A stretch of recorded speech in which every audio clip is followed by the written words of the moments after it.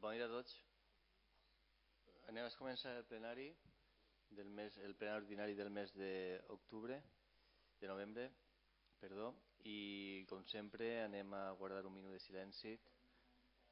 Un minut de silenci en memòria de, de les dones de, que han patit la violència de gènere i també recordar que estem en la setmana i que en la setmana que estem fent tots els actes per a, la, per a commemorar aquest acte i que demà en fins és el dia. Està plegant una companyera, s'esperem. Vale, doncs anem a començar.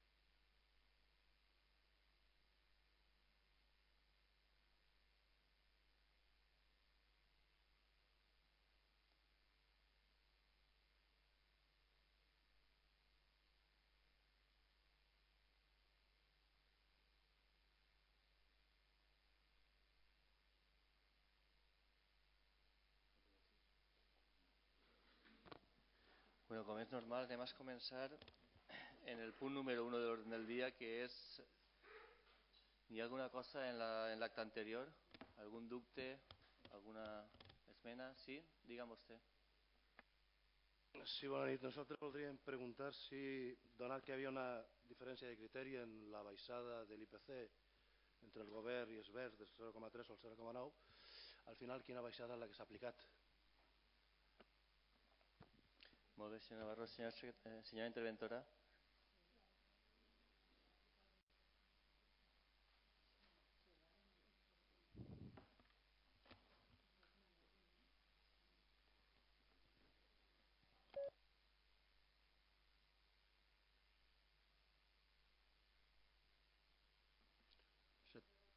Serà com a no, no? Gràcies, Esbert.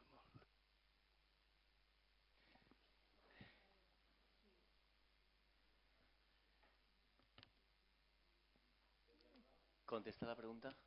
Vale. Bueno, pues ara, antes de continuar, eh, tenim un punt que és el sorteig de membres de mesa electoral per a les eleccions generals. Crec convenient, ja que tenim així el funcionari, que alterem el que és l'ordre dels punts i en més de començar per la resolució dels controls actuals, el que són els decrets, si vos pareix bé, anem a fer primer el sorteig. Teniu alguna, algun impediment? ¿Vale? Da igual, no? Alterem el que és el punt de l'ordre. Eh, senyora secretària, si vol vostè, pots començar.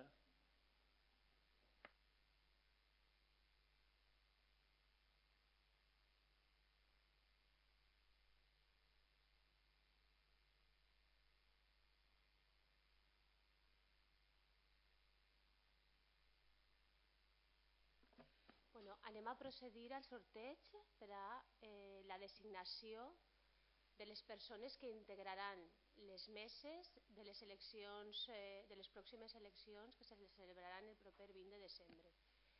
Eh, necessitem algú del públic per a que puga ser la mà innocent? Algun voluntari del públic?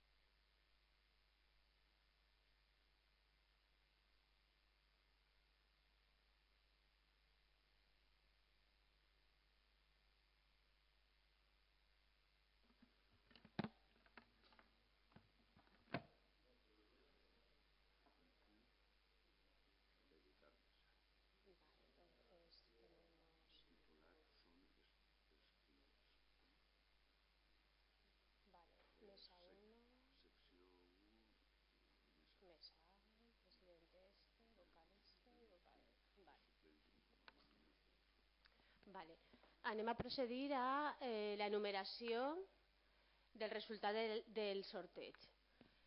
Eh, secció 1, mesa A, president, Marina Amparo Calvo Pérez. Eh, vocal número 1, José Vicente Ballester Liberos. Vocal número 2, Juan José Huesa Martínez.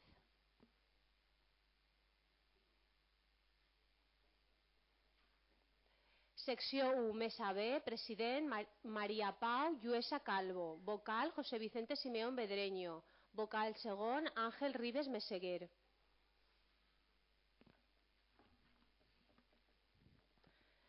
Secció 2, Mesa A, president Pedro Andrés Castaño Castaño. Vocal 1, Mireia Cuenca Carbonell. Vocal 2, Maria Mercedes Hostalet Alapont.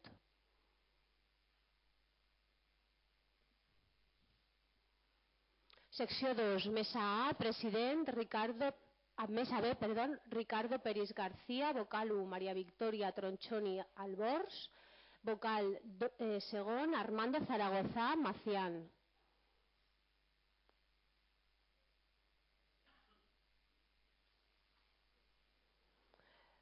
Secció 4, Mesa A, president Carmen María Carbonell Valero, vocal 1, Al Alfonso Díaz Torre i segon, Sergio Collado Roldán.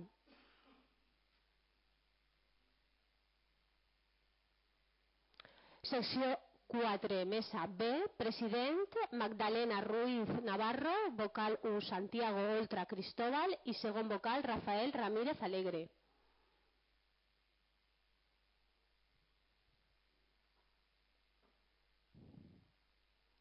Secció quinta, mesa A, president Mireia Ferrer García, vocal número 1, José Javier Gómez Tarazona i segon, Rosa Rocío Gómez Medina.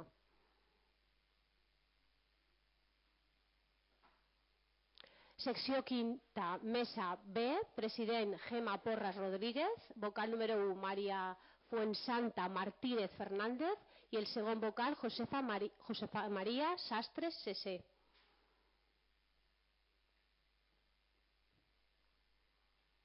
Secció sisena, mesa única, president Carlos Simeón Encinas, vocal número 1, José María Casado Tazón i segon vocal Vicenta Valero Peris.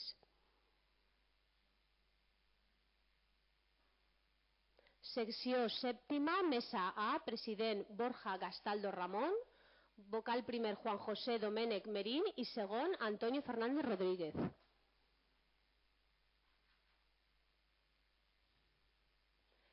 Secció eh, sèptima, mesa B, presidente Alejandro Rey del Sáez, vocal número 1 José Yacer Jimeno i segon Maria, Maria del Carmen Pont Zamora.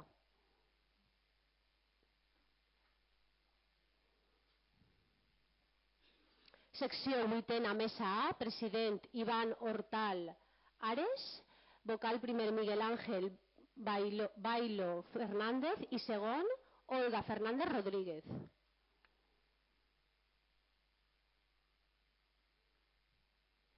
Secció vuitena, mesa B, presidente Inmaculada Juste Miguel, vocal primer Aro, Aroa Santa María Sánchez i segon María José Navasquillo Llopis.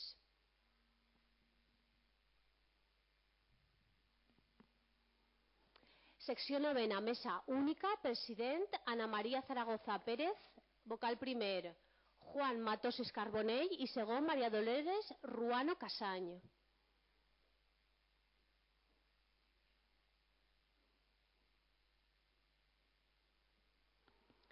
Mesa dècima, secció dècima, mesa A, president Lorena Clavijo Herraiz, vocal primer Ricardo Carbonell Trave i segon Rafael Alba Selma.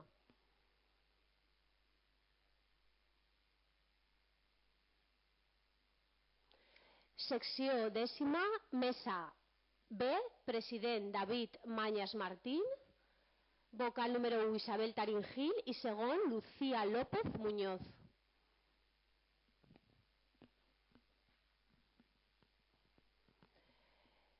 Secció undècima, mesa A, president Yasmina Díaz Pizarro, vocal primer Álvaro Aparici Medina. I segon Cristóbal Espinosa López.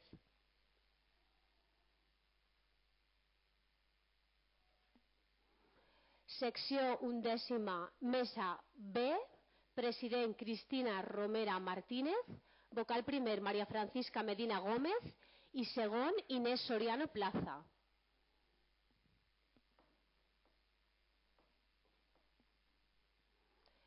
Mesa duodècima, eh, secció mesa A, president Maria José Calatayud Primo, vocal número 1 Miguel Ángel Casanova Ato i segon Santiago Domínguez Cano. I mesa B, president Maria del Mar Morales Sorli, vocal número 1 Pedro Pastor López i segon José Mas Navarro.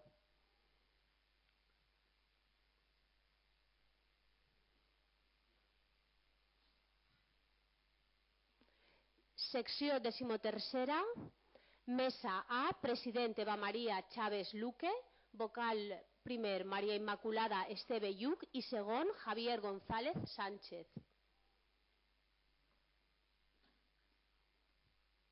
Mesa B, president José Antonio Peralta Peralta, vocal primer Esther Licerán Cánovas i segon vocal Sonia Requena Garbín.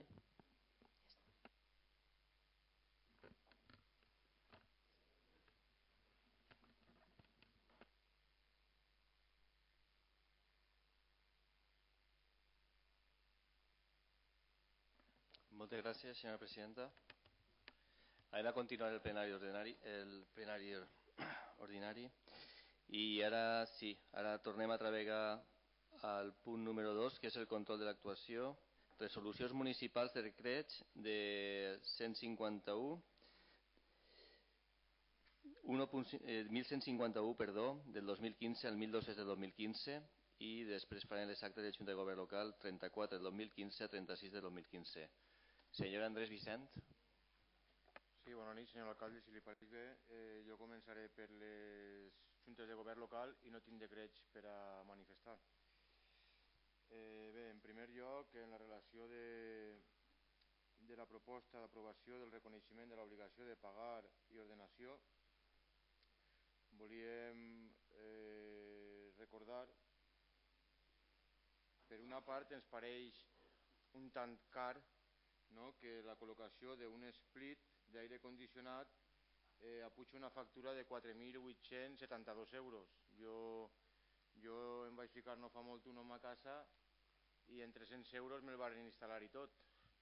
I 4.804 euros pues, vegem un preu excessiu per a un split i ens agradaria consultar aquestes factures eh, més detalladament, ja que no les havem detectat en els decrets i o ens explicarà a què es deu este increment de la factura per un split mural inverter a l'alcaldia.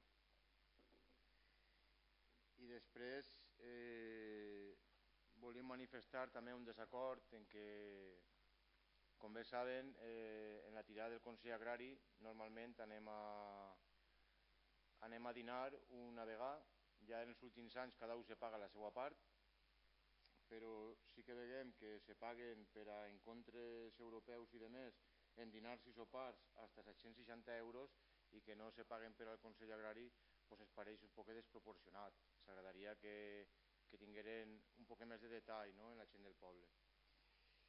I sé per una banda i ara entraré en les juntes de govern local.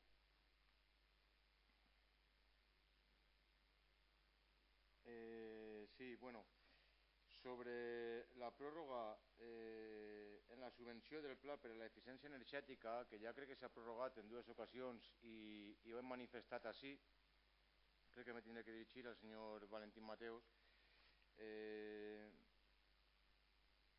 jo li, li podria dir que en aquest pla d'actuació, aquesta subvenció que ve de la Generalitat Valenciana, que vostès ja, ja han decidit en què van actuar i en què van a, a depositar els diners eh, n'hi hauria que haver segut eh, més o n'hi hauria que haver tingut un criteri i una valoració més directa a les necessitats i a les prioritats del nostre poble, ja que no acollir-se a aquesta subvenció, deixar-la passar perquè vostès manifesten que no tenien diners per ficar la part que els correspon, i, i després no destinar en aquest pla d'actuació que ve de la Diputació que se podia haver destinat a eficiència energètica o, o, a, o a faroles tenim el que és el terme de Silla i els polígonos en una carència de restablir la llum eh, en moltes zones impressionant.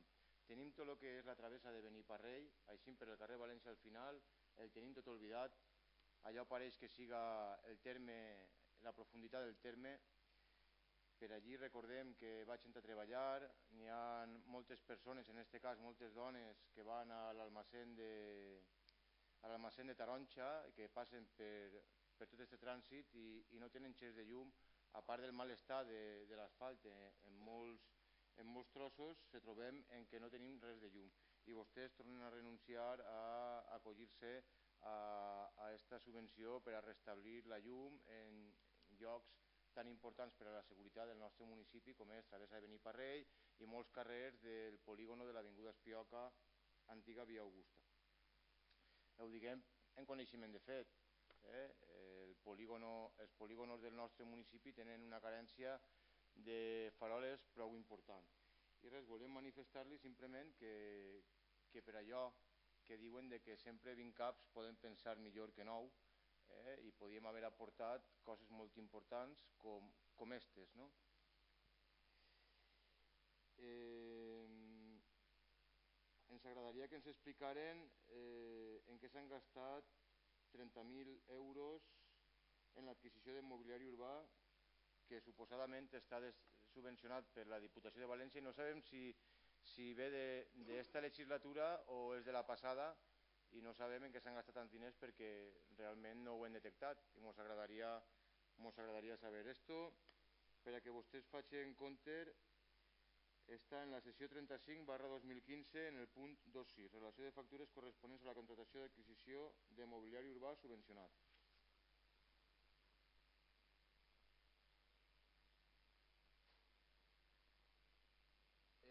Sí, ens agradaria després fer una pregunta en relació a, a esta subvenció, a aquestes notícies que recibíem a principi de legislatura sobre el llibre gratuït i tal i qual, i ara vegem així que n'hi ha eh, un contraconveni o, o, o una, regula, o una nova regulació en el qual l'Ajuntament diu que es fa responsable de pagar el que li corresponien a ells, que eren 66,66 ,66 euros, Volíem saber si ja s'ha recibit la part de diputació que corresponia per a pagar els llibres, si s'han pagat. Eh, veiem que ressalten molt el tema de que n'hi ha que entregar els llibres en perfecte estat. Volem saber en quina situació eh, es troba tot això i si han recibit els diners de la Diputació. I bé, volíem també eh, parlar d'una sentència, una sentència número 436 barra 2015, sala de lo contenciós, en el qual al senyor Valentín Mateo li, li diuen que no té la raó, no? que el plenari al complet, menys ell, teníem la raó i eh, ara tindrà que dir-li als veïns en la mateixa línia que anar a dir-li a totes les associacions de veïns del poble que li anaven a tornar els diners, que estàvem tots equivocats, que el que no volíem era enfrontar-se a l'empresa, en fi, totes aquestes xarles que donava pues, hauria fer totalment el contrari i anar a dir que tot això no va passar, que estava enganyat, que, que no era de veres, que no li van a tornar els diners que ell dia que anava a tindre, que anaven a tornar-li als veïns, i n'hi haurà que rectificar, no? és un consell que nosaltres li donem, senyor Valentín, perquè ja que vostè s'ha fet durant quatre anys la campanya de lo mateix, pues ara vostè eh, tindrà que explicar no, a, als veïns que allò que vostè li contava en, en, en diapositives i en, i en gran espectacle no, que no era de veres. No.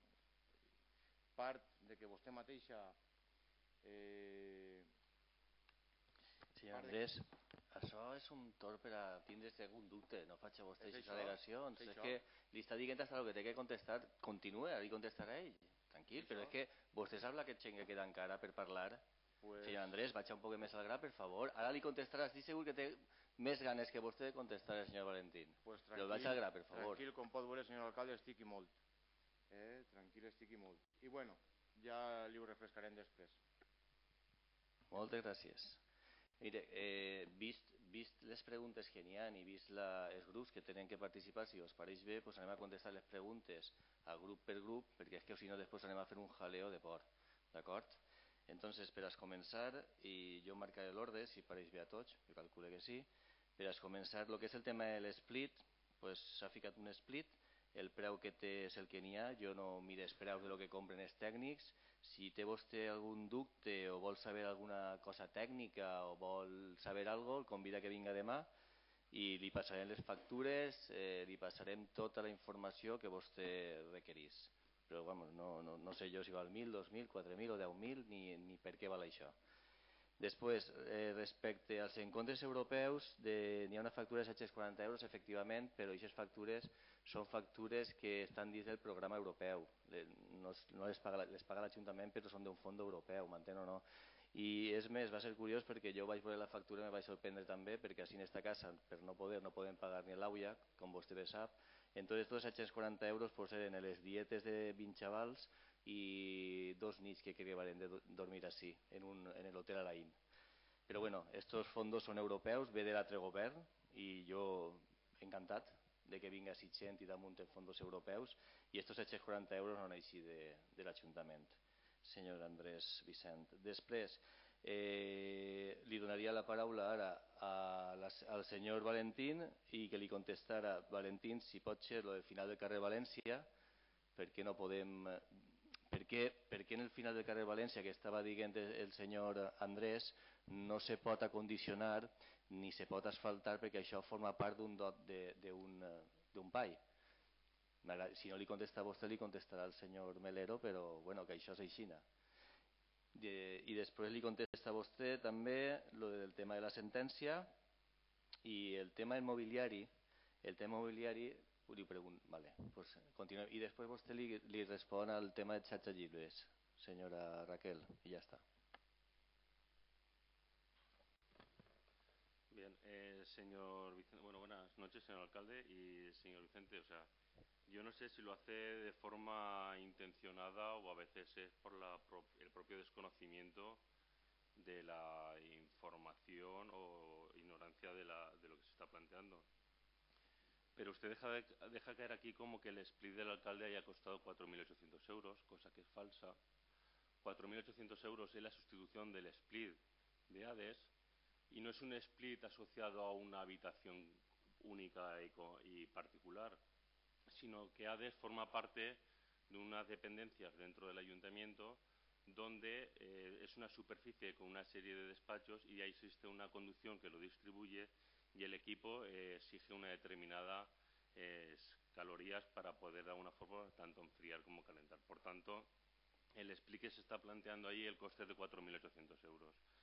El split de, que se puso en la alcaldía, porque entendíamos que era insoportable tener que atender a los vecinos en las condiciones en las que se atendían, el coste estaba aproximadamente en 1.050, 1.100 euros.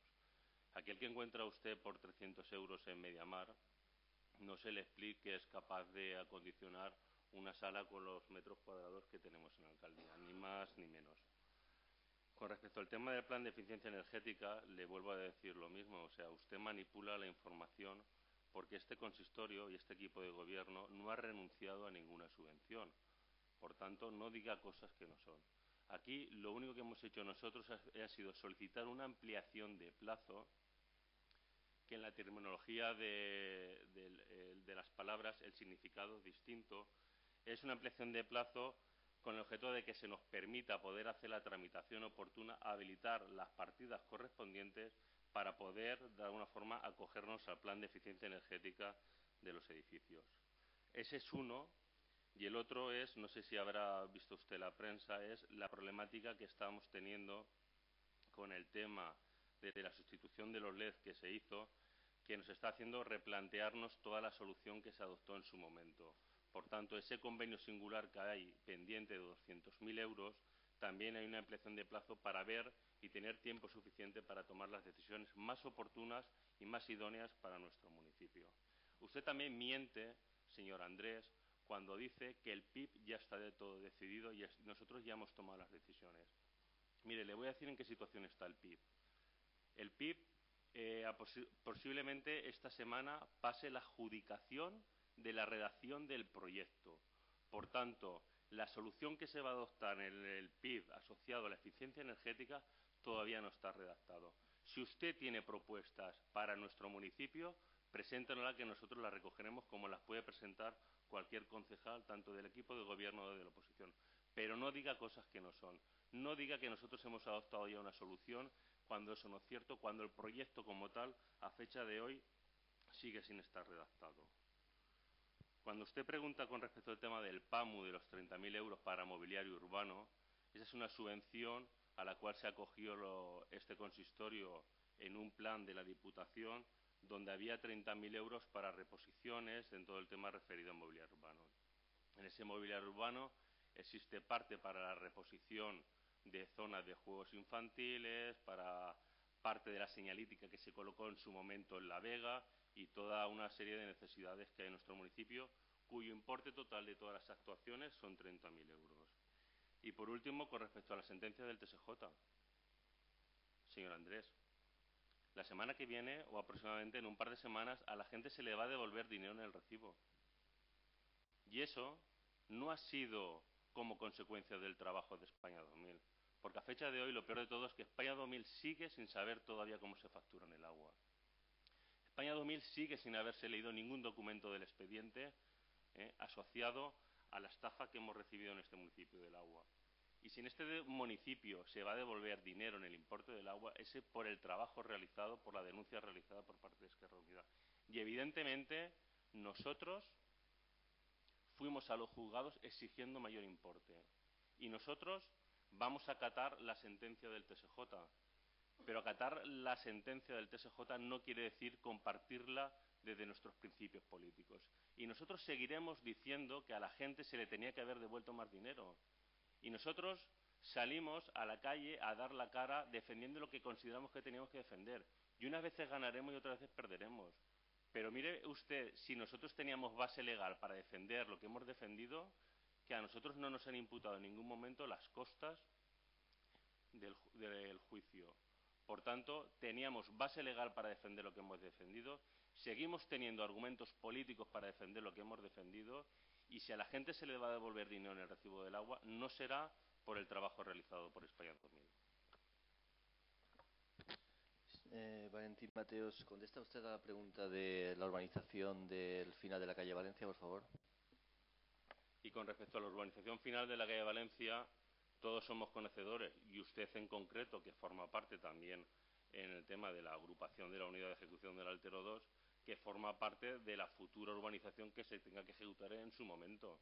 Por tanto, el ayuntamiento llega en la urbanización hasta lo que tiene consolidado como tal, señor Andrés. Muchas gracias, señor Mateo. Señora, señora Raquel Sánchez. Bona nit. Respecte al projecte europeu, sí que volia esclarir i dir-li a Andrés Vicent que ojalà tots els anys i a ser possible més d'una vegada entrar a finançament europeu a este poble per a poder fer iniciatives tan enriquidores com les que hem estat organitzant. Eh, estos projectes eh, serveixen per a intercanviar eh, els punts de vista dels joves, les inquietuds que tenen, en aquest cas se treballava el tema de la música i la cultura urbana i va ser molt enriquidor. I aquests projectes europeus inclouen mobilitats, en tenim també un pendent en educació. I eh, se pot, eh, en aquests diners, evidentment, que venen de la Unió Europea i que a l'Ajuntament de Silla no li costen un cèntim, sinó que són aportacions europees, se finança tant la manutenció dels joves que venen com dels nostres joves quan tingueren que anar allí i també els desplaçaments en avió per a que quede ben clar que no estem en ningú moment utilitzant diners públics de l'Ajuntament dels veïns i veïnes de Silla per a pagar sopars ni dinars de ningú venen sols finançats per la Unió Europea per, la Unió Europea per a uns objectius concrets. Respecte del projecte de xarxa llibres, he d'esclarir que l'Ajuntament de Silla va sol·licitar la participació en el projecte xarxa llibres. Ahir mateix el diari oficial de la Comunitat Valenciana publicava tots els pobles que han sigut admesos a participar en aquest projecte consisteix en crear bancs de llibres en les escoles i el projecte comença a través de el finançament triple del programa. Una, un terç el paga l'Ajuntament, un terç el paga la Diputació i l'altre terç la Conselleria d'Educació, la Generalitat Valenciana. En aquest cas, eh, en la publicació d'ahir en el diari oficial, l'aportació de la Conselleria són 122.424 euros i el de l'Ajuntament són 60.000. I quedaria pendent l'altra part de la Diputació, que també se va a publicar de manera oficial i se va ingressar en les pròximes setmanes en el fons de l'Ajuntament. Eh, este projecte hem estat preparat, preparant totes les circulars informatives, eh, ens varen reunir en les associacions de mares i pares per a que coordinaren tota la preparació prèvia. El divendres passat ens varen reunir en els directors i demà dimecres i dijous ja les famílies rebran en la motxilla del xiquet o en mà per banda de les tutores de les aules una circular informativa per a informar-los de com va funcionar i què han de fer en tot cas, tots estem a temps encara. Eh, és a partir del dia 1 de desembre quan comença la tramitació d'eixa ajuda, que consisteix en cursar una sol·licitud acompanyada de factura en el concepte dels llibres a nom de, de la persona que l'ha comprat, pare, mare o tutor, en l'IVA inclòs, molt important, que totes les dades de la factura estiguen correctes i el número de compte de la persona sol·licitant. És senzillet. També hem previst un sistema, donat que m'han preguntat, vaig esclarir com el model és electrònic i anem a emplenar un formulari electrònic. La nau jove estarà habilitada per a poder cursar aquestes sol·licituds totes les persones que no tinguen accés a internet a casa o no disposen d'impressora. És a dir, estem, estem programant i planificant la, el procés de sol·licitud de la primera fase per a que totes les persones, totes les mares i tots els pares puguen sol·licitar l'ajuda a les mateixes condicions d'igualtat. I en això crec que quan els arribi la circular tindran tota aquesta informació plasmada i molt ben resumida per a que no hi hagi dubtes. I si els tenen, els tècnics i jo com a regidora d'Educació estem a la seva disposició per atendre-los. Moltes gràcies. Moltes gràcies, senyora Sánchez. Senyor Fuster. Senyor Navarro. Sí, una pregunta de un decreto y de la Junta de Gobierno. En el pasado pleno presentábamos una propuesta para la rebaja de la tasa en la retirada de vehículos del 10% y nos decían ustedes que no había dinero, que no estaba presupuestado y demás. Nos encontramos en el decreto en 1179, tal como le reiterábamos en aquel plenario, que estaba inflada la partida y que se estaba cobrando a los vecinos por encima del uso. Entonces la pregunta es ¿por qué destinan ustedes 9.300 euros de la retirada de vehículos para vías públicas e infraestructuras? Y no se podía rebajar en el plenario pasado el 10% en la multa y en la retirada de esos vehículos. La otra es la pregunta es retiran ustedes en ese mismo decreto 5.000 euros de parques y jardines y lo dedican a infraestructuras de vías públicas. La pregunta es si los parques y jardines de nuestro pueblo no tienen necesidad que se les puede retirar partidas para arreglar otras cosas. En el mismo decreto aparece una partida para construcción en el conservatorio de 3.600 euros. La pregunta es si el conservatorio tiene disponibilidad y además remanente de tesorería suficiente, ¿por qué no se utiliza de ahí en vez de utilizarlo de la partida municipal de archivos y arrendamientos? El acta de la Junta de Gobierno, la número 36, sobre la, las ayudas o las subvenciones para la compra de libros, nosotros tenemos dos preguntas concretas. Dado que no hay suficiente dinero en la partida para poder cubrir esa subvención o esas ayudas, puesto que la partida que teníamos era de 97.000, ya se ha hecho una aportación por parte del municipio de unos aproximadamente unos 60.000 euros, Ahora tocaría aportar otros 62.000, con lo cual nos faltaría dinero. La pregunta es de qué partida han hecho, o piensan hacer, o habrán hecho ya, porque si se ha firmado el convenio ya estará hecha, la diferencia para cubrir esa aportación. Como el compromiso es para el año que viene también de 62.000 euros, la pregunta es si hay un informe de intervención de tal gasto económico. Gracias, señor Navarro. Senyor Cuenca. Gràcies, senyor alcalde. Bona nit a tots. Bé, en principi, anem a veure. quan se passa dins d'una partida d'una altra, sobretot vies públiques, no és perquè s'obre en, en la reparada de vehicles o perquè s'obre en parcs i jardins, és perquè la urgència de la via pública és palpable, és notòria, i quan se fa un clot, no s'arregla, se fa més gran i acaba sent perillós, això li costa una demanda a l'Ajuntament perquè algú trenca una roda, té un accident o té qualsevol eh, circumstància. No estem parlant de canviar dins una partidata perquè s'obren, sinó que estem prioritzant les necessitats que se trobem en el dia a dia.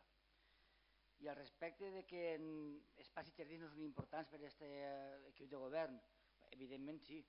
De fet, un pla de diputació se va gastar 120.000 euros en el Parc del Teró. És a dir, és que mm, quan venen els diners i podem aprofitar-los, doncs els aprofitem. Però el que se trata és de prioritzar, sobretot quan se trata de temes de seguretat. I la via pública és un tema recurrent, un tema que genera perill i que, per tant, sempre per aquesta corporació i per les que vinguin i han hagut, serà prioritari. Vinguen d'on vinguen. No justifica que vostè volguera baixar la taxa de replegada de vehicles, que és una altra història, perquè se faci un efecte de crèdit d'aquesta partida. Segurament potser es quedarem curts, es quedarem sense crèdit, però prioritari és arreglar un camí, un carrer, una rotonda o algun lloc on una persona es pugui fer mal. La emergencia son 30.000 euros. Perdona?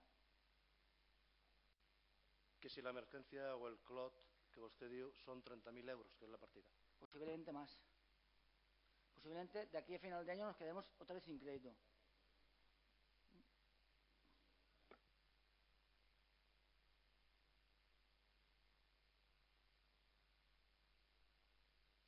Respecte a l'aportació de llibres, se fa modificació de crèdits, està avalat per la interventora i per tant no hi ha cap de problema. Cobriran la part que tenim que cobrir des de l'any vigent i l'any que ve presupuestarem la part que ens correspon i ja està, ni més ni menys. Sí, sí, sí, yo no planteo ningún duda. Eh, te he preguntado si podemos saber de qué partida se ha hecho la modificación, puesto que no la tenemos. Y la otra es si hay un informe real por escrito sobre la intervención de los gastos de esa partida. Eh, pues no té constància si n'hi ha informe real o no, suposa que sí, perquè la interventora així li pot manifestar, i demà se passa per l'Ajuntament i li diran de quina partida se fa la transferència. ¿Que ustedes no lo saben?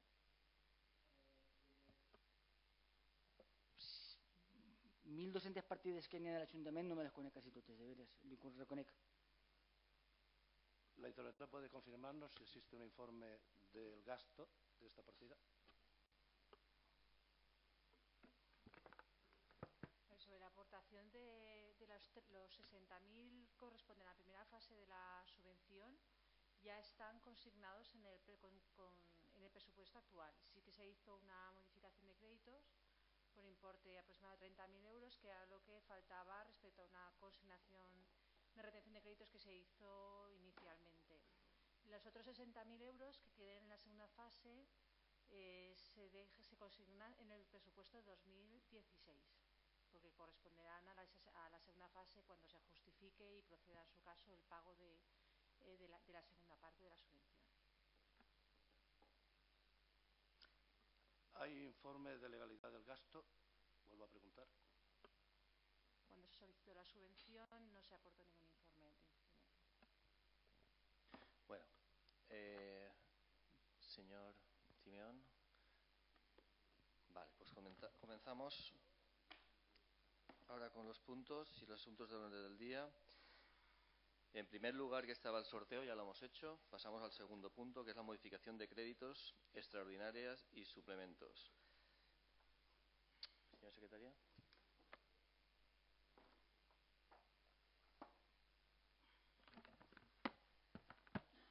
La comissió informativa ha dictaminat la següent proposta d'acord.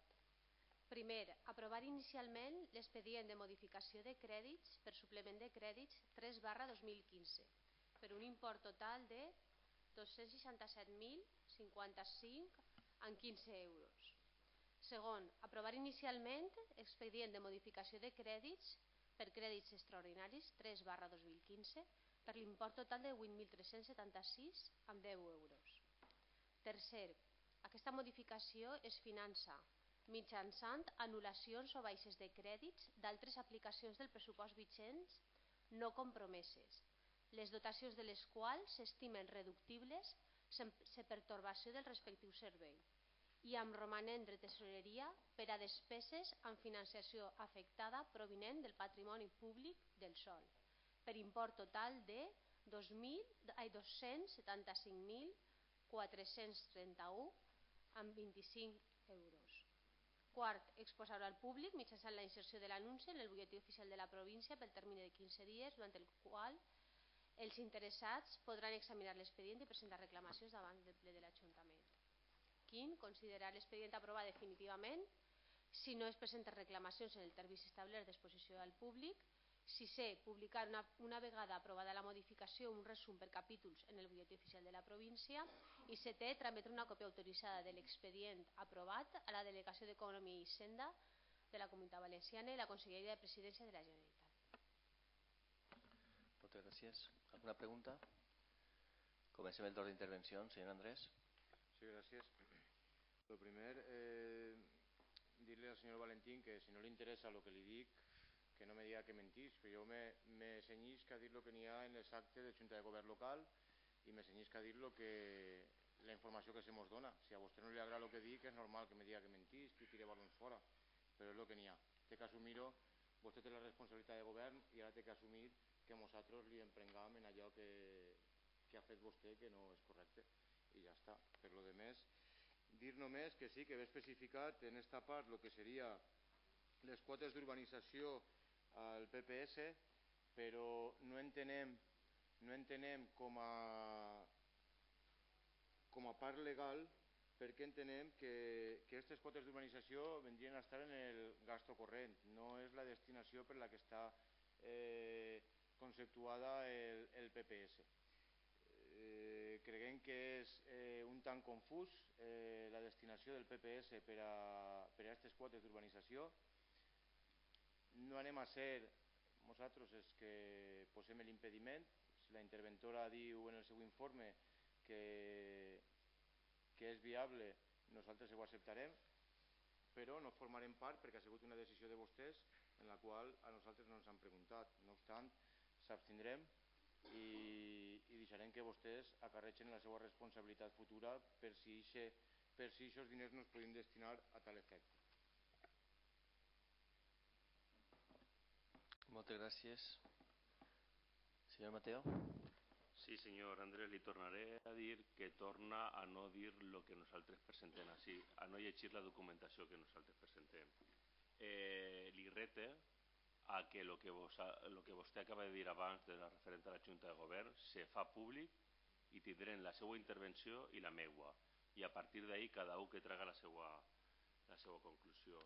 Referent a lo que vostè diu que no queda clar què és el que va a PPS i el que va a se té que retribuir mitjançant béns patrimonial li diré que la fulla número 4 de l'informe que se fa de la proposta de modificació que fa la mateixa interventora diu en l'apartat A les, les factures que van a PPS i la factura que va que no, va, que no pot anar a PPS perquè se considera una parcel·la patrimonial. Per tant, queda ben clar el que és la mateixa retroalimentació del PPS i el que no va mitjançant la quota d'urbanització corresponent. Vostè no torna a dir lo que, o no torna a llegir el que nosaltres proposem així, senyor Andrés. Moltes gràcies, senyor Mateo. Senyor Fuster.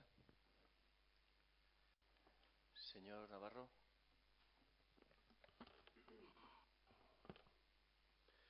Al plenario pasado nos traían una modificación de créditos de unos 45.000 euros para pagar cuotas de urbanización. Este plenario modifica la propuesta anterior y nos traen una modificación de créditos por 275.000. Es verdad que han encontrado ustedes y el gobierno anterior parece ser un chollo mmm, de, de monopoli en lo que es el PMS, en lo que es la partida del PMS, a la que acogerse para, legalmente, pero de monopoli, a la que acogerse para decir que pagamos cuotas de organización o parte que nos toque, porque el PMS lo pasamos al PMS, ya es real, ya es real. ¿vale? Pero es una, digamos que es como echar mano de una hucha que está vacía, porque la hucha del PMS está vacía, y vamos a pagar algo que es real, lo que tendremos que eliminar partidas reales, seguramente del presupuesto, que es lo que venimos haciendo con este tipo de, juego económico. Lo que no entendemos es esta modificación que pasa de 45.000 a 275.000 y en vez de ir a cubrir eh, lo que desde la oposición ustedes decían, nosotros también, y renegábamos de este gobierno, del gobierno anterior, era aligerar las cuentas y aclarar las cuentas municipales. Y ustedes lo que hoy nos traen es el aumento del gasto en 200.000 euros más del mes pasado, en aumento de esa deuda, por lo tanto, para el año que viene en 200.000 euros más, en vez de sanear, limpiar facturas de este municipio. Mire, cuando ustedes cogen y nos dicen que van a utilizar 77.000 euros de la parte del conservatorio, o que como ya no pagan eh, tenemos una rebaja en el pago de intereses de 117.000 y de o 112.000 y de amortizaciones de 15.000 porque pagamos menos este año que en el presupuesto de 2012. Es curioso que esas partidas económicas, dinero ficticio que no tenemos, que no tenemos, no lo dediquemos a limpiar, a limpiar facturas que ya tenemos. Porque les recuerdo, y usted lo sabrá mejor que yo, que de OPAS, que ya hemos pagado el plan de pago a proveedores, hay más de 720.000 euros en facturas, que tendremos que reconocer, ya podríamos reconocer algunas, de facturas pagadas fuera de lo que es el plan de pago a proveedores, además de intereses, justamente, tenemos más de 700.000 euros y de facturas que se, ustedes se quejan tanto, que están en el cajón de este año 2014, facturas por valor de 2.600.000. Bueno, por lo tanto, si tenemos alrededor de tener que justificar facturas por pagar de más de 2 millones, y ahora después me, acierta usted la cantidad exacta, yo le digo 2.600.000, ¿vale? Tenemos 700.000 de intereses pagados y tenemos 720.000 en OPAs. Nos parece absurdo, y nosotros así lo entendemos, a un mes de acabar este año, de que esos 200.000 euros no vayan a limpiar, a aligerar estas partidas, y lo que ustedes hacen es aumentar en 200.000 euros más el gasto no previsto, porque se sale de lo que estaba presupuestado. Por lo tanto, nosotros no le vamos a apoyar en esta propuesta. No entendemos que de donde no hay se pueda sacar para pagar esto, salvo que sigamos juntando más facturas sin pagar, más facturas en el cajón y patalla adelante, que era de lo que siempre nos hemos quejado. Y además no entendemos cómo algunas de las partidas que hay aquí, pequeñas, pero algunas partidas, se podían haber incluido en las propuestas de diputación que ustedes mismos han aprobado y haber reducido también la carga que hoy día ustedes presentan como modificación de créditos. Muchas gracias. Señor Simeón. Vale. Eh, señor Navarro. Bé, jo, eh, amb tot el respecte, senyor Navarro, no me crec que vostè no sàpiga el que està llegint. Mire, la primera barbaritat que acaba de dir és ¿por qué no se partidas de, ya gastadas en el acuerdo de diputación que ha llegado para obras nuevas sostenibles? Perquè és il·legal. Simplement i vostè ho sap perfectament. Vostè no pot atribuir a la subvenció de diputació una despesa que ja està feta. Sí que està feta. Tens una factura, tens una factura que tu has fet i no has pagat. Mira, ja vaig explicar el que és aquesta modificació de decret, encara que vostè ho sap perfectament. Jo sé que vostè ve així, fa el que té que fer, però ho sap perfectament, perquè vostè és una persona intel·ligent, porta molts anys ahí sentat en aquest sillonet i sap perfectament de què va això. Segurament a Marcos no li tindrà que explicar, però vostè sí, perquè quede clar i quede palès. Mira, tenim un pressupost del 2012, en unes partides i uns números que corresponen pues, a fa 3 anys pràcticament. El que passava el 2012 no és el que passa ara, evidentment. I al llarg de l'exercici pressupostari està segur compartit perquè pràcticament la gestió d'aquestes factures les ha portat l'anterior govern del Partit Popular, evidentment, en moltes coses que decidia gastar els diners no tenia consignació pressupostària. Per què? Perquè el pressupost era antic, un pressupost vell. Com s'arregla això? A base de modificacions de crèdit. Per a què? Per evitar que es convertisquen en OPEs. Val? Si vostè això paga una OPA anterior i deixa això per pagar, l'any que ve tindrà OPEs i tindrà que fer un procediment més costós, més llarg i més laboriós. Li apujarà la morositat, no podrà pagar a la gent per el que ha fet enguany tant, és una qüestió de praxis econòmica, ni més ni menys. Vostè confon pagar en pressupostar, el crèdit. Això no vol dir que se vagi a pagar en diners líquids. Perquè el problema d'aquest Ajuntament, tots sabem que és la liquidez. És a dir, entre el que ingressem i el que gastem hi ha una diferència de 2 milions d'euros. I a poc a poc anem corregint-la. Evidentment, l'Estat s'havia quedat una part important dels nostres recursos, ara s'acaba este mes i s'ha quita que ens fa i tenim més tesoreria. Per què s'ha de que actuar així? És molt senzill. Per què la portem ara i el mes passat no? Perquè ara ja estem en terminació de dir, mira, del pressupost del 2015 prorrogat, ens sobren aquests diners i ens falta per pagar aquestes factures. Què és el que és més normal? Equilibrar-lo i ja està. OPEs o no OPEs, eh, factures pagues no pagades, en l'informe d'intervenció del pressupost que l'hem passat avui ho veurà. 700.000 euros, 700 i pico mil passades. 400.000 euros d'OPEs que s'han creat al llarg d'aquest procés pressupostari que no s'han pogut pagar per tesoreria. I 800 i pico mil euros d'OPEs pagades i compensades que eh, mm, n'hi ha que ficar-les en el pressupost però no n'hi ha que pagar-les en líquid. Per tant, és un procés llarg, costós. Costarà un parell de pressupostos equilibrar-ho. Però això és la marxa habitual d'un ajuntament. És a dir, el que no han pagat d'enguany se paga de factures d'enguany. O tenim que fer OPEs per pagar OPEs. No és normal. Per què? Perquè la regla de gasto se desequilibra, no podem gastar l'any que ve el que volem i això ens perjudica. Confon tesoreria en crèdit. El crèdit és que mm, sorgís demà un forat al mig i tenim que arreglar-lo no tenim crèdit. S'arregla. Hasta que no tinguem crèdit no podem pagar-lo. Són dues coses diferents. N'hi ha que haver crèdit d'arreglar el sostre per arreglar el fora de terra. Això és el que significa canviar crèdit. Pagar-lo, la tesoreria, és altra cosa diferent. Vostè diu que el PMS és una espècie d'aliviero, de tal. No estem reconeguent que anem a pagar-li a l'associació d'interessos de l'Alteró 45.000 euros?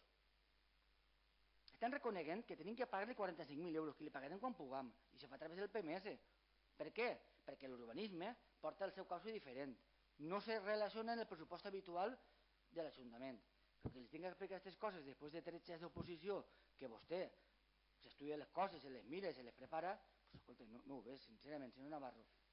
Estan, no estem reconeguent que anem a pagar aquestes factures a l'endemà si podem, no. Estem dient que això s'ha gastat el 2015 i no té crèdit. I per tant, anem a reconèixer-ho per a que el pressupost del 2015 quede el millor liquidat possible. Que falten UPEs? I tant. Que falta tesoreria? Molta més. Bueno, per això estem intentant fer un pla, ajustar-nos i a poc a poc seguir la marxa que portava l'anterior govern, que era l'intentar liquidar, intentar tal, però s'han trobat en que no va ser immediat, el pressupost que ve no va ser el que liquide, l'altre segurament tampoc, per tant, pues, bueno, seguir treballant. Però el dia a dia és això. Tenen que un clos, n'hi ha un forat en tal, i són urgències. I entre arreglar un parc o un jardí o arreglar un clot que és perillós per a les persones que circulen, pues, escolta, la prioritat és la prioritat. Això és, això és governar, decidir què és prioritari i què no. Que vostè no ho aprova o no està d'acord? Perfecte, no, mira, jo no li puc donar més explicacions. ¿Vale? Però això és el dia a dia. El que se queda urgent és el que ve així. El que s'ha gastat sense crèdit i el que s'ha gastat sense crèdit se gasta perquè no n'hi ha més solució, no n'hi ha més remei. Perquè la decisió de governar, ni més ni menys. Moltes gràcies, senyor Cuenca. Senyor Andrés, segon torn de paraula. Sí, gracias. Usted no escucha, señor Valentín. Usted no escucha. Usted no escucha. He dicho que he leído los informes de la interventora. Que respeto su manera de haber proyectado esta modificación de crédito y esta baja de crédito. Pero usted lo acopla como quiere. Usted lo acopla como quiere. Ya viene, yo le reto a usted. Mire, a mí retarme, a sentarme ahí o a ir dando charlitas con proyector y con diapositivas por ahí a contar mentiras como se ha tirado usted cuatro años, no me va a encontrar. Yo no voy así. Yo no voy así. Yo no voy así. Así que a mí ahí no me va a encontrar. Aparte ya, ya va con cuatro años de ventaja. Ya, ya creo que es jugar a caballo ganador y eso ahí no me va a encontrar. Entonces no, no se acople, no se acople las cosas como usted quiera decirlas. He dicho que he leído los informes de la interventora y que los respeto pero no los comparto. O también tengo que compartir lo que usted me diga. También tendría que hacer las charlas diciendo que le iban a devolver a los vecinos tanto dinero del agua y ahora no va a ser así. Seamos un poco coherentes y usted respete mi opinión y yo respetaré la suya, pero cuando se equivoque también se lo tendré que decir. Y se ha equivocado porque hay una sentencia del tribunal que le dice que usted se ha equivocado y que lo que decía no era verdad. Y luego, en relación a, que no se queja, a que se queja el equipo de gobierno de que no tiene de que no tiene dinero para pagar, de que tiene muchas sopas y tal, pues lo que hay que hacerles más caso a los informes que emite la interventora. Aquí tengo un informe que emite la interventora en el cual un informe sobre una ley que haya aprobada eh, eh, en el Estado en el Estado español, en el cual pues todo lo que no sea capaz de, de promover y de mantener económicamente este ayuntamiento, pues tiene que empezar a suprimir ciertas competencias que no lo confieren. Y, lo, y no lo digo yo, esto. O ahora dirá, no, tú mientes, te lo has inventado. No, lo enseñaré cámara. Esto está aquí. Informe de intervención. Y aquí está. Aquí. Y aquí en un montón de hojas. Esto también lo pueden consultar los vecinos cuando quieran. Esto no me lo he inventado yo, ni voy a dar charlas por ahí sobre esto. Esto lo dice la interventora. ¿eh? Y esto se llama responsabilidad porque los servicios se tienen que prestar de acuerdo en las posibilidades económicas de un ayuntamiento. Si no hay posibilidades económicas, eso de ir endeutando, ir metiendo facturas en el cajón, pues es muy bonito, es muy bonito, porque así das todo a todos y es un mundo de maravillas, pero luego viene lo que viene, pagar intereses, pedir préstamos, no cuadrar las cuentas, hacer modificaciones de crédito y viene todo esto. Y aquí hay, aquí hay, no diré nombres de lo que hay que de lo que hay que suprimir, pero hay un informe muy, muy, muy acertado y muy completo, que también me lo he leído muy, muy bien, de hecho ya lo llevo leyendo unos cuantos años, ¿eh? no es de ahora, que le dice dónde tiene que suprimir usted los gastos, dónde tienen que suprimir ustedes los gastos para cuadrar las cuentas del ayuntamiento. No hacen caso. Señor Andrés, vaya terminando, por favor. No hacen caso. Señor Mateo. Sí, señor Andrés. Yo solo le reto a usted a leer el documento en el cual se adopta el acuerdo de la Junta de Gobierno. O sea, no se empecime en querer modificar las cosas. Y con respecto al tema del informe de intervención, que usted dice que nosotros no sé lo que estamos haciendo, qué vamos a hacer o dejar de hacer, mire, esto es bien sencillo, esto es como una familia, que al cabo del ejercicio del año tiene un dinero que le sobra de algún sitio y en vez de coger y decidir meterse a comprar un coche nuevo, lo que hace es decir, pues mira, tengo estas facturas que me están reclamando, que tengo pendientes de pagar, y lo que voy a hacer es pagarla. O sea, no sé si de esta manera a lo mejor lo entiende, pero el razonamiento es ese. Y es así de sencillo. Y evidentemente este es el primer paso para que las facturas que están pendientes de servicios prestados en este ayuntamiento se puedan pagar y no queden facturas en el cajón. Por tanto, este gobierno no está manteniendo ninguna irresponsabilidad lo que está haciendo es sacar esas facturas para poderlas pagar. Y esas facturas están ahí porque eran servicios que se tenían que prestar, ni más ni menos. ¿Y podrán ser del equipo de gobierno anterior? Pues sí, pero respondían a una realidad y a una necesidad que se tenía que producir. Y de la misma manera que hay un remanente positivo y hay unas partidas que tienen un exceso, lo que se está haciendo es pagar esas facturas que están ahí. Porque la irresponsabilidad sería decir, a todos estos pequeños comercios que nos prestan los servicios dentro de nuestro municipio, que esas facturas se le quedan pendientes y ya, que, ya veremos cuándo se le van a pagar. Por tanto, usted, señor Andrés, o no lo llega a entender bien, o espero que después de esta explicación tan sencilla a lo mejor la haya podido entender. Gracias, señor Mateo. Señor Navarro. Eh, perdone, perdone, como antes no había querido intervenir, eh, Salva, mestre. Discúlpeme, eh? Sí, vale, no, gràcies, senyor alcalde. Jo voldria fer una xicoteta intervenció. Eh, és que a mi m'ha dolgut molt quan el senyor Navarro ha suggerit que els diners de Diputació els haguem pogut destinar a pagar deute. M'ha dolgut molt perquè, perquè és un exemple molt clar de demagogia molt barata, perquè el senyor Navarro sap perfectament que aquests diners no se podien emplear ni per a pagar deute ni per a gastar-se en serveis socials eren diners de diputació que venien en un caràcter finalista per a inversions sostenibles. És a dir, que ojalà l'haguem pogut gastar-nos aquests diners reduint deute o augmentant serveis socials. De totes formes, és possible que tampoc l'haguem eh, destinat tot a reduir, reduir deute, perquè això precisament és una mentalitat de l'austeritat austericida que prioritza el pagament del deute per damunt de qualsevol altra consideració probablement ahir el més intel·ligent hauria sigut reduir un poc de deute, pot ser la meitat de gent en deute, i després altres prioritats no? en qüestió de serveis socials. Ara bé, si vostè el que ha volgut dir en això és que este govern és irresponsable en l'ús dels diners, pues li demano per favor que demani disculpes. Perquè és que vostè sabia perfectament que aquests diners tenen un caràcter finalista i que no s'hi podien utilitzar ni per a reduir deute, ni per a qüestió de serveis socials, ni per a contractació, contractació de personal, ni per altra cosa que inversions sostenibles. Moltes gràcies, senyor mestre. Senyor Navarro. Jo crec que vostè, senyor Salva, se fica de vegades en problemes vostè a soles. A lo millor el que té que fer és netejar-se les orelles per escoltar bé. Directament. Este regidor no ha dit que les partides que estan així se poden dedicar a les partides de diputació. Després se veu vostè el plenari i s'ho aplica. Però si vostè té ganes de vindre, no se preocupe que jo el rebré en els meus braços con tota l'amor del món, sense pegues. Jo he dit que hi ha una partida, entre altres, una, que se podia haver ficat en les partides de la Diputació i una se podia haver ficat. Perquè l'hem està mirant, claro, i se podia haver ficat.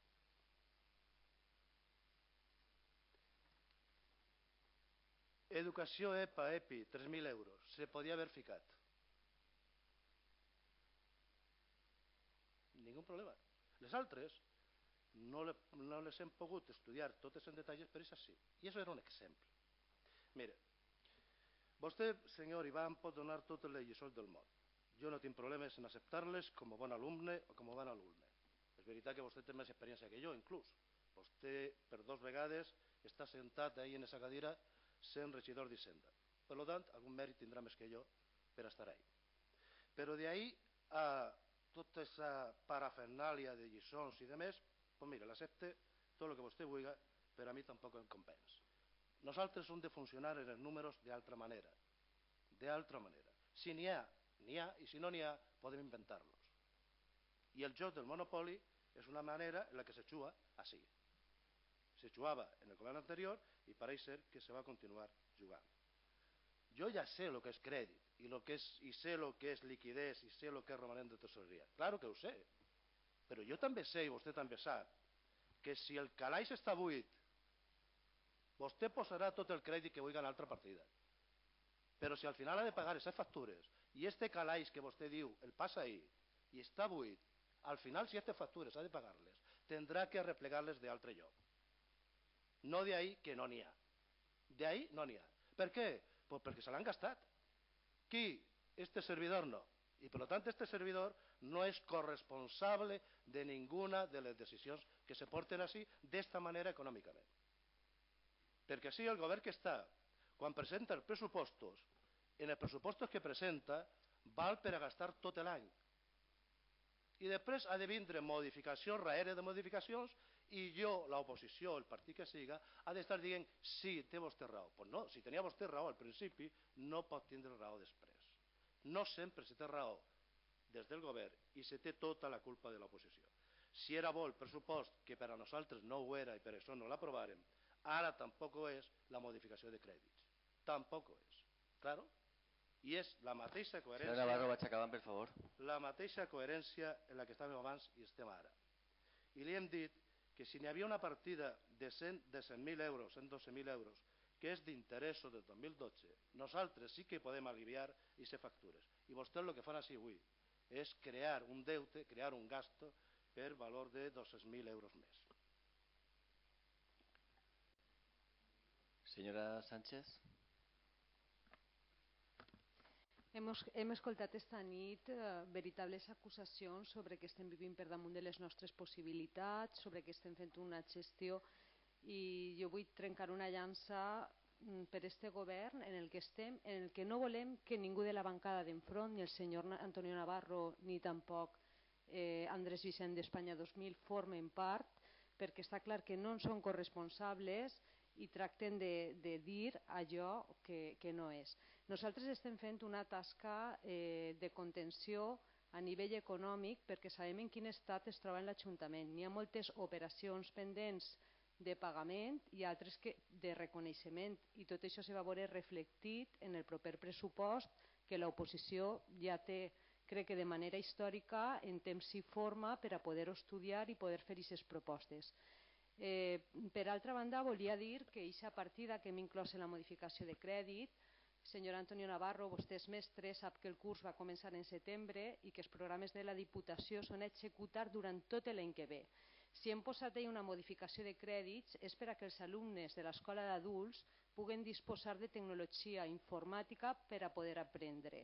Si vostè està posant en tela de judici les modificacions de crèdit que hem fet per 3.000 euros per a equipaments de projecció per a que els alumnes de l'escola d'adults d'este poble puguen aprendre en condicions, ens sembla veritablement lamentable.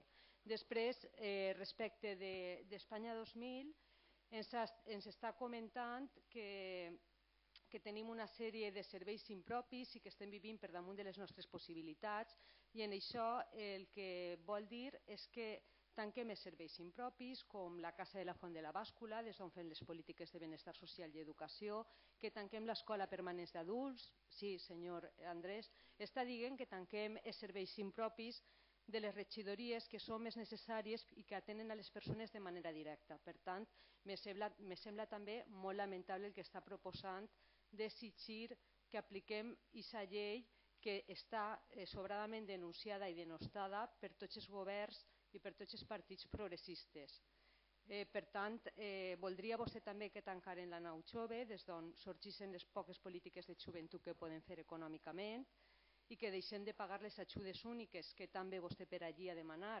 Per tant, eh, per altra banda, eh, crec que està fora de lloc el debat que s'està produint i les acusacions que estem rebent en este govern.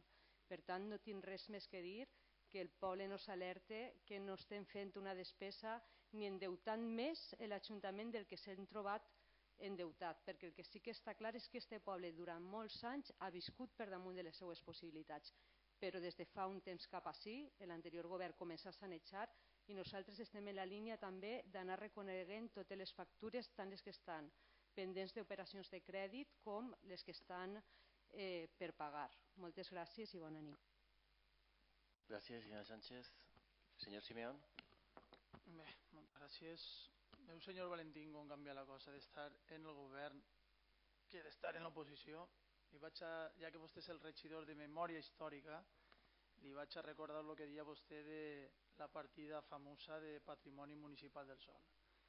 Enajenar el PMS es romper el carácter finalista del patrimonio municipal del suelo.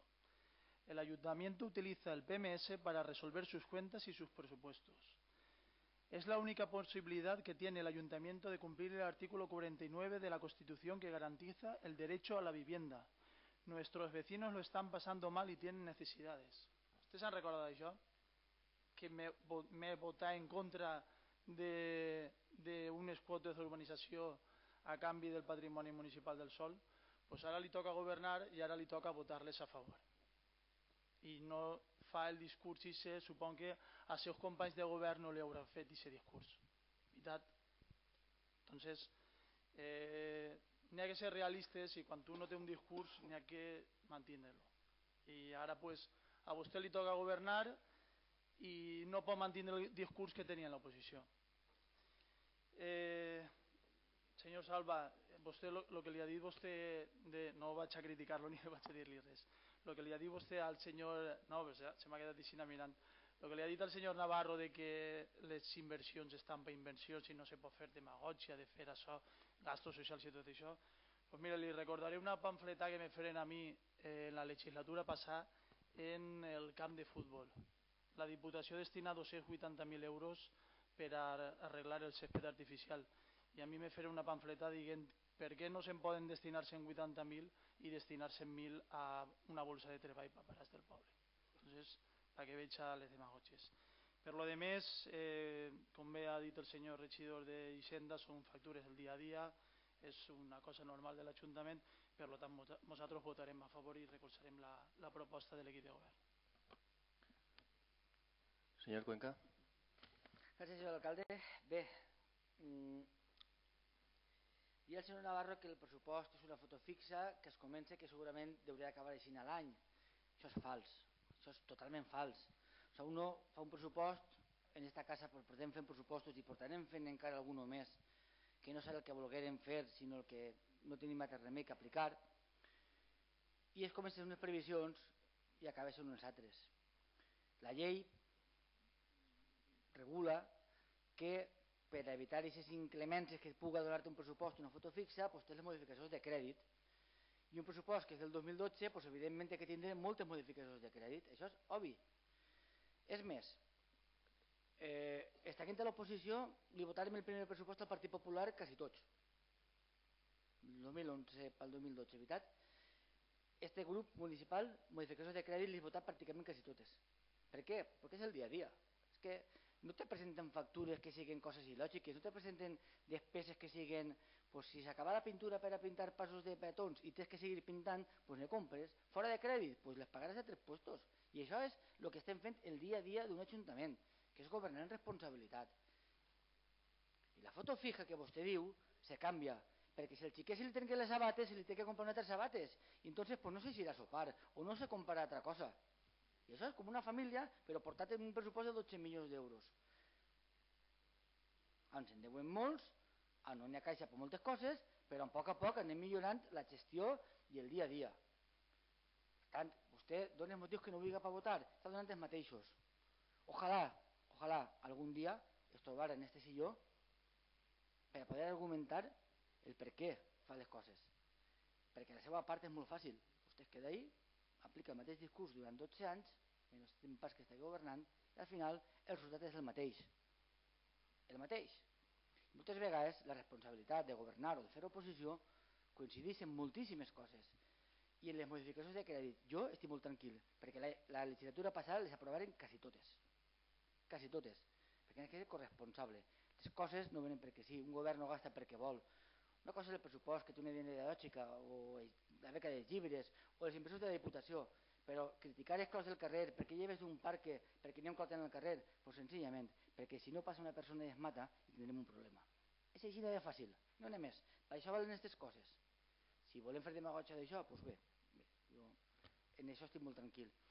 Moltes de les factures venen del govern anterior i no haig de criticar-ho. Per què? Perquè segurament quan aquest govern d'aquest ajuntament també tindrà que assumir el que vinga darrere, segur, de sobrevenguts. I això és així. I si volem entendre-ho bé, i si no, pues, cada un està. Moltes gràcies. Senyor Cuenca, anem a passar a les votacions. Vots a favor de la moció? Vots en contra? Abstencions?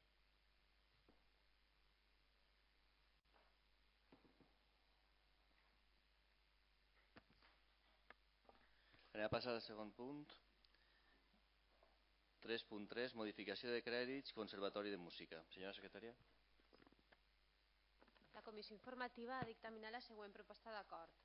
Primer, aprovar l'expedient de modificació de crèdits en l'organisme autònom Conservatori de Música per suplement de crèdits 2 barra 2015 per un import total de 17.887 amb 0,3 euros Segon, aquesta modificació es finança mitjançant el romanent de tresoreria positiu de la liquidació del pressupost de 2014 i amb baixa de crèdits d'altres partides, per un import total de 7.887 amb 0,3 euros.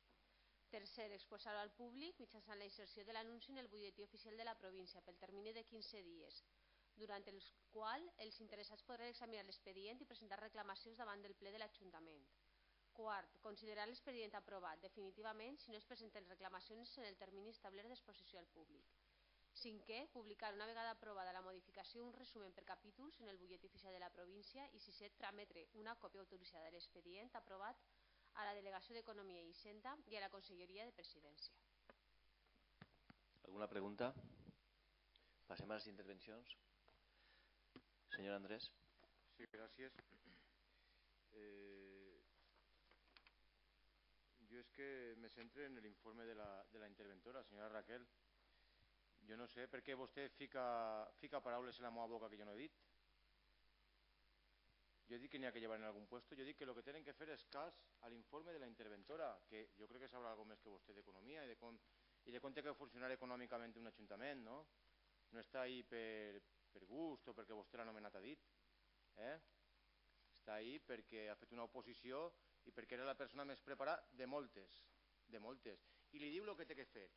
Vostè fa el que li dona la gana i damunt intenta tirar-me les culpes a mi. Veu, senyor mestre? Això se diu demagògia. No quan vostè acusa l'oposició demagògia o tal, pim, pam. Això és demagògia. Això és. Si mirem el significat literal en el diccionari, ixa és la demagògia pura, dura que vostès practiquen. Fan el que els dona la gana, fan cas omís als informes de la interventora i després diuen que jo dic que n'hi ha que llevar este servici, l'altre, l'altre. Jo no dic res. Si ho diuen els informes que estan així, jo sols estic fent d'interlocutor dels informes de la secretària, de la interventora, perdó. Així. Sinó que no diga que jo he dit, que lleve, que tal, jo li he dit que si volen fer una gestió més responsable, facin un poc més de cas als informes de, de la interventora, únicament. No diga l'altra vegada, no, tu has dit, tu has... No, no dic res, jo dic només els informes, el que diuen.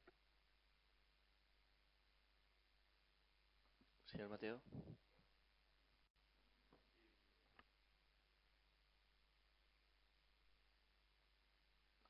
Sí, nosaltres anem a recolzar esta proposta i simplement dir-li al senyor Serafín que si nosaltres en el seu moment el tema del PPS, la proposta que vostè va portar així, no la recolzaren és perquè vostè no diferenciava entre les parcel·les patrimonials i les parcel·les que provenien del PPS. Per tant, és el mateix argument i el criteri que nosaltres hem utilitzat avui per a recolzar aquesta proposta, per la qual hem dit des del primer moment que hi ha un objectiu bàsic del PPS que és la retroalimentació. I per això també nosaltres, senyor Serafín, li hem demanat al Silvestre la quota zero que li correspon a aquest Ajuntament que encara està pendent que vostè hauria de donar una explicació per què durant els quatre anys vostè no va reclamar més de 700.000 euros a una determinada agrupació, quan de, devem quotes a algunes altres agrupacions des del municipi. Gràcies, senyor Mateo. Senyor Fuster. Senyor Mestre. Senyor Navarro. Sí, pues mire, la diferència en este anem a recolzar-lo. Esta modificació de vostè. Perquè esta se la creguem, l'altra no. Esta la vegem més lògica i l'anterior no. I com vostè entendrà, nosaltres no li votem a vostès les propostes, ni a vostès ni a l'anterior govern, ni perquè estiguem en l'oposició ni perquè estiguem en el govern, sinó perquè se les creguem o no. I no fa falta llàgrimes per a votar-les i sentiments per a votar-les o no. Si no, un forà se tapa i si n'ha que esperar per a comprar un ordenador perquè no tenim un euro, s'esperem, que no passa res. Que no passa res. Clar. A mi també m'agrada que els xiquets de l'escola ho tinguen tot i de vegades no ho tenen, perquè no hi ha diners. I per tant, si tenim una partida que ve d'inversions i van a dedicar-la a vostès a àrea informàtica i metges de comunicació i de més, doncs mira, ahir se podia haver col·locat i tenim 3.000 euros per a altres coses. Per tant, se podia utilitzar llàgrimes i de més contra sentiments, perfecte, ningú problema. Vostès presentaran els pressupostos d'ací a no res i seran els millors i voldran, sí, seran els millors per a vostès en aquests moments i voldran que el recolzem perquè és la proposta econòmica i política per a un any en este poble. I si no la recolzem és que seran roïms, perquè és que no volen que vostès tapen el batxe ni volen que li donen l'ajuda a, la, a la dona necessitada. Doncs pues no, serà sí o serà no. I després al dia següent portaran modificacions de crèdit, perquè ja estaran modificant el seu pressupost. Però si era el bo, per què han de modificar-lo? Però no, si no l'aprovem la modificació és que som roïm nosaltres. És a dir, que aquí qui presenta mai és roïm i que qui no recolza és el roïm sempre.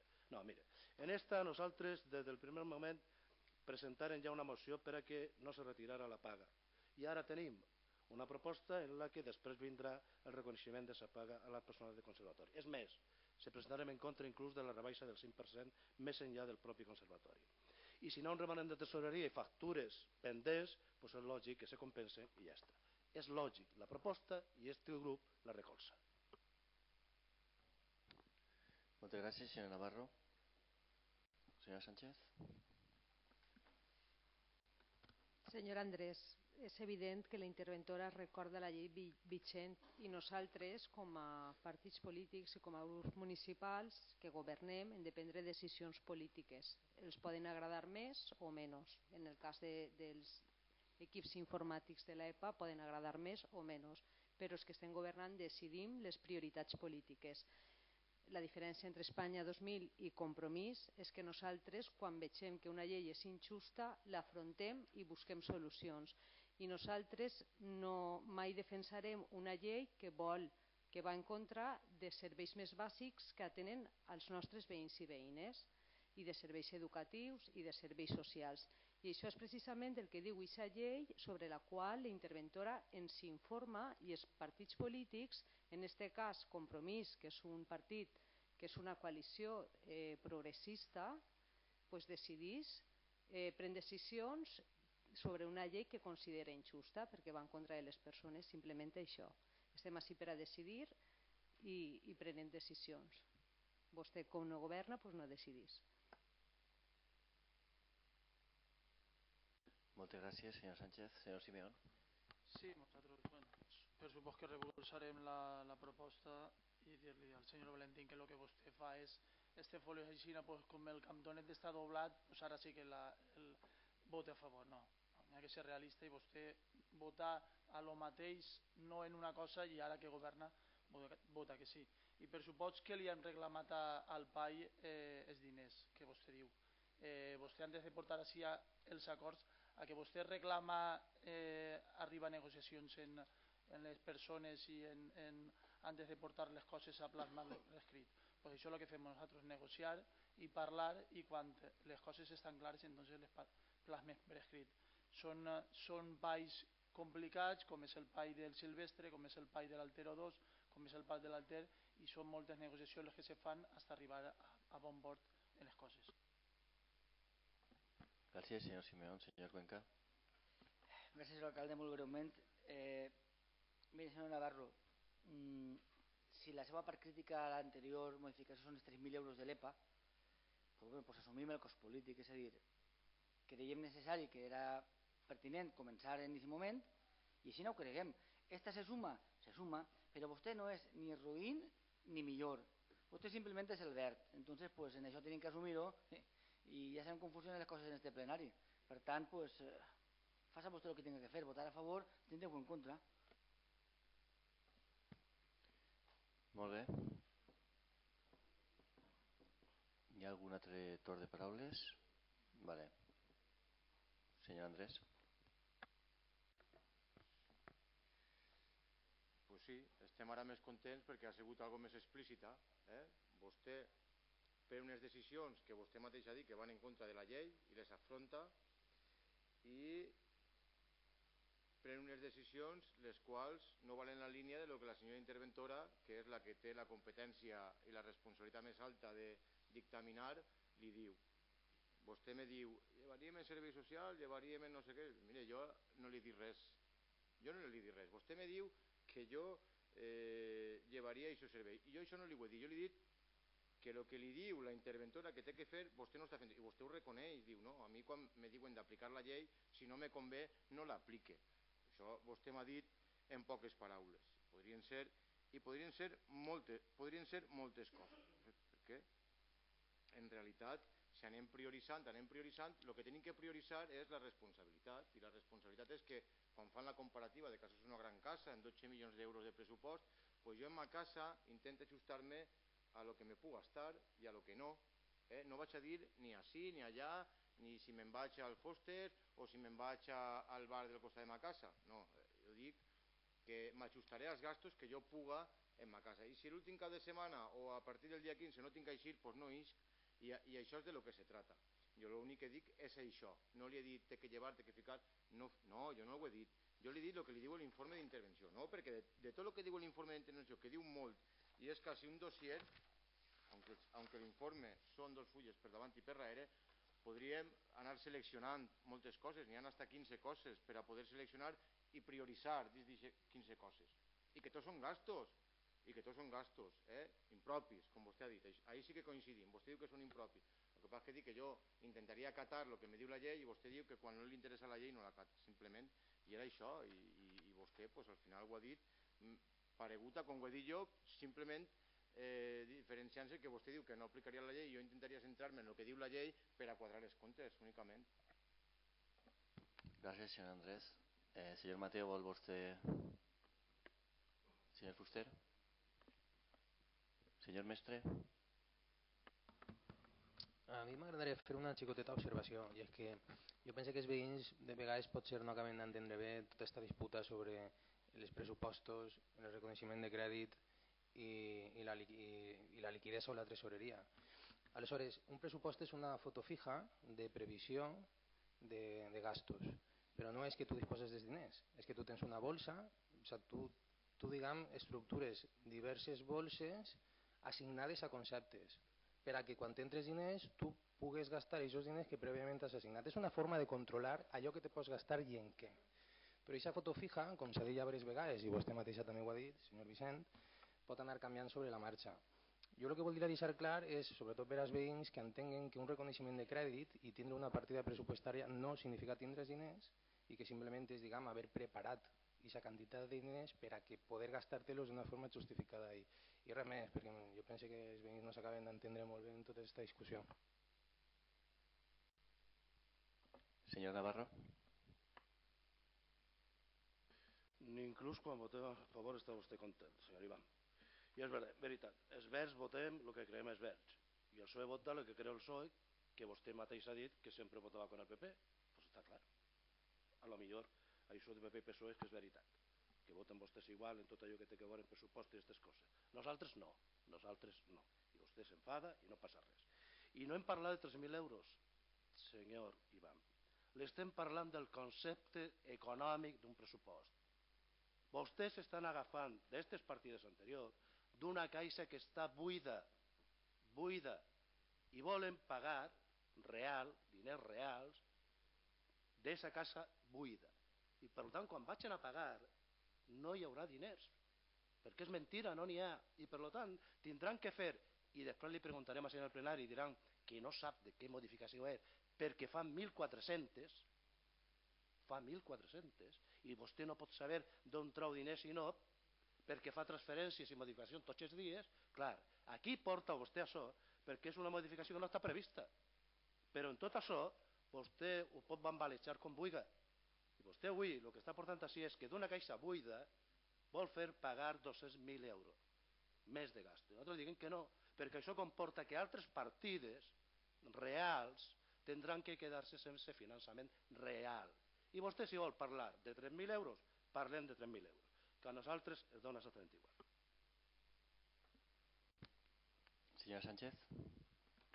Sí, jo vull contestar a Andrés Vicent d'Espanya 2000 eh, vostè, Andrés Vicenç, està amagant darrere d'un paper de la interventora i no té la valentia de dir que vostè vol tancar l'escola d'adults perquè està obligant-nos en un paper de la interventora a que nosaltres prescindim de serveis impropis, com l'escola d'adults, la nau jove, la casa de la bàscula i aquells espais que estan dirigits a millorar la vida de les persones del nostre poble. Per tant, no s'amague darrere d'un paper i reconega que aquesta llei és injusta i que nosaltres, des de compromís, ni en el seu moment, quan se va dictar, varem estar d'acord i li varem fer moltíssima oposició i en aquests moments que tenim la capacitat de decidir no li anem a fer cas perquè ens sembla una llei injusta.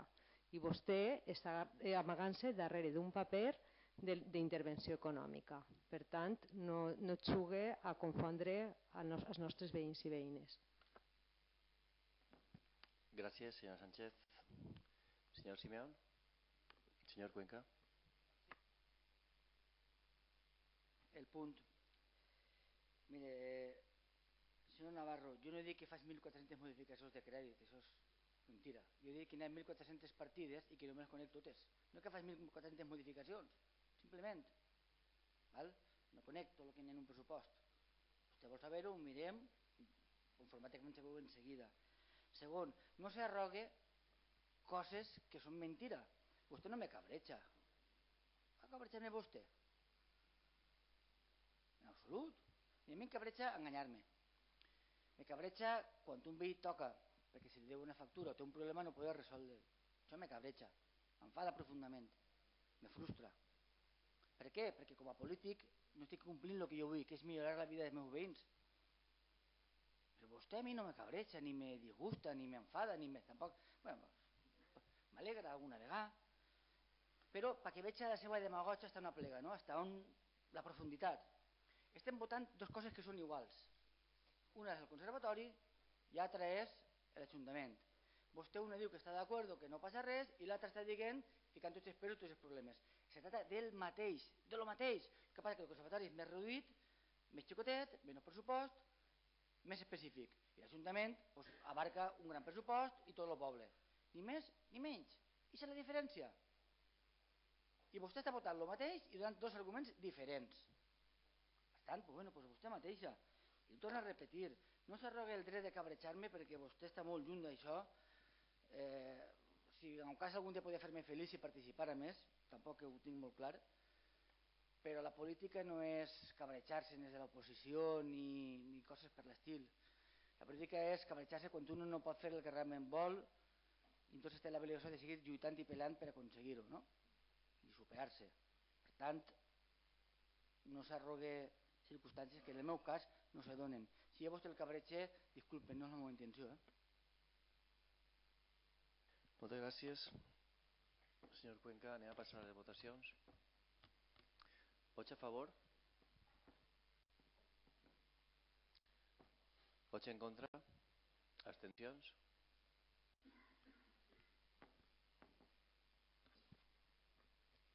Anem a continuar. Reconeixement extrajudicial Conservatori de Música. Senyora secretària. La comissió informativa dictamina la següent proposta d'acord. Primer, aprovar l'expedient de reconeixement de crèdits 3 barra 2015 per l'import total de 11.460,31 euros, corresponents a exercicis anteriors. I segon, aplicar una vegada aprovat definitivament l'expedient de modificació de crèdits 2 barra 2015 del Conservatori anteriorment tractat, les despeses en càrrec a les partides pressupostàries objecte de modificació. Moltes gràcies, senyora secretària. Alguna pregunta? Intervencions? Senyor Andrés. Sí, gràcies. Veu, eh, ara estem eh, davant d'un reconeixement extrajudicial de crèdits de, del Conservatori de Música. Això és un servei impropi. No m'amague, ho dic.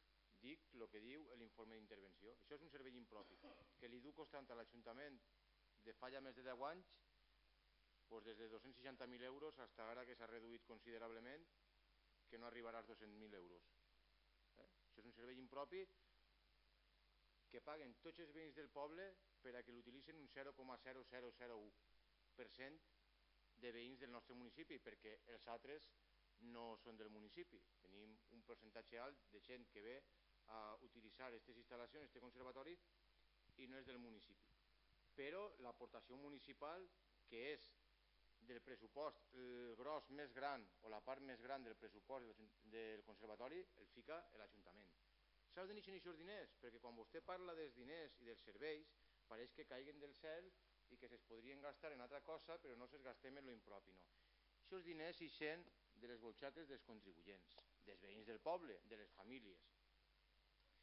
I quan se donen serveis per damunt de les possibilitats, el que se fan és incrementar els impostos se trobem en Silla, que paga eh, el 45% més d'impost de, de circulació que molts pobles. Se trobem Silla, que paga eh, el 25 o el 30% més d'IBI que la gran majoria de pobles de l'Horta Sud. I al final, diguem, mos és rentable o no eh, tindre un conservatori per al benestar i la qualitat de vida dels veïns de Silla, però que ho aprofiten i aquest xicotet percentatge de gent? mos és rentable? Pues, eh, pues mire, eh, si no mos és rentable i a la gent no li està així rentable perquè a vostè, rentable o no, eh, vostè està fent una faena per la qual és retribuïda i n'hi haurà que preguntar-li si li és rentable pagar tants impostos al veí de Silla en diferència d'altres pobles que paguen molts menys impostos. I això és la realitat. Ixa és, ixa és eh, la realitat. Que la gent s'entera quan li toquen la butxaca i n'hi ha gent que no li agrada la música i té que estar pagant aquests diners. A lo millor n'hi hauria que preguntar-li a lo millor n'hi hauria que preguntar-li si volen seguir gastant aquests diners i en molts altres llocs. Però això és perquè ja ves que estan tots apuntant al màxim, ja estan tots apuntant i buscant datos sense parar, que no s'escaroten, que això no és que ho dic jo, que no m'ho he inventat jo, que els serveis que dona l'Ajuntament, els serveis que dona l'Ajuntament els paguen els veïns, no són diners que apareixen que apareixen del cel o que se'ls trobem en un cofre cada dia en un camp, no, no, no. Eh? I que no ho dic jo, que ho diu un informe d'intervenció, que no m'ho estic inventant, jo estic parlant d'allò que aconsella, ara esteu tots ahí pipa, pipa, pipa, buscant datos, buscant tal, a veure si és el 0,01, bueno, o el 2%, o el 3%, què més té? Un percentatge xicotet, eh? minimalista. I, i a partir, i a partir d'ahir sols fer-li una reflexió al senyor Salvament si s'entenem o no. Pues els veïns s'entenen quan tenen que pagar més que en altres poblacions. I sí que és de veres, i sí que és de veres que els pressupostos són una previsió dels gastos, però si vostè ara perquè no sé si encara ho, ha, ho agarrarà, però en la part final de tot aquest taco que ens han donat, així de gran, dels pressupostos, hi ha una cosa que se diu la liquidació, que és el gasto real, xifres reals de lo que gasta l'Ajuntament en cada d'aquestes partides que ha pressupostat eh, inicialment. I ahí sí que n'hi ha. I li puc dir jo que la diferència de lo que se pressuposta a lo que, a lo que se liquida finalment sempre se'n va de molt poc. Eh? Per això se pressuposta algo aproximat, eh? pot variar al, algo, però no molt. Així que eh, si s'entenen o no s'entenen, s'entenen en les butxaques i al final els polítics tenen que fer una gestió que donant un màxim de serveis no li costi al poble el doble de lo que li està costant a altres pobles. Muchas gracias, señor Mateo. Sí, señor alcalde, yo un matiz, yo, tomo, yo he sido de los que ha tomado nota, pero porque me ha llamado la atención los datos que usted ha dado, señor Andrés. O sea, que en sí ya la gente paga un 45% más con respecto al tema del impuesto de matriculación que el resto de municipios, el impuesto de circulación, y un 20-25% más de IBI que respecto al resto de municipios, supongo que de la contorna. No de todos, de lo que usted ha dicho, no, no, es que que, no, no, yo era por, se lo recuerdo porque tiene la posibilidad de poder rectificar, ¿no? O sea, y si no es así, pues bueno, ya lo compro. Yo tengo mis datos, ya lo, ya lo contrastaremos. Muchas gracias, señor Fuster. Bona nit, senyor alcalde. Eh, ara en este punt sí que vaig a parlar, no a parlar dels anteriors, perquè eh, pense que estar parlant i estar gastant els 5 minuts o 6 o és que se faci falta pegant-li voltes a temes que el que fan és que no se puguen debatir tots els importants. Per el meu cas, per exemple, portem uno des de juny que no se parla perquè sempre s'allarga, s'allarga, doncs jo sóc molt concret i vaig a, a lo clar.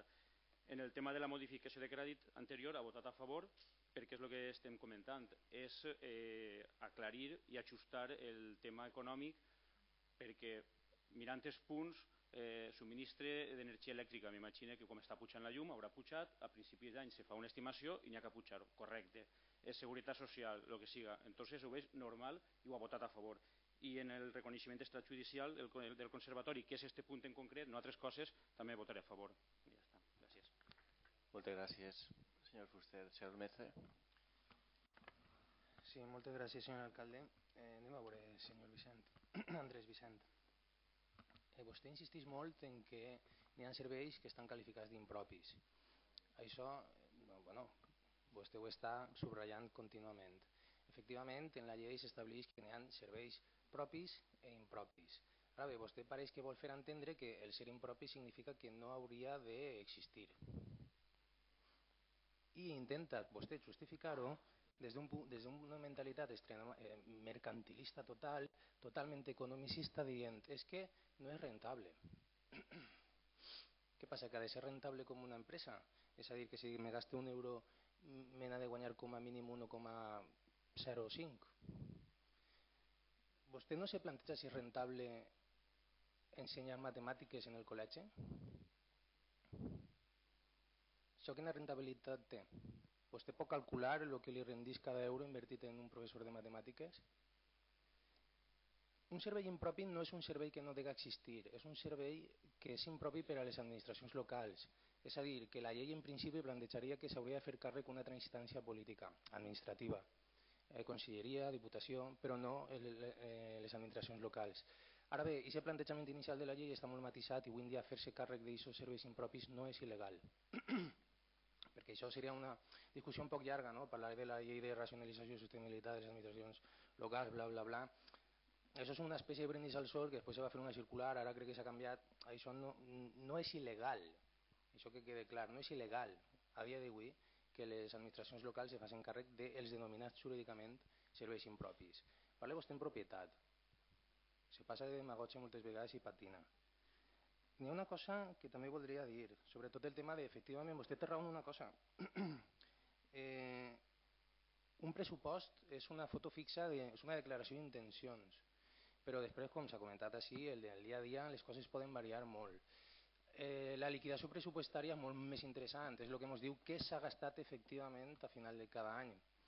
Jo des d'ací, com a regidor de participació, convide a tots els veïns i veïnes i els, faig, els assabente, si és que no ho saben ja, que hi ha una comissió ciutadana d'auditoria del deute i dels comptes municipals que està arrencant, que està en Constitució, que tot el món pot afegir-se i que precisament duem ja dues reunions, anem a fer una activitat este dissabte, qui vulgui posar-se en contacte, afegir-se, estar informat, pot escriure un mail a participació arriba a, per, perdó, participació arroba silla.es i a veure si, si cada vegada hi ha més veïns que, que puguen accedir precisament a tota la informació pressupostària a aquestes liquidacions dels pressupostos per a que puguen avaluar si el senyor Vicent està dient la veritat o no, si el senyor Ivan Cuenca està dient la veritat o no, perquè el que importa és que es puguen tindre un accés directe i puguen fiscalitzar directament la qüestió, en compte de tindre que fiar-se necessàriament, a no ser que ho elegisquen així, de lo que es puguen dir els representants polítics.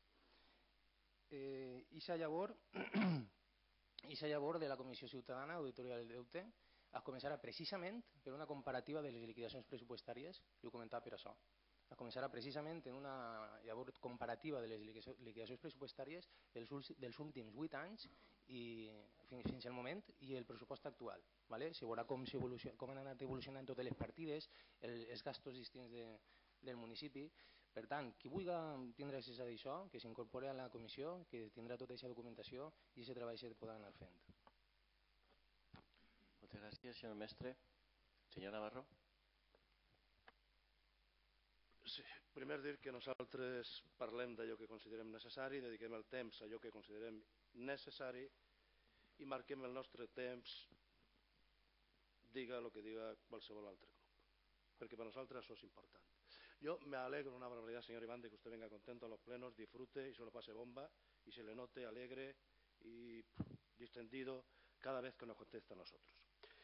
Nos explica y nos dice que no entiende cómo hemos votado dos puntos que son iguales de manera diferente. Lo que yo no entiendo es como usted, siendo concejal de Hacienda, dice que los dos puntos son iguales. Cuando en uno lo que estamos debatiendo es un remanente de tesorería negativo con una modificación de créditos que nos llevará a un reconocimiento extrajudicial de créditos, este de ahora, y el otro lo que nos lleva es 200.000 euros más de gasto. No tienen nada que ver, ni el uno ni el otro. Pero bueno, usted es el concejal de Hacienda y los entiende iguales. Y mire, nosotros también nos preocupamos. En el pleno pasado nosotros le, planteábamos la bajada de la tasa por la cual la recogida de los coches o la realidad de los coches se le cobraba a los vecinos de más. Ustedes están preocupados por los vecinos que nos lo echan en cara, votaron en contra. Y han dedicado 9.000 euros de esa recogida de vehículos para dedicarla a otras cosas, no a la recogida de vehículos. Por lo tanto, no nos cuente que es que nosotros somos los malos. Ustedes, cuando les interesa, votan a favor o en contra también de los vecinos. Es gracias a los verdes que esta bajada del 0,9 se produce porque ya le propusimos en el anterior pleno la bajada del 0,9 del IBI porque el IPC era negativo en el 0,9. Beneficio para nuestros vecinos. Y ustedes votaron en contra. Sí, ustedes votaron en contra. Y es verdad que ahora ustedes, ustedes tienen una partida de 180.000 euros que ya nos contará de dónde va a salir, 180.000 euros, para pagarle los libros a todos los niños de este pueblo, ganen lo que ganen sus familias. Y sin embargo no tenían 30.000 euros para ayudar a las familias que no llegaban a 600 euros para pagar el IBI. Ustedes expliquen también la contradicción. Luego, nosotros hacemos apuestas políticas en nuestro pueblo, hacemos propuestas y ustedes a veces las votan en contra, la mayoría, deben de estar en el gobierno, porque cuando han estado en la oposición las apoyaban. Luego, a lo mejor es que la postura es diferente la de ustedes y no la nuestra. Que cuando están en el gobierno asumen un papel y cuando están en la oposición asumían otro. Muchas gracias, señor Navarro. Señora Sánchez. Jo el que volia comentar és que el senyor Andrés Vicent confon el gasto en la inversió i l'educació musical és una inversió de futur per als, per als xiquets i per a les xiquetes del nostre municipi. L'educació musical pues, ens ensenya valors, com compartir, com conviure en, altres persones, ensenya llenguatges, ens ensenya a ser pues, persones actives intel·lectualment i això és l'aposta que este govern té a l'hora de mantindre un conservatori municipal i també una societat musical eh, que també està generant grans músics per al nostre poble. Per tant, eh, la diferència entre Compromís i Espanya 2000 és que nosaltres sí que apostem per l'educació de les persones, que considerem que mai és un gasto, sinó que és una inversió en el futur i en la millora de la nostra societat, perquè en l'educació mai hem de pensar que és un número, sinó que és una inversió en la millora de la societat. Moltes gràcies. Senyor Simeón. No, com en les propostes anteriors, pues, recolzaré la proposta i ja està. Moltes gràcies, senyor Cuenca. Eh, volem un segon torn de paraula? No? Passem a votacions. Votacions a favor? Abstencions? Moltes gràcies.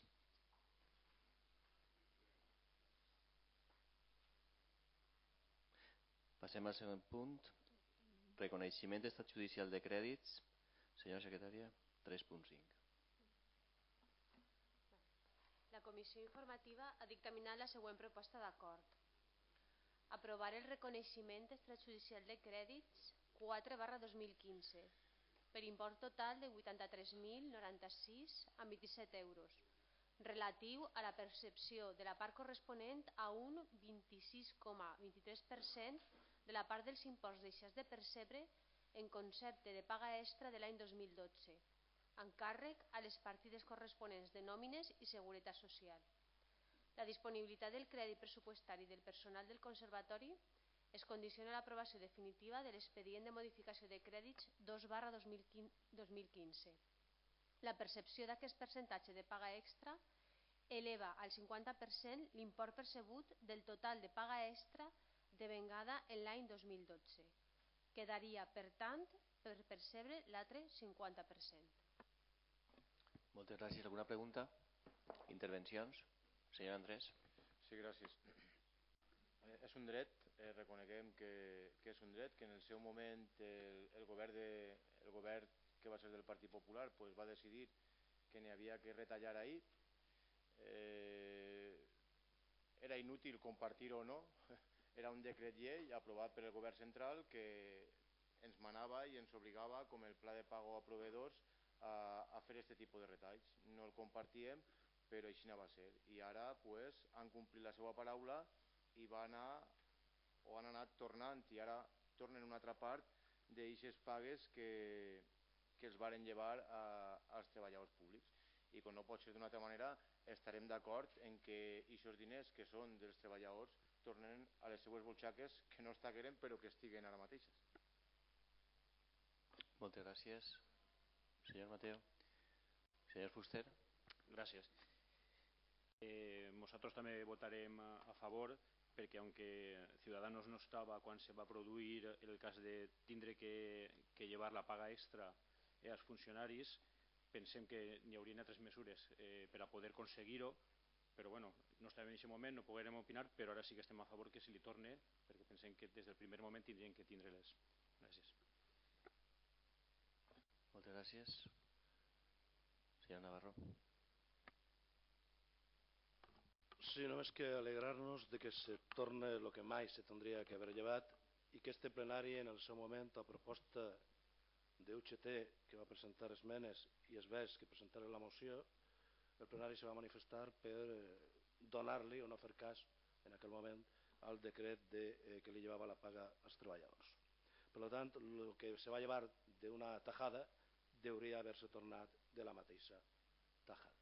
Però bueno, si se torna el 25 i queda pendent el 50, doncs anirem aprovant conforme el govern vaig aprovant també ese 50% com. Moltes gràcies, senyor Navarro. Senyor Sánchez. Senyor Simeón. Bé, doncs en moments complicats, quan en tota Espanya doncs, estaven produint despidos, eh, ajustos i, i, i tot el món li apujaven els impostos i a tot el món li tocaven la cartera, doncs, evidentment eh, tot el món tenien que fer un esforç i jo també soc funcionari, a mi també me, me tocaren la, la en el, en el govern, me solidaricí en, en els treballadors i, i pues, evidentment tot el món tenien que arrimar l'ombro per, per a que el país pues, poquet a poquet isquera de la misèria en la que, en la que s'encontràvem. Eh, a medida de les possibilitats que pues, eh, s'estan recuperant tots, pues, eh, en l'Ajuntament també eh, pues, han pogut pagar aquest 25% de la paga extra pues, i ara estem reconeguent-lo i per supost pues, votarem a favor. Senyor Cuenca. Sí, gràcies, senyor alcalde. Bé, eh, pues és un goig poder tindre els diners per pagar-la, perquè això sí que se pagarà este mes. Manifestar que una de les modificacions de crèdit que anava anteriors llevava 3.000 euros de la llum del conservatori per a pagar la paga extra. Això generarà un dèficit futur. Però no passa res, jo assumisc això políticament. Per què? Pues perquè els treballadors tenen el dret abans que l'elèctrica. Ja veurem com es paguem aquells.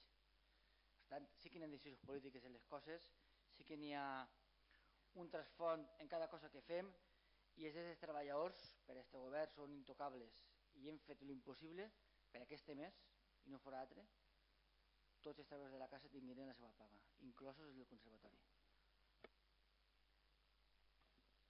Moltes gràcies. Deduís que no n'hi ha una segona ronda. Sí, vostè, senyor Navarro? Perdone, senyor Navarro. Sí, segona. Perdone, no, és que m'està demanant el senyor mestre. Ah, perdó, perdó. És que no havia volgut participar antes, deduïa que... Per ordre, que a mi em té igual. Sí. No, jo simplement fer un, un xicot de comentari a el que ha dit Serafín abans. Eh, en els moments en què suposadament estaven tan malament eh, no, no els retallaven a tot el món, als bancs no els retallaven, els rics seguien pagant impostos molt inferiors per tota l'enginyeria fiscal i la legalitat que els permet no pagar els impostos com tot el món. Totes aquestes polítiques les feia el Partit Popular. Eh, les coses són com són. Quan s'apliquen polítiques austericides, això significa que s'està sacrificant a les majories socials en favor d'una minoria de privilegiats. Per tant, és que a mi m'ha molestat molt quan has dit que tot el món s'està retallant. No, tot el món no. Ens han retallat a les, a les majories socials. Que vostè, com a alcalde d'aquest poble, també s'ha retallat el sou, doncs bé, molt bé, perquè vostè no és ni banquero ni, ni és ric. Però les polítiques que està desplegant el seu partit a nivell, a nivell estatal, evidentment, no, no han sigut modèliques ni molt menys. Moltes gràcies, senyor Navarro. Sí, només per llegir el paper que a mi m'han donat, salvo que haya sigut d'un altre lloc. La paga extra, senyor Iván, se va pagar del capítol 1 de personal, ni de la llum, ni de l'aigua, ni de altre lloc. En el capítol 1 de personal n'hi ha crèdit suficient i per tant a partir d'ahir se pagarà. I és veritat, si fera falta d'un altre lloc, jo també me sumaria. No tinga vostè ningun problema. Però, tal com vostès mateixa diuen en el vostre paper, se va pagar del capítol 1 del mateix personal.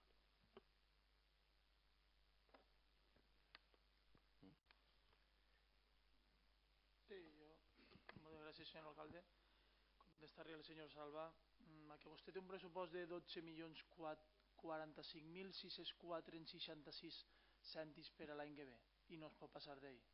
Pues això és el que té el govern de l'Estat i el que ha tingut este, este govern de, els anys anteriors. No passar-se dels ingressos que té l'Ajuntament. Entonces, si tens que retallar dia sí, dia allà i te més pagar allà, pues, eh, la quantitat màgica per a poder quadrar els comptes és la que li fiquen els ingressos, no la que vostè vulgui que siga. Sap? No, el que està dient de que de, quan no se poden pagar les coses pues n'hi haurà que retallar d'algun puesto, no? perquè no n'hi ha més ingressos. Senyor Cuenca. Bé, eh, en primer lloc, aclarir al senyor Navarro que el capítol 1 del Conservatori i el del Ajuntament són diferents com a organisme autònom. I en segon lloc, la modificació de crèdit que s'ha aprovat abans, eh, comunicacions 800 euros, subministres, que és llum, 4.226 i va anar personal per a cobrir els 5.000 euros que el conservatori en el tema de capítol 1 no cobria per a la paga extra. És a dir, no dubte que vostè faria el mateix, però el que li estic dient és veritat i així està demostrat en els papers que nosaltres els hem donat. Per tant, mm, segurament qui tindrà que mirar-se millor els papers és vostè, senyor Navarro. Gràcies. Ara sí, anem a fer la votació. Vots a favor? Per unanimitat? Anem al segon punt. Execució trimestral corresponent al segon i tercer trimestre del 2015. Estabilitat pressupostària, donar compte. Senyora secretària. I dona la paraula a la senyora interventora.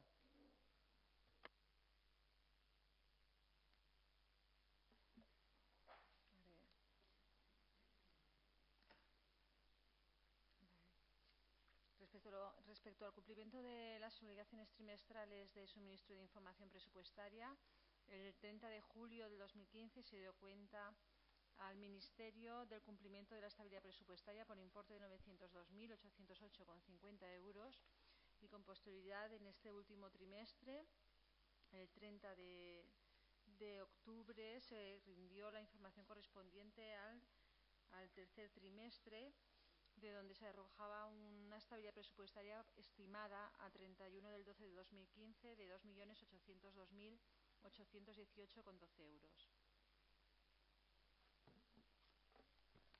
Muchas gracias, señora interventora. ¿Alguna pregunta? Pasamos al turno de intervención. Señor Andrés, ¿usted quiere intervenir? Señor Navarro. Uh, sí. Disculpe, perdone, señor Navarro.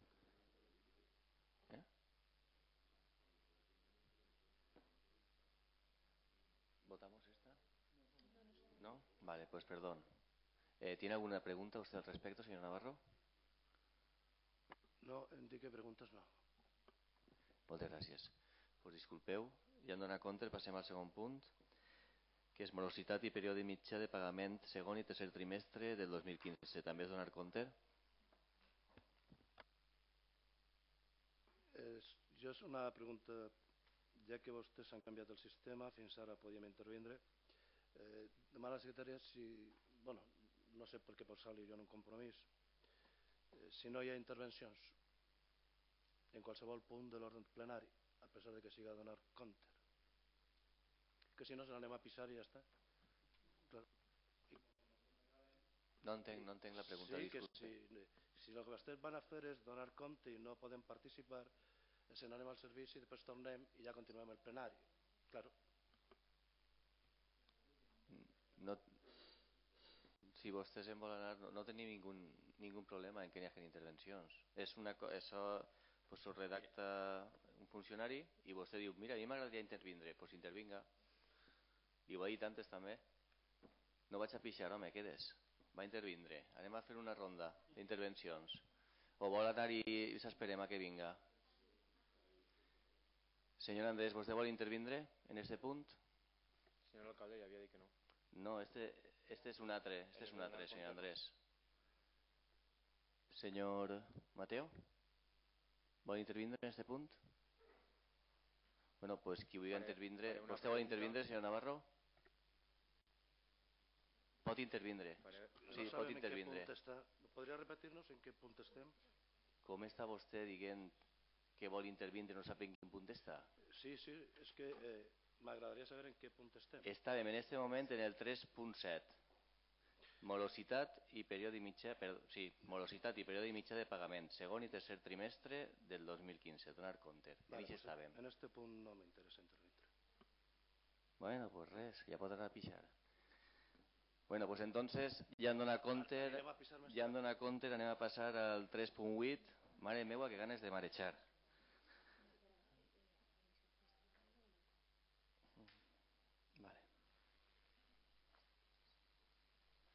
El 3.7 és el que estàvem parlant ara, eh?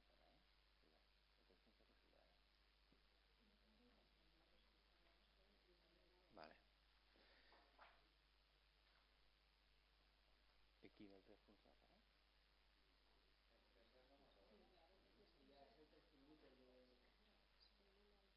El 3.7 és el que acaba de dir ara. No, és el 6 el que no haurem dit o no sé. Segur? Vale. Pues 3.7. Morositat i període mitjà de pagament, segon i tercer trimestre del 2015. Donar compte. Donar compte que tornem a treballar. Si algú vol participar, pues obrim un torn de paraules. Merament una pregunta informativa, si em permet una paraula. Sí, sí, sí. Eh, perquè és al fi i al cap lo important d'aquest punt per a que tinguin la informació els veïns eh, per a que clarisca quants dies estem tardant en pagar als proveedors interventora, simplement una xifra exacta, estem tardant en pagar als proveedors tants dies ¿Alguna altra pregunta? Señora interventora, si va a contestar a la pregunta del señor Andrés. Pues tal como se ha remitido al Ministerio de Hacienda, eh, ha habido un aumento en el número de días de, de pago a los proveedores. En el segundo trimestre eh, salió un periodo medio de pago global a proveedores de 167 días con 55 y en este último tercer trimestre eh, ha aumentado 205 días con 21. Eso respecto al periodo medio de pago, que es el que tiene en cuenta eh, todo el mecanismo de, la ley de estabilidad. Eh, también se tiene que dar cuenta de la ley de morosidad y en este sentido, respecto a los pagos realizados del ayuntamiento, son 247 días con 3, el del conservatorio 172 días con 55, del pendiente de pago del ayuntamiento 260 días y del conservatorio no quedaba eh, a 30 de julio ninguna factura. Luego, en el tercer trimestre, lo estamos dando, eh, que es el, el actual, respecto a la morosidad, y haciendo también la matización de que se hizo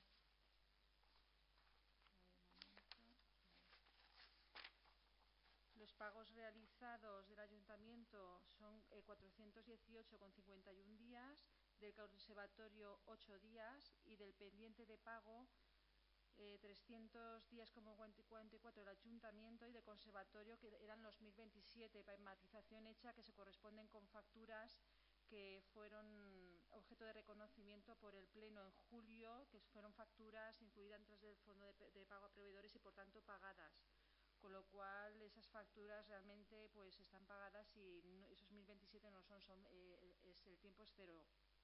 Ahí el, al, en el conservatorio estamos al corriente y, está todo pagado.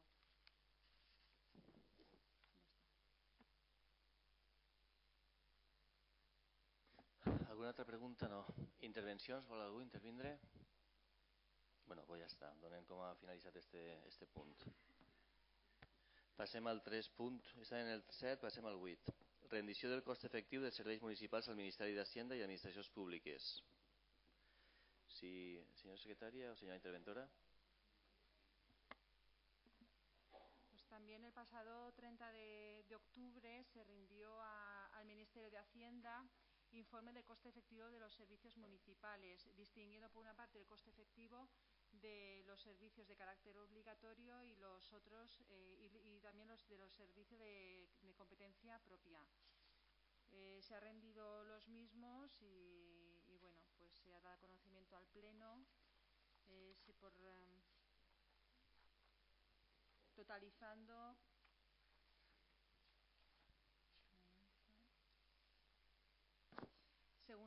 que se indica en el informe de intervención,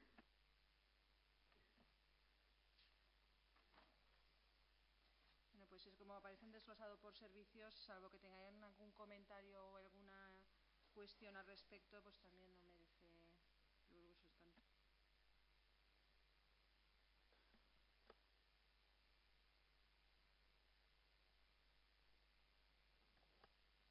Muchas gracias, señora interventora. ¿Alguna pregunta? Señor Andrés. Sí, gracias. Eh, la, pregunta, la pregunta era dirigida a la señora interventora, si me lo permite. Eh, usted ha estado presente a lo largo de, de la sesión plenaria, del debate, y eh, gran parte del debate se basaba en este informe que usted emite a, a las administraciones, al Ministerio de Hacienda y Administraciones Públicas, ¿verdad? Y usted hace un informe aconsejando, le pregunto, ¿algo que bajo su punto de vista se está cumpliendo?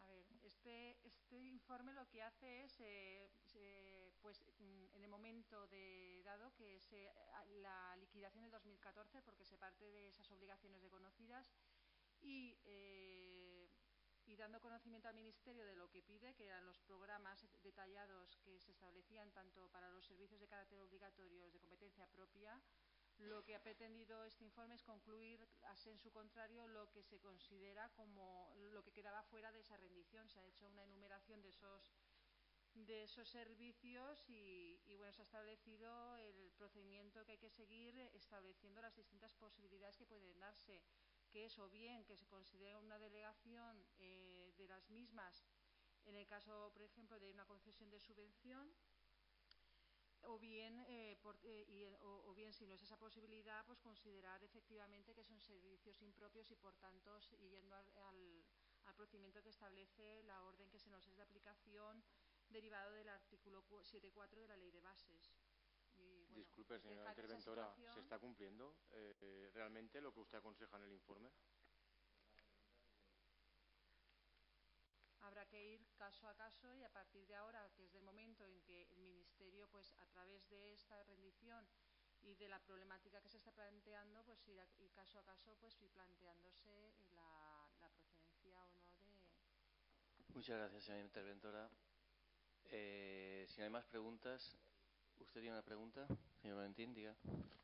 Sí, eh, yo tengo una aclaración que sí que me gustaría que por lo menos la interventora relacionase qué servicios son los que el Partido Popular considera impropios para este ayuntamiento y que en aprobación de esa orden de 26 de mayo que editó el Partido Popular estando en funciones en la Consellería, eh, aprobó realmente este municipio por no cumplir el periodo de pago eh, entiendo que esos servicios propios estarían relacionados a que si se de una forma eh, eh, cumplen con el coste efectivo ¿no? del servicio. Entonces estarían en peligro la prestación del servicio.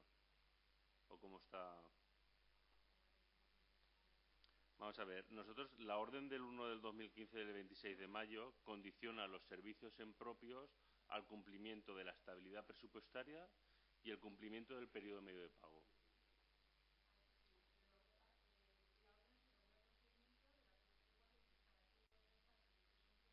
Pues no...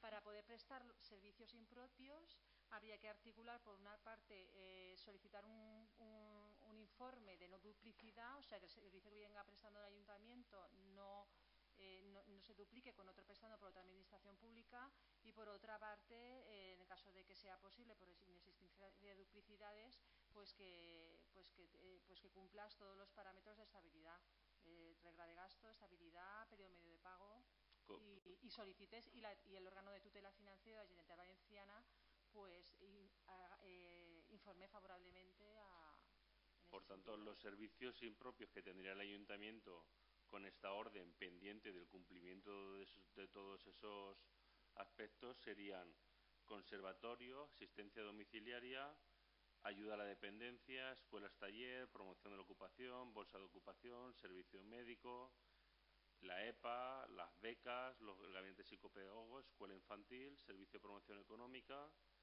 promoción empresarial, las fiestas populares, Consejo Local Agrari, vedad de, de caza, Caminos Rural y la OMI. Estaríamos condicionados a todos esos servicios al cumplimiento de todos estos criterios.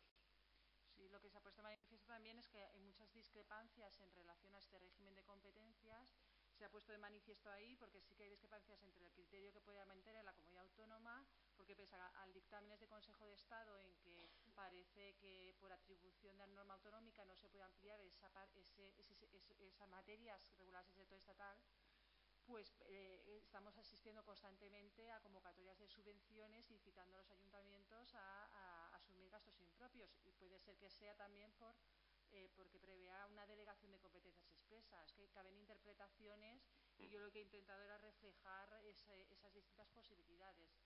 Pero Bien, habrá que, eso hay que, gracias. que ir caso por caso y, y vernos cómo se, se plantea.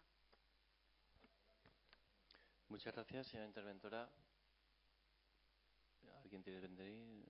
¿Quiere usted, señor Navarro? Ya ve usted que nosotros hacemos la protesta, pero luego hablan todos. Bien, nosotros queríamos intervenir en este punto, primero para decir que los 83.000 euros de pago a los funcionarios es del capítulo 1, señor Iván, personal, capítulo 1, 83.000 euros. No leemos los papeles. Sí. Sí, claro, es que usted habla de 5.000, nosotros de casi 100.000. Es diferente. La palabra cuando La se la damos y más sí, sí, cuando no corresponde es para hablar del punto, por favor, ciñase. No haga trampas. Ciñase. Hable, del punto, por favor. Siempre hay que hacer referencia a lo que se habla últimamente y luego continuar.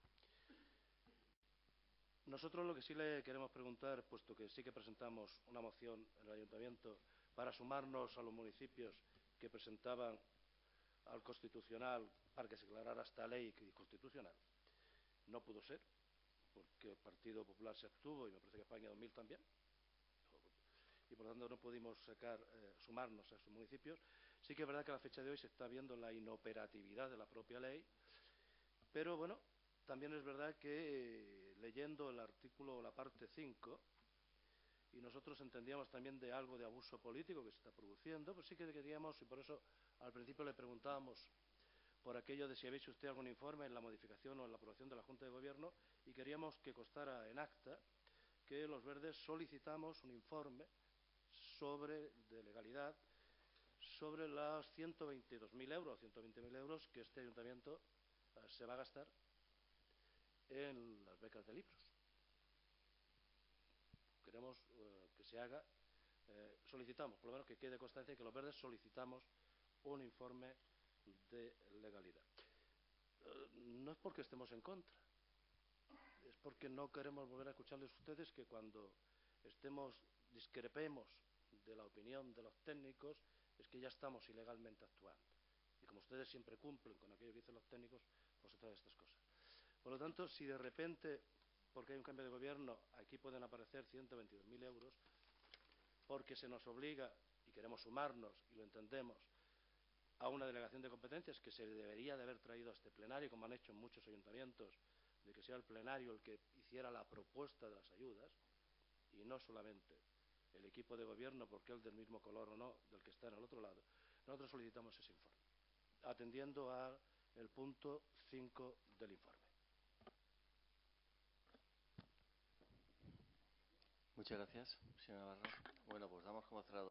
Bueno, señora Vostè, Sánchez. Antonio Navarro, el que pretén és entrebancar el programa Xarxa Llibres impossibilitant que els xiquets i les xiquetes d'este poble tinguin accés a les ajudes i al sistema de gratuïtat universal que està proposant compromís des de la Conselleria d'Educació i el Consell de la Generalitat Valenciana. Perquè quan vostè està demanant un informe a la intervenció està, està intentant entrebancar un procés que tenim avançat i que anem a posar en marxa a partir del dia 1. Per tant, no, no jugar a la demagògia de dir que si jo sí que vull però demano un informe. Al final l'informe el té sap qui? L'advocat de la Generalitat Valenciana, perquè aquesta ordre ve des de la Generalitat Valenciana i qui ha informat favorablement és l'advocat de la Generalitat Valenciana i el Consell Jurídic Consultiu en un informe favorable. I vostè ara voldrà intentar entrebancar aquest procés demanant un informe a la interventora i tot el que vostè vulgui, però l'únic que està és evidenciant que vostè no vol la reutilització de llibres de text que com a grup ecologista hauria d'estar demanant-nos a crits que l'implantarem. Per tant, jo crec que, que el que pretén és només ficar entre bancs perquè li molesta que Compromís estiga impulsant una autèntica gratuïtat de llibres de text i també des d'este govern eh, que hem coincidit tots eh, per a tirar-lo i impulsar-lo. Per tant, no tinc res més que dir. Eh, no, no volen participar. El señor Cuenca. Veure, jo sí que m'agradaria participar i donar alguna de llum perquè bueno, s'ha parlat d'aquest punt al llarg de tot el plenari i quan tocava parlar del punt quasi no em dit res, curiosament. I això pues, és més important del que apareix. En primer lloc és com se fa això. És a dir, el Ministeri d'Hisenda encomana als interventors dels ajuntaments que ompliguin que se gasten en determinades partides. No en totes, en determinades, les que considera el Ministeri. Una vegada les partides estan plenes i se sap el pressupost liquidat del 2014 en què s'ha gastat, unes se queden fora. Entonces, per exclusió, se determina que això són serveis impropis perquè no estan en la competència de la llei de bases, perquè no està clara si la competència pertany a la comunitat autònoma valenciana o no pertany, i entonces se queden fora pues, coses com el conservatori, l'assistència domiciliària, que bueno, pues, políticament així pot ser que n'hi que dia que no, però és que se queden fora les festes populars, el Consell Local d'Agrari, el Balada de Casa i els Camins Rurals. Entre altres moltes coses. Les beques que dona cada ajuntament a cada xiquet per anar al comedor, per anar a llibres, per lo que siga, per a transport universitari, per a qualsevol cosa que pugui donar un ajuntament. I realment, si ens donem compte, els serveis que té que prestar l'Ajuntament és la base, però la vida d'un poble, el que fa que si un poble siga de veres un poble i tinga qualitat de vida és això. I està tassat per un moment donat llevar-ho de les competències. Això és un pas polític que ve de Madrid, que ve del senyor Montoro. Ni més ni menys. Ja, ja quantificat exactament què tenen que llevar-se si volem equilibrar. Per què? Perquè entonces ens diran, mira, jo no li vaig a passar més diners. Si vostè vol, se lleva qualsevol dels serveis, tria vostè el que vulgui i anem equilibrant. I entonces què llevem? Les festes, els camins rurals, les beques, el conservatori, l'assistència domiciliària? Pues si això fa que este poble sigui un poc millor, al final què fem? Parcs, jardins, netegem, cementeri i poc més, i el poliesportiu. Què fem el del Cristo? Ho quedem en casa o peguem la volteta a la plaça curta?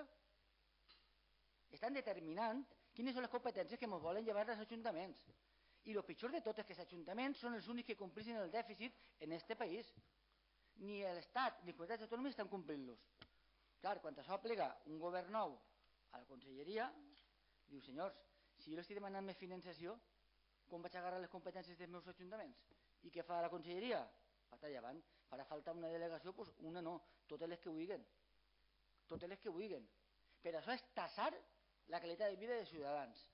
I molt segurament un govern on el senyor Montoro continuï de ministre serà el segon pas. I ja vindrem així a matar-nos els demés per veure què lleven de tot això. Aquesta és la transcendència i el trasfons polític d'esta moció. Ni més ni menys llevar la qualitat política i de vida als veïns de tots els pobles de tot arreu. Perquè si avui en dia algú presta serveis de proximitat als seus veïns són els ajuntaments. Quan tu no té un problema, va a l'Ajuntament. Quan tu no té un servei, va a l'Ajuntament. I som els pitjors financiats i els més sanejats de tot l'organisme públic estatal. Segurament, segurament, en tot el que renyem així per la gestió dels diners, si l'Estat i les autonomies ens transferiren més diners i més competències, els ciutadans viurien molt més millor, perquè la política se fa en el carrer, en els plenaris, no en els parlaments. I això demostra la intenció futura d'aquest govern. Així que ara que venen eleccions, pensem segur. Moltes gràcies, senyor Navarro. Cuenca, perdó. Eh, vostè vol? Senyor Senyor Andrés Vicent. Sí, gràcies. Veu, senyora Raquel? Al final li han tingut que dir als seus companys de govern que no he sigut jo qui, qui ha impulsat este tipus d'idees i este tipus de consideracions entre serveis propis i serveis impropis. No ha sigut ni Andrés Vicent Saragossa ni Espanya 2000. No han sigut.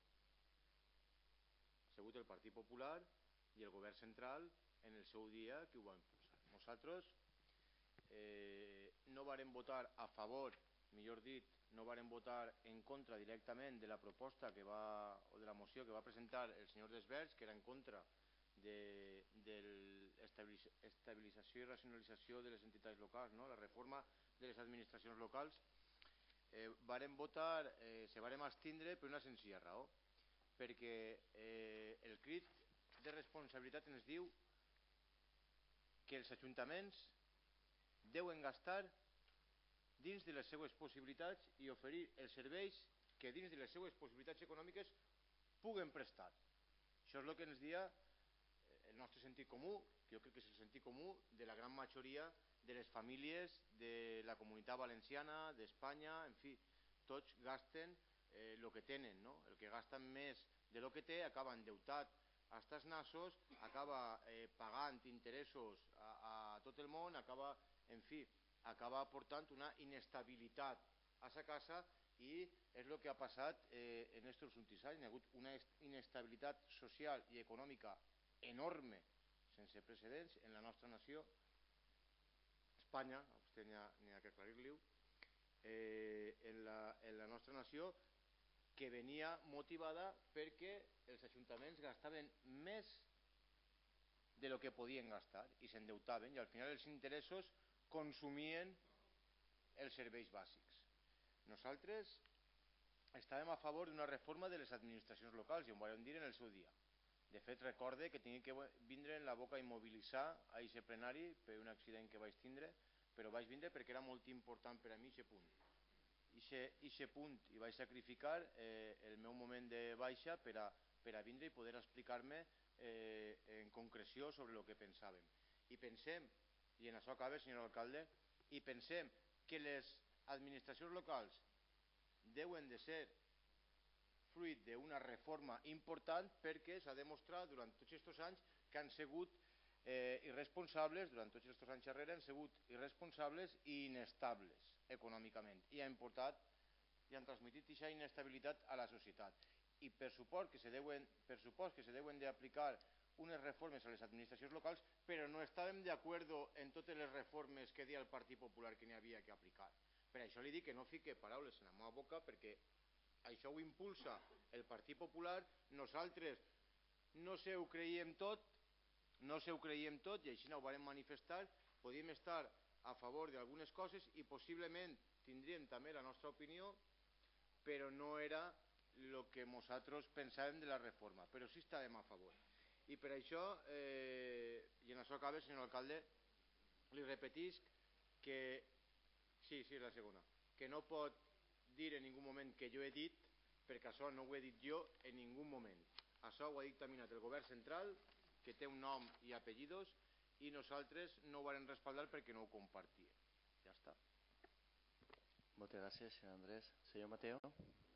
Sí, yo es porque no sé realmente cuál es el modo de funcionar y sí que quiero hacer una pregunta. Es decir, cuando se da cuenta, lo que tenemos la oportunidad de hacer una pregunta pero no estamos en primera y segunda intervención, ¿no? O... No, no, Se estaba dando por cuenta. por saberlo.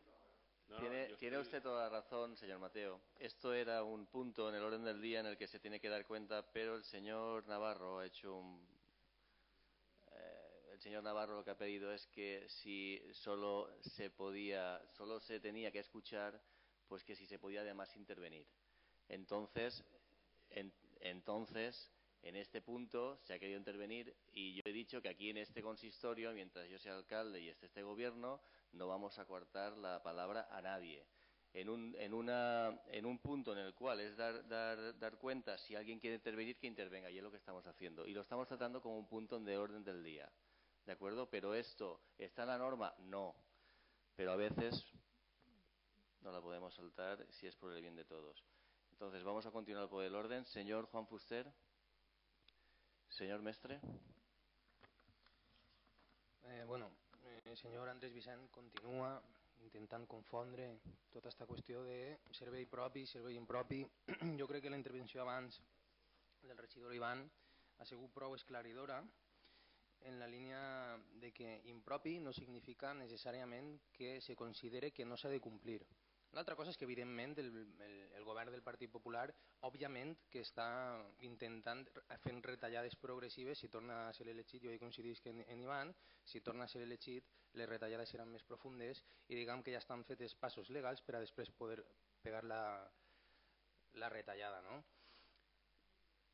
Que siga impropi legalment no significa que Conselleria o l'Estat central poguera fer-se càrrec d'això. De fet, el fet de declarar-ho impropi forma part d'un moviment de recentralització de les competències eh, de les competències de, de serveis socials, de, diguem, de més enllà de lo que és merament administratiu. Això és un procés de recentralització molt propi del Partit Popular, que és una fabri un fabricant d'independentistes impressionant. si en compte d'això deixares que cada administració complira el principi de subsidiarietat, no fa falta anar-se'n a ninguna concepció de nacionalisme, ni de... Simplement aplicar el principi de subsidiarietat, una cosa que s'aplica meravellosament en Suïssa, no tenen cap problema d'independentisme, ni de nacionalisme, ni de res, perquè, cada, perquè tot allò que se pot decidir en, en cada lloc se decideix ahí, no a una instància superior. Entonces, el procés que està fent el PP és recentralitzar competències per a poder retallar-les, entonces te deixen en el, en el cul descobert. Diu, ara les administracions locals no se poden fer càrrec d'això. Clar, van a, van a les autonomies, a, la Generalitat, als governs autonòmics, i els governs autonòmics efectivament estan molt infrafinanciats i no poden abordar-ho. Entonces peguen pata pelante dient no, no, faig una circular o fas la trampa legal que faci falta per a que siguin, siguin ocupant-se les administracions locals. Per tant, no segueix vostè marejant en això. És a dir, n'hi ha que entendre bé el context legal per a saber què s'està volent dir en això d'impropi. Efectivament, revela una intenció última de voler retallar en última instància, però no significa que pel fet de no ser rentable, bla, bla, bla, perquè per començar, ja li ho vas dir l'altre dia, qui no és rentable, per exemple, vostè. Vostè, cada vegada, cada vegada i jo, i, i, i ell, i Serafín, i, i tot el món que estem així, perquè cada vegada que, venim, que, cada vegada que venim així costem diners. Menos el senyor Melero que diu que ell sí que és rentable. Som, som, vull dir, on està la nostra rentabilitat? Bueno, pues, eh, L'organització institucional té uns costos, però té un sentit també social. De la mateixa forma l'educació, la sanitat, les biblioteques... Entonces, anem a veure, ja, ja n'hi ha prou de demagògia. I, abans de dir, ja no s'ho acabe, vostè diu, és que hem viscut per damunt de les nostres possibilitats i quan gastem de més, entonces n'hi ha que no, perdona, o sea, sí que ha gastat de més han sigut tots aquests especuladors que s'han gastat una quantitat de milions que no existien establint uns deutes que després s'han socialitzat. Els deutes són privats i s'han socialitzat. I això vostè està d'acord. Entonces, lo que passa és que és tremendament incoherent perquè no lliga les dues coses. Mm? O sigui, a veure si una neurona se troba en l'altra i se posen d'acord. Perquè si, si per una banda vostè critica els rescataments bancaris, el que no pot fer per l'altra banda és dir culpar a tot el món de que és que ha estat per damunt de les dues possibilitats. No, el, el primer rescat a Bànquia són 20 vegades més, o com a mínim Senyor 10 vegades Mestre, vaig acabant, per favor. Sí, immediatament. El rescatament de Bànquia són 10 vegades més com a mínim del pressupost de sanitat. Ja, simplement en aquest dato ja s'il·lustra tot. Així que si tenia que haver retallat són els rics, són els que han especulat, són els que ens han robat a tots. Entonces ja val aquest discurs culpabilitzador de que és que hem viscut per damunt les possibilitats i que per tant hi ha que retallar estos serveis que una llei ha vingut a dir que són impropis. A veure, anem a tindre perspectiva àmplia de les coses. Moltes gràcies, senyor mestre. Senyor Navarro. Hablar de que estamos en contra de la ley nos parece hasta absurdo ya que presentamos la moción para la inconstitucionalidad.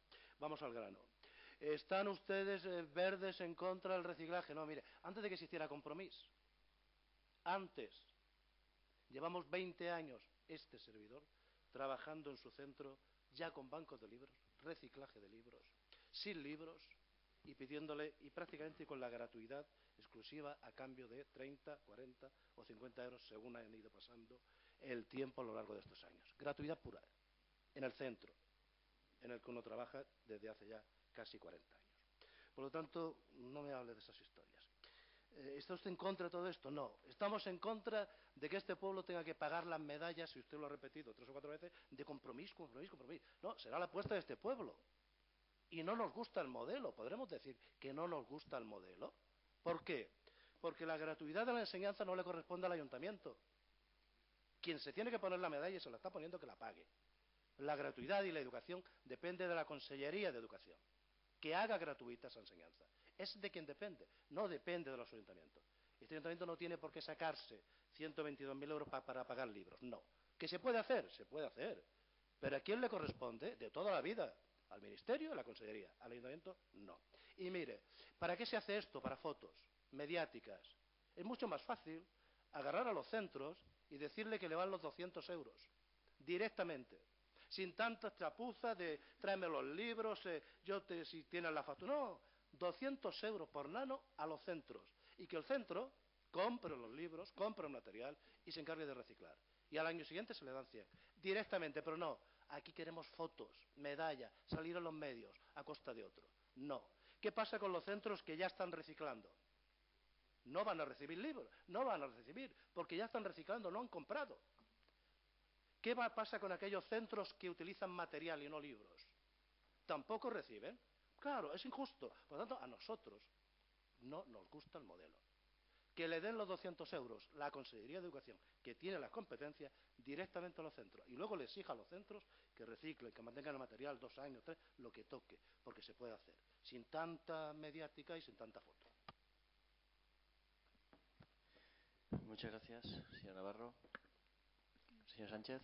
No se tracta de, de posar medalles, se tracta de facilitar la eh, reutilització dels llibres de text. I la manera de fer-ho en aquests moments és comprant els materials que tenen les famílies adquirits.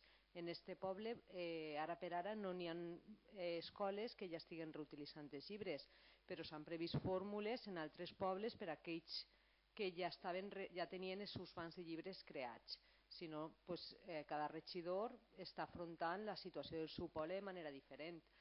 En aquest cas eh, no, no se tracta de medalles, senyor Antonio, perquè al final estem pagant a tres bandes, com li he dit, a través de la Generalitat, de la Diputació i de l'Ajuntament, per l'elevat cost que té un projecte com és adquirir els llibres de tot l'alumnat d'un municipi en etapa obligatòria, des de primer de primària fins a l'ESO, FP bàsica i PQPI.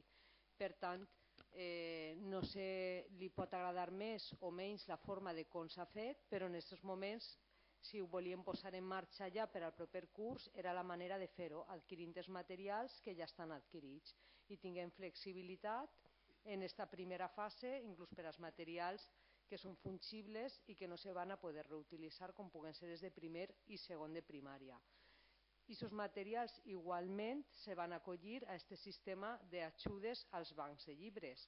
Jo crec que l'ordre que han presentat des de la Conselleria d'Educació i a la que s'han acollit moltíssims ajuntaments deriva de la necessitat de posar en marxa un sistema de gratuïtat universal per a totes les famílies, perquè al final l'escola pública van xiquets i xiquetes de tots els orígens i de totes les situacions econòmiques, socials i familiars. Per tant, eh, potser a vostè no li agrada la manera, però és la que en aquests moments s'ha posat en marxa i en la que anem a estar espentant i portant-la endavant.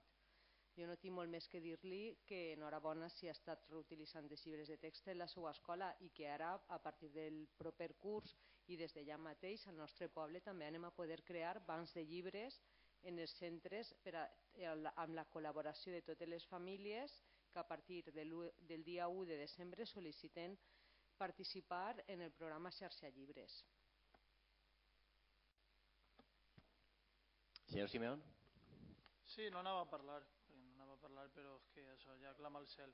Ara resulta que Montoro, ara resulta que Montoro és el que té la culpa de deixar este, este Ajuntament d'entrar en el 2011 amb més de 6 milions d'euros en factures per pagar. Montoro té la culpa de que este poble estava més del 100% endeutat de les seues possibilitats. Montoro té la culpa de que de 14 milions i mig d'euros de pressupost que tenia de gastos en l'Ajuntament recibirà uns 12 milions d'ingressos. Montoro té la culpa d'això i els especuladors. Eh? Montoro i els especuladors. Muy bien, muy bien. Pues no, tenia la culpa dels que estan sentats en, la, en Ixes Caires, en tots els ajuntaments d'Espanya, en tots. I Montoro el que ha fet és ficar medides perquè la gent que no va al dia en els pagos, perquè està molt bé donar els servicis, però la empresa que dona servicis a l'Ajuntament també té que cobrar, i té que cobrar a 30 dies. Eh? Perquè en aquest Ajuntament s'han passat molt i continuen passant, i ara ho estan patint vostès, molt de temps sense cobrar, molt de temps sense cobrar i venen al regidor d'Hisenda igual com venien al regidor d'Hisenda anterior a cobrar perquè ahí també hi ha puestos de treball i això també, gent també vol té qualitat de vida eh? entonces esos 6 milions d'euros que n'hi havia així quan entràrem no els, crea, no els, no els deixa Montoro Montoro el que va fer és pagar 4.300.000 euros que després li ho han tornat els veïns i, i a usar que ens ha costat esta legislatura eh? en aquest moment de tornar, però anticipar aquests diners perquè pogueren cobrar en aquest moment, perquè n'hi havia empresa que a lo millor haguera tan, i tot. Eh? Entonces no me vinguen a mi cuentos de que Montoro té la culpa de, de que nosaltres i eh, molts ajuntaments de tota Espanya es, no estiguen al dia en els pagos. Eh? El PP, eh, correcte, el PP té la culpa de que, eh, de que en este ajuntament no al dia en els pagos. Vaya que sí, home. Vaya que sí. Eh? Vaya que sí. pues no, Montoro no té la culpa, ni el PP tampoc, de que en aquest Ajuntament, quan entrà el PP, quan entrà el PP n'hi hagueren 6 milions i mig d'euros en factures per pagar. I aquest mes no se pagava la nòmina als treballadors. Montoro no tenia la culpa perquè en el govern central aquest mes en què governava el Partit Socialista. No governava Montoro. Eh?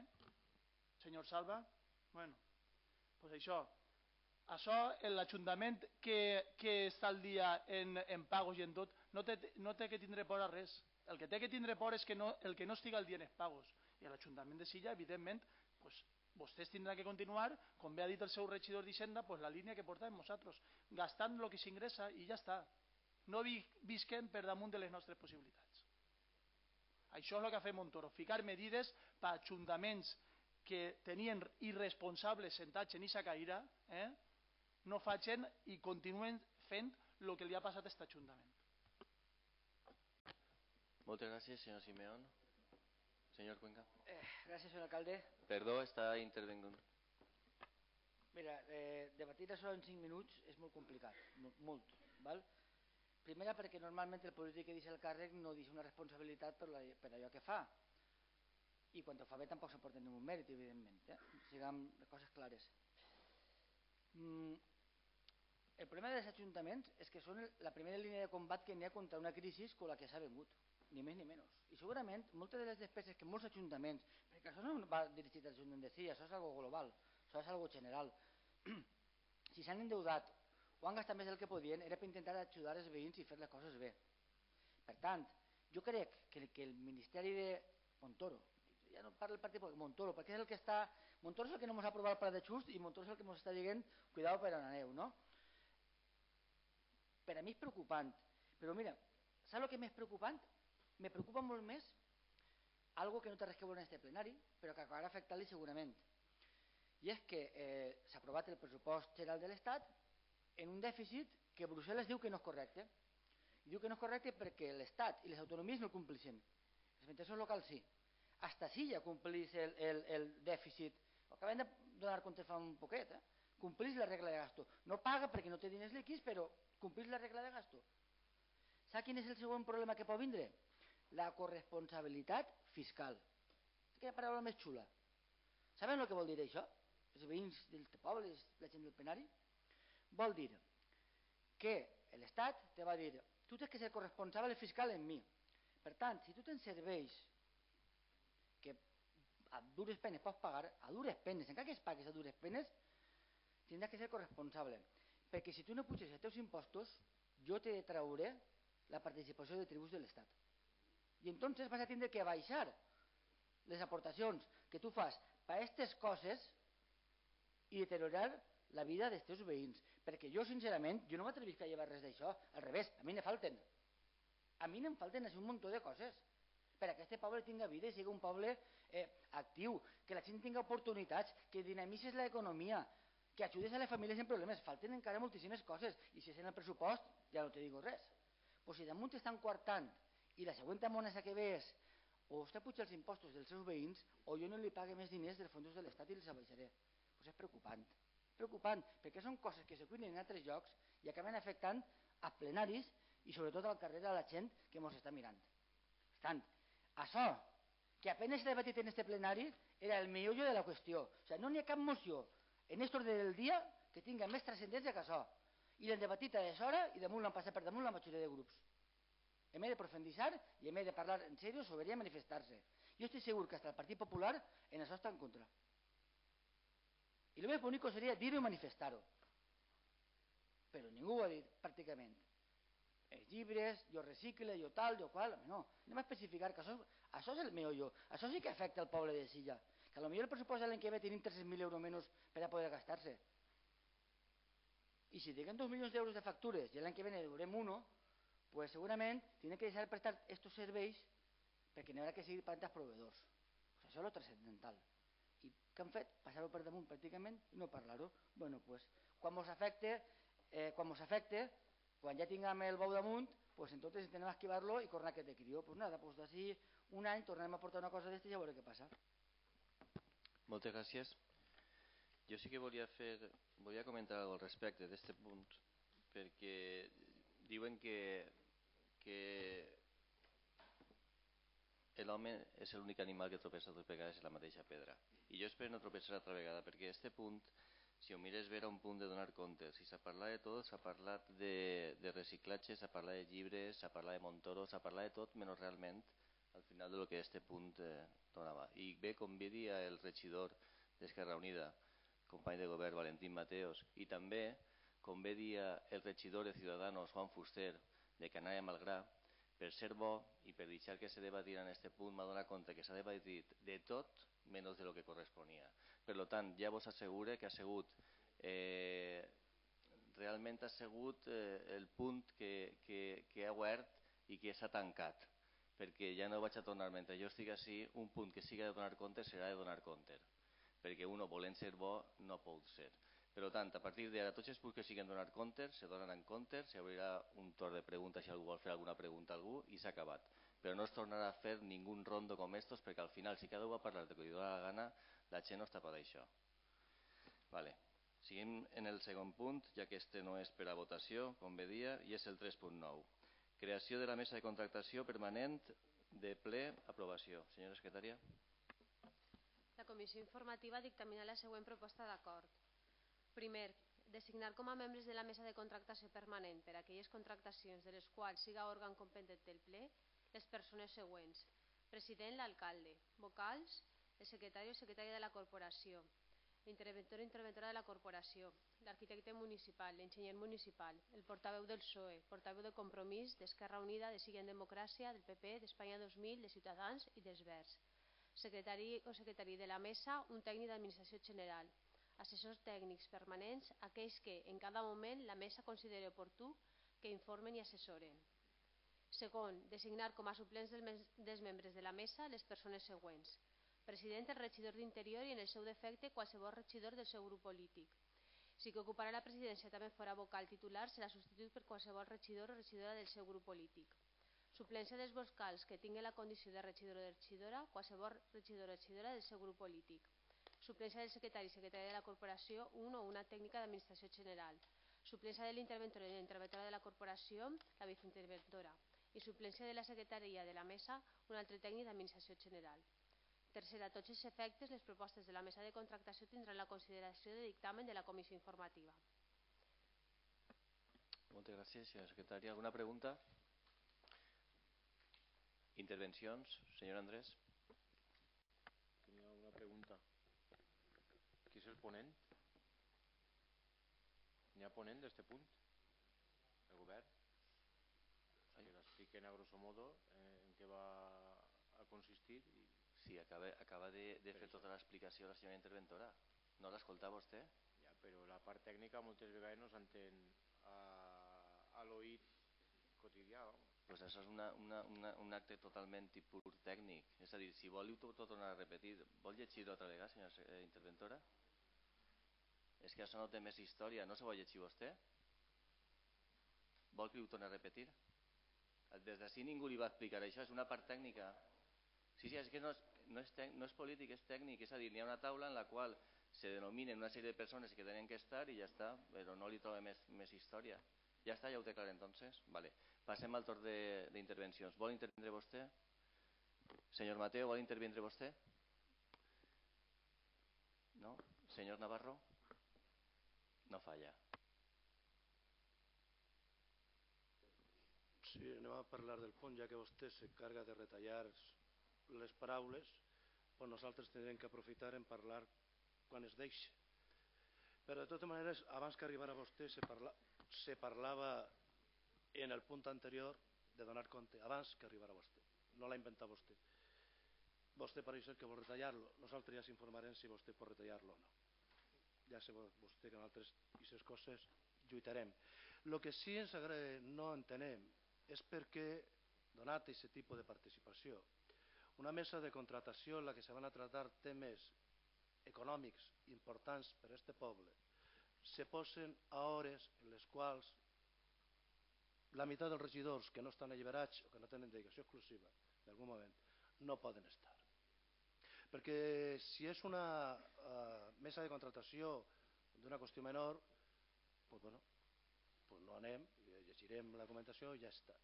Però mire, vostès acaben de, contra, de convocar la mesa de contratació per a l'habilitació del Parc de les Sers, per a lo que és la biblioteca municipal, el Parc de l'Estació, el Parc de l'Alteró, la plaça del Poble, tot això estarà al voltant d'uns 600.000 euros. Convoquen a les 9 del matí i convoquen a la mesa de contratació. El qual hem de suposar que la mesa de contratació en este poble, salvo vostès o les persones que estiguen alliberades o tinguen algun altre tipus de dedicació, mai podran assistir. Després no es queixen si les comissions informatives són un altre lloc, fem intervencions, preguntem, en plenaris i el que més. I és veritat, podem anar al treball i dir no venim este matí que me'n vaig a la mesa de contratació. A les 9, un altre a les 11 i un altre tal. Mira, el que serà un treballador del servei públic, funcionari públic, a la millor són els companys que s'acorden d'avui de tota la seva família per faltar aquest dia. Però el que treballa en una empresa privada a la millor acaba en el carrer. Per tant, eh, no és una qüestió de broma el que estem plantejant. Estem plantejant que quan se tracten punts de la mesa de contratació on el volum econòmic tots considerem, i vostès consideren, almenys nosaltres considerem, que és important, plantegin-se vostès des de la convocatòria, que vostès el que ho fa, el poder fer-lo a altres hores en les quals nosaltres puguem acudir. Eh, senyora Sánchez.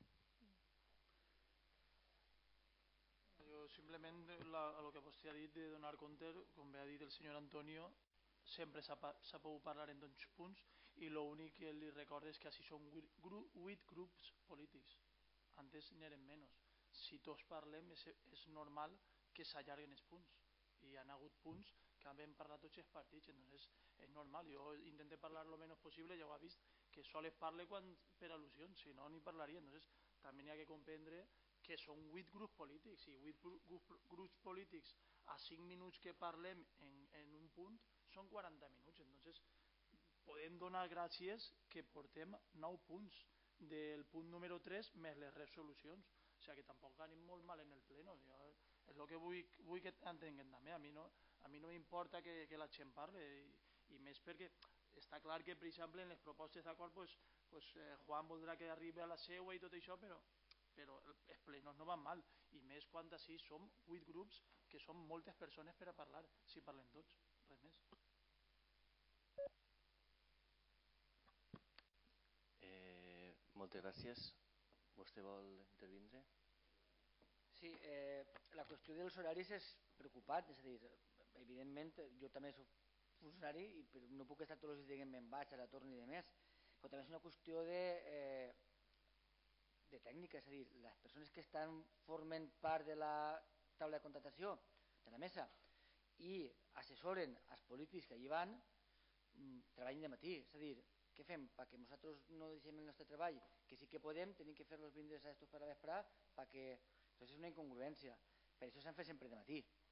Entenc que que per circumstancialment se poguera canviar o utilitzar les vesprades del dimarts que, per exemple, el funcionari treballa, vale, però home, a mi me sap mal que perquè no me diguen a mi res en el meu treball quatre o cinc funcionaris tinguin que venir a treballar pues, un dia que no es correspon entonces hi haurà que ponderar-ho ponderar, -ho. jo penso que si ho parlem i ho sempre se pot apregar algun acord algun dia se pot fer a una hora algun dia a una altra utilitzar la vesprada del 17 no? secretària? això és una qüestió de ponderar-ho però bueno, és que és claro, i apregar un acord però claro, pensem també a l'altra part la meitat de la mesa és una part tècnica i moltes vegades l'Ajuntament té que estar funcionant per a resoldre un problema, per a tindre qualsevol informació o qualsevol altra cosa. Moltes gràcies. Senyor Andrés. Senyor Navarro. No he plantejat cap tipus de problema ni m'he ficat en la vida de ningú. He plantejat que quan una mesa de contratació se considera important, una mesa de contratació se considera important, que si se pot, que se tinga en compte. I ja està no estem demanant res més no estem demanant que totes les meses de contratació tinguin que ser a determinada hora ni pensar, ja hem dit de partida que no però si alguna consideren que és important bueno, pues, pues esa pues la tiren per cavalls i ja està, no passa res a lo millor se pot fer una hora abans que una comissió informativa a lo millor se pot no sé, és tot combinar, si jo no estic posant pegues, estic donant idees de que sempre se convoquen a aquesta hora i mira, jo no tindria ningú problema. És veritat, se'n recordarien de la meva família, segurament els companys, però el meu lloc de faena no correria perill. Però en una persona que esté en una empresa privada tindria problemes i per tant no podria assistir. Jo demane això res més, no és posar pegues. Sí, senyor Benca el problema de de, de, de contractació que venen ara és perquè n'hi ha premura per, per adjudicar antes de que acabi l'any. O sea, si ho considerem com a excepció este, este procediment, pues en un futur podem parlar-ho i, escolta, pues, abans d'una comissió, abans de qualsevol cosa, se pot arreglar un tema que sigui important. Els contactes menors, pues, tu sabem que, bueno, que això més o menys és de, determinat per dictamen tècnic i més. Però jo crec que per lo que la secretària està mirant de costat és que esta, esta convocatòria surgint per això, per el tema de que com són els remanents de la Diputació, n'hi ha que adjudicar-los abans de que acabi l'any perquè sigui efectiu el contracte, doncs corre un poc de pressa. Utilitzem aquesta com a excepció i en un futur tranquil·lament ho parlem i escolta, doncs qualsevol plenari, qualsevol comissió se pot arreglar fora de, del seu temps. Sí, sí, sí, perfecte. Però entonces esta se queda com està per això, per, per aquesta premura. Bueno, pues tots contents. Passem al segon punt, tornem a votar este primer. Vots a favor? Abstencions?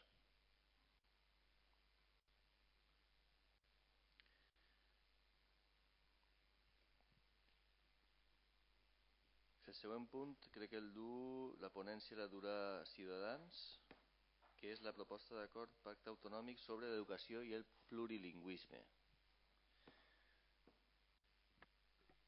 Gràcies, senyor alcalde. bueno, jo vaig a, a llegir-ho tot eh, no tan sols eh, el acuerdo. Eh, durante los últimos 30 años se han puesto en marcha por parte de los dos grandes partidos hasta siete reformas educativas. La educación se ha convertido en un arma arrojadiza de los partidos políticos, que han sido incapaces de consensuar un modelo perdurable en el tiempo porque han pasado más en la próxima legislatura que en las siguientes generaciones. Sin embargo, a pesar de su politización, la educación es una cuestión de Estado, porque un país sin educación es un país sin futuro.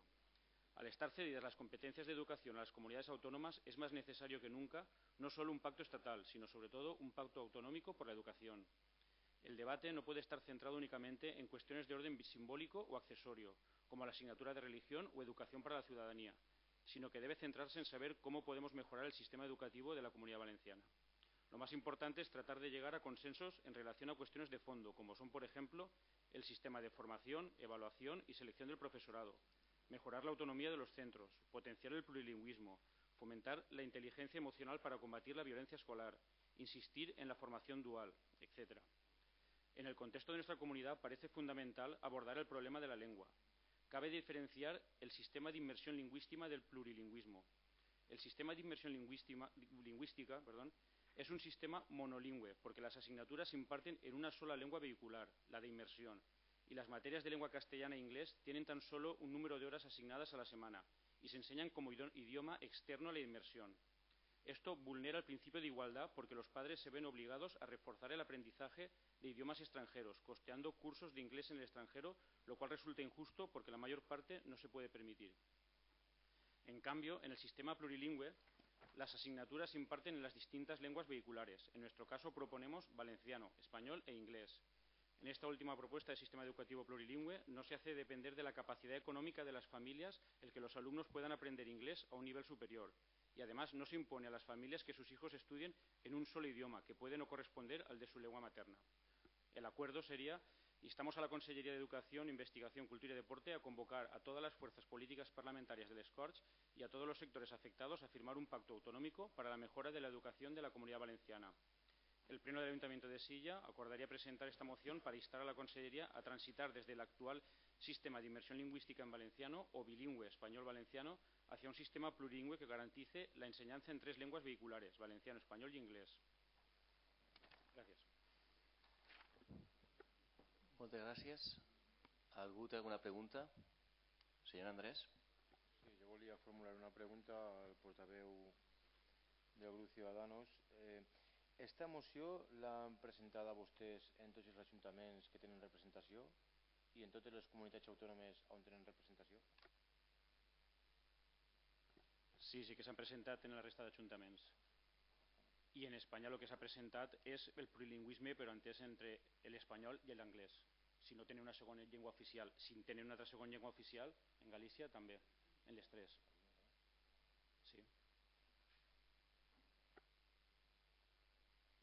Senyor Navarro Sí, en el enunciado de la moción parla de introducción del modelo plurilingüe en los colegios públicos de la comunidad. ¿Los colegios privados y los colegios concertados están incluidos o quedan al margen? La moció la presentem a nivell eh, de col·legis públics. En els privats, eh, ojalà, ojalà ho farem tots, però ahir ja és. Passem al torn d'intervencions. Senyor Andrés. Sí, gràcies. Eh, eh, pues no. No, no podem estar a favor de ninguna de les maneres eh, en esta proposta i en el seu esperit que és eh, comparar o equiparar llengües estrangeres, per dir-ho així, en el que seria la nostra llengua autòctona, eh? la nostra llengua eh, principal, que és part de la nostra cultura, la nostra tradició i, i la nostra vida. No? Eh, nosaltres pensem, i, i anem a raonar este no en rotunditat. Nosaltres pensem que el que n'hi ha que potenciar és la llengua valenciana, com a valencià, com a valencianista, com a espanyol. N'hi ha que potenciar-la. Si haurà vingut vostè amb propostes com dir anem a bonificar que la deslocalització de les empreses de... o anem a portar una medida que la deslocalització de les empreses que estem patint en la comunitat valenciana o en Espanya retornen així, anem a bonificar les empreses perquè s'assenten en la nostra comunitat, anem a facilitar que les empreses puguen desenrotllar-se en la nostra comunitat i anem a facilitar lo seu. Pues entonces dins d'aquesta proposta nosaltres diríem sí, i així podem potenciar la nostra llengua i tindran que aprendre el valencià possiblement en l'estranger per a que eh, puguem vindre a relacionar-se amb nosaltres. Entonces nosaltres estaríem a favor perquè nosaltres estem per lo nostre. Eh, lo que no podem consentir, perquè nosaltres hem llegit, hem informat un poc, que clar, si s'obrirà Canal 9 pues també part de la emissió de Canal 9 seria en anglès i al final i al final així com, com se ho guisem què passa en, en tots els que ja no estudien totes les persones que ja estan desenvolupant una feina en els que no s'ho han pogut permetre, en tota la gent major que ja no té la possibilitat d'estudiar, ja no té la possibilitat de recabar tanta informació i estudiar un idioma. Què passa? Que estos ja se perden tota la, tota la programació d'eixa tele, ja els xiquets tenen que expressar-se en anglès en el carrer i, i, i tenen que desmereixer o, o d'alguna manera eh, llevar-li protagonisme al, que no, al que no parla anglès. El protagonisme en València el té el valencià. I en cada comunitat, si tenen el, el seu idioma propi autòcton, pues, té que tindre el seu protagonisme. I tenim que pelear perquè el protagonisme d'aquesta llengua s'internacionalitzi no que nosaltres tinguem que internacionalitzar la nostra llengua o eh, mesclar-la, dissoldre-la entre, entre, entre moltes altres. Mira, aprendre l'inglès serà... Aprendre, aprendre l'inglès és important per a, per a obtindre coneixements, és important per a poder desenvolupar altres faenes en l'exterior. Jo, precisament, la meva germana és filòloga anglesa, mira per on. I, I la veritat és que finalment per a desenrotllar la, la, la seva especialitat és la teva anar a Londres mira, pues a lo, a lo millor si, si fomentaren més la, la filologia valenciana eh, realment la gent s'especialitzarà més en això pues a lo millor podríem internacionalitzar més el nostre jo, mire, jo vinc d'una família tradicional eh, i jo me sent una persona molt identitària i al partit que jo perteneix i en la gent que jo conec i, podem parlar d'aquestes coses, se senten molt identitaris en la seva terra. I jo no estic per la llavor d'equiparar qualsevol llengua, ja siga la de Mali, la d'Anglaterra o, o la de Xina, al nostre valencià. Eh? El, el castellà és per a tots, és una llengua que tots podem compartir, però eh, renunciar o mesclar el valencià és finalment això, renunciar a que el nostre tinga eh, una potenciació internacional. i per a, per a este primer punt deixaré que parlen, tenia alguna més preparat, però bueno. Moltes gràcies, senyor Andrés. Senyor Mateo.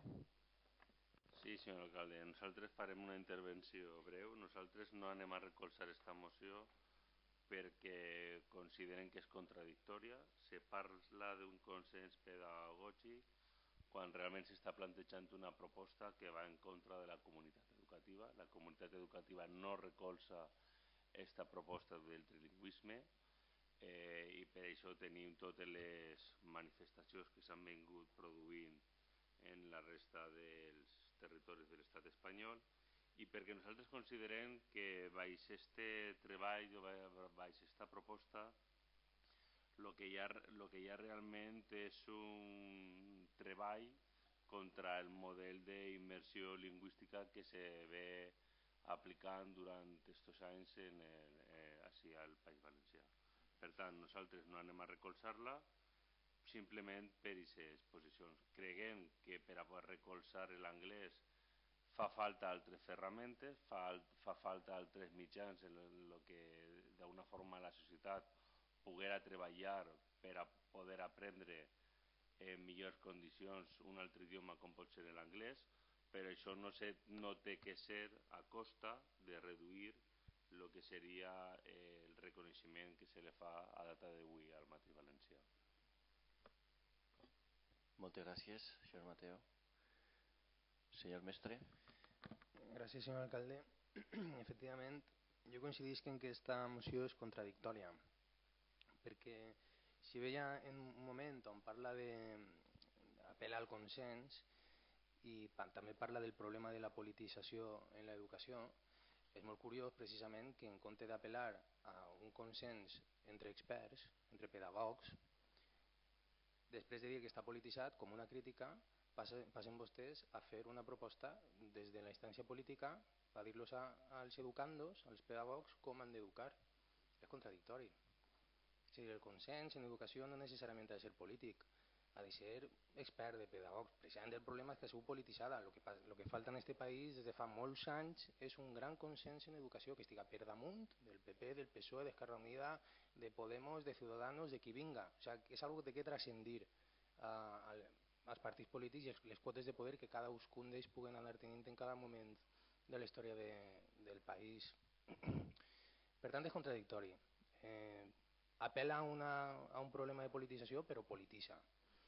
Parla de, de valors, parla de molts valors, parla de millorar el sistema de formació, d'avaluació, selecció del professorat, millorar l'autonomia dels centres, potenciar el plurilingüisme, el qual pot adoptar moltes configuracions, fomentar la intel·ligència emocional, moltes coses, però després comet un reductivisme i simplement proposa una mesura molt concreta, d'una forma molt concreta d'entendre el plurilingüisme.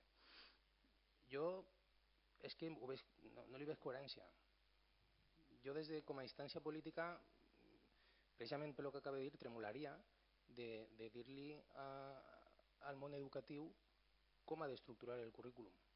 Pues, che, que s'assenten i que s'apanyen, o sea, que s'apanyen en el bon sentit, que apleguen a consensos, consensos que no siguin polítics i des de les instàncies polítics, perquè ja és que un gran consens social, pues, que, se li done, que se li done via lliure algunes xicotetes contradiccions també, per què tres llengües també en Madrid? per què sols dos en Madrid?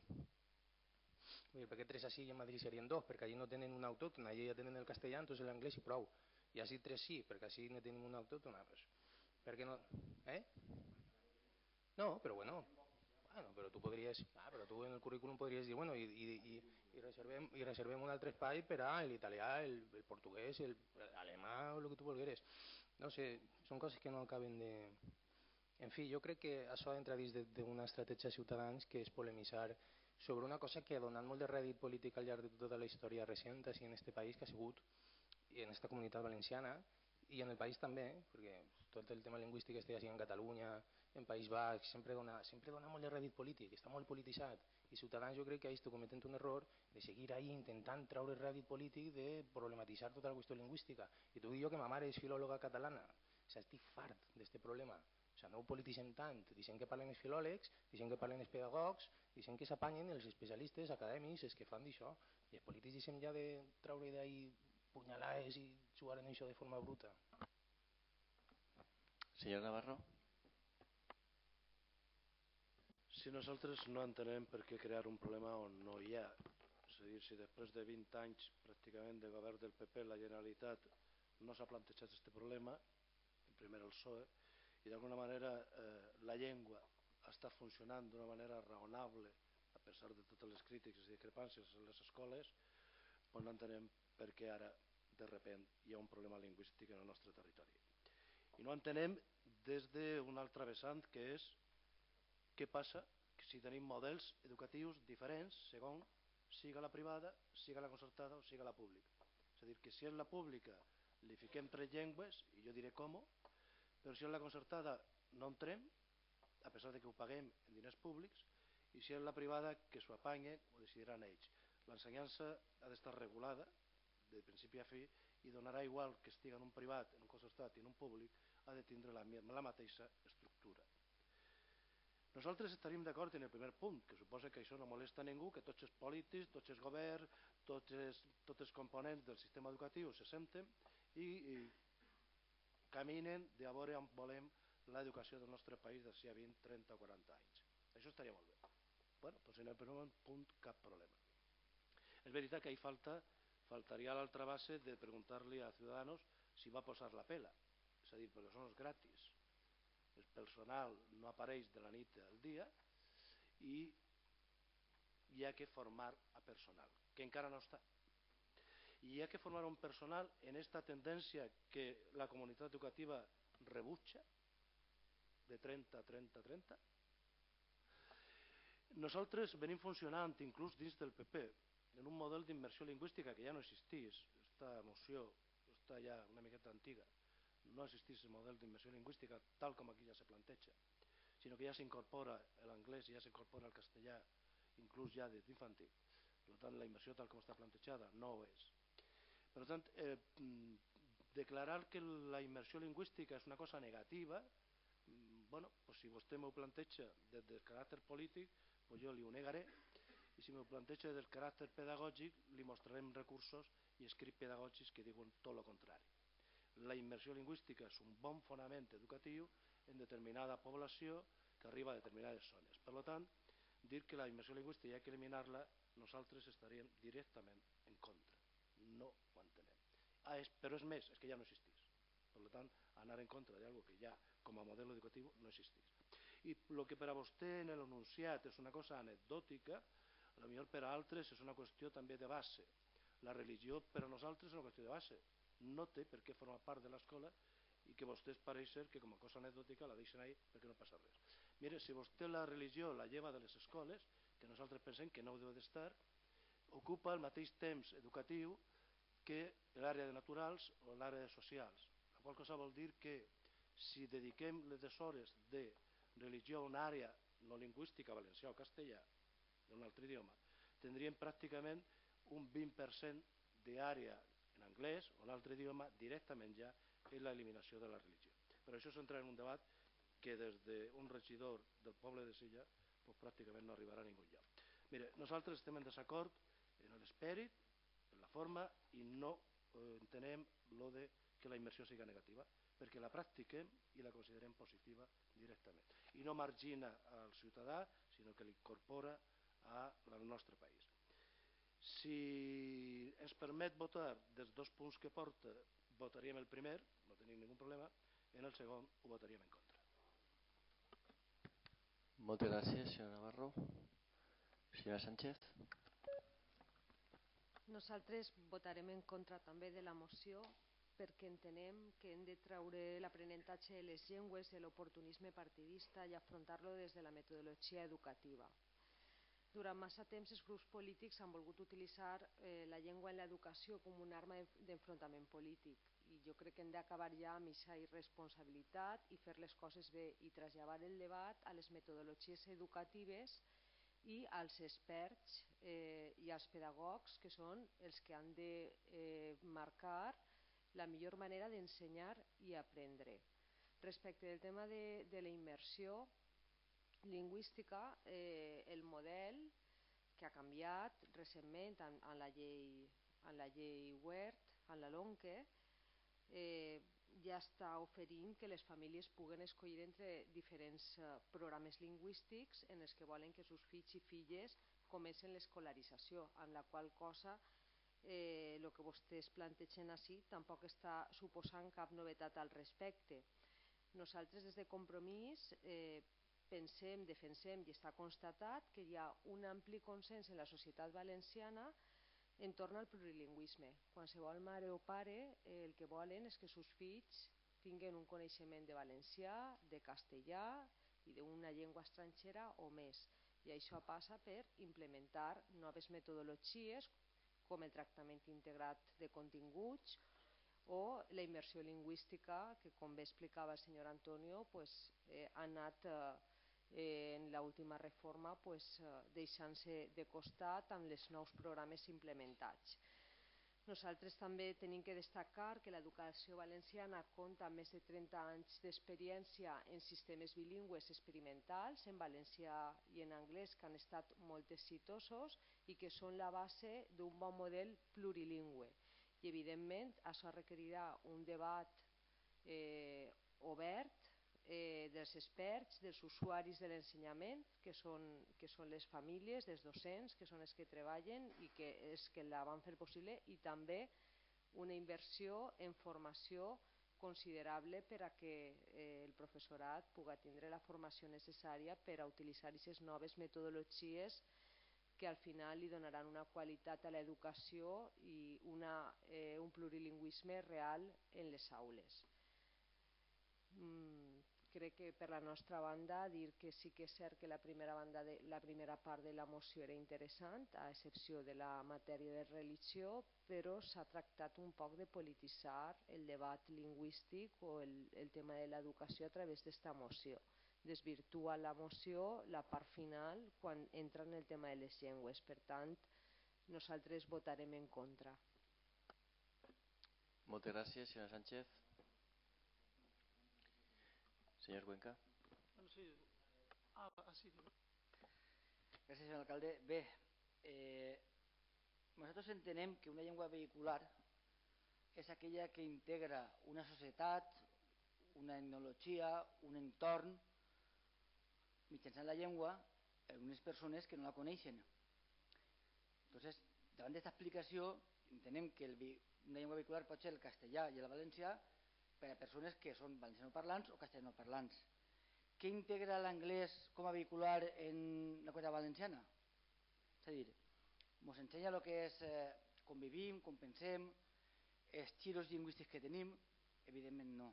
Evidentment no. Jo no dubte del bon espírit de la, de la, de la moció, pareix que vaig en sentit de pues, bueno, que quan més, si dominem l'anglès pues, tindrem més presència fora del món.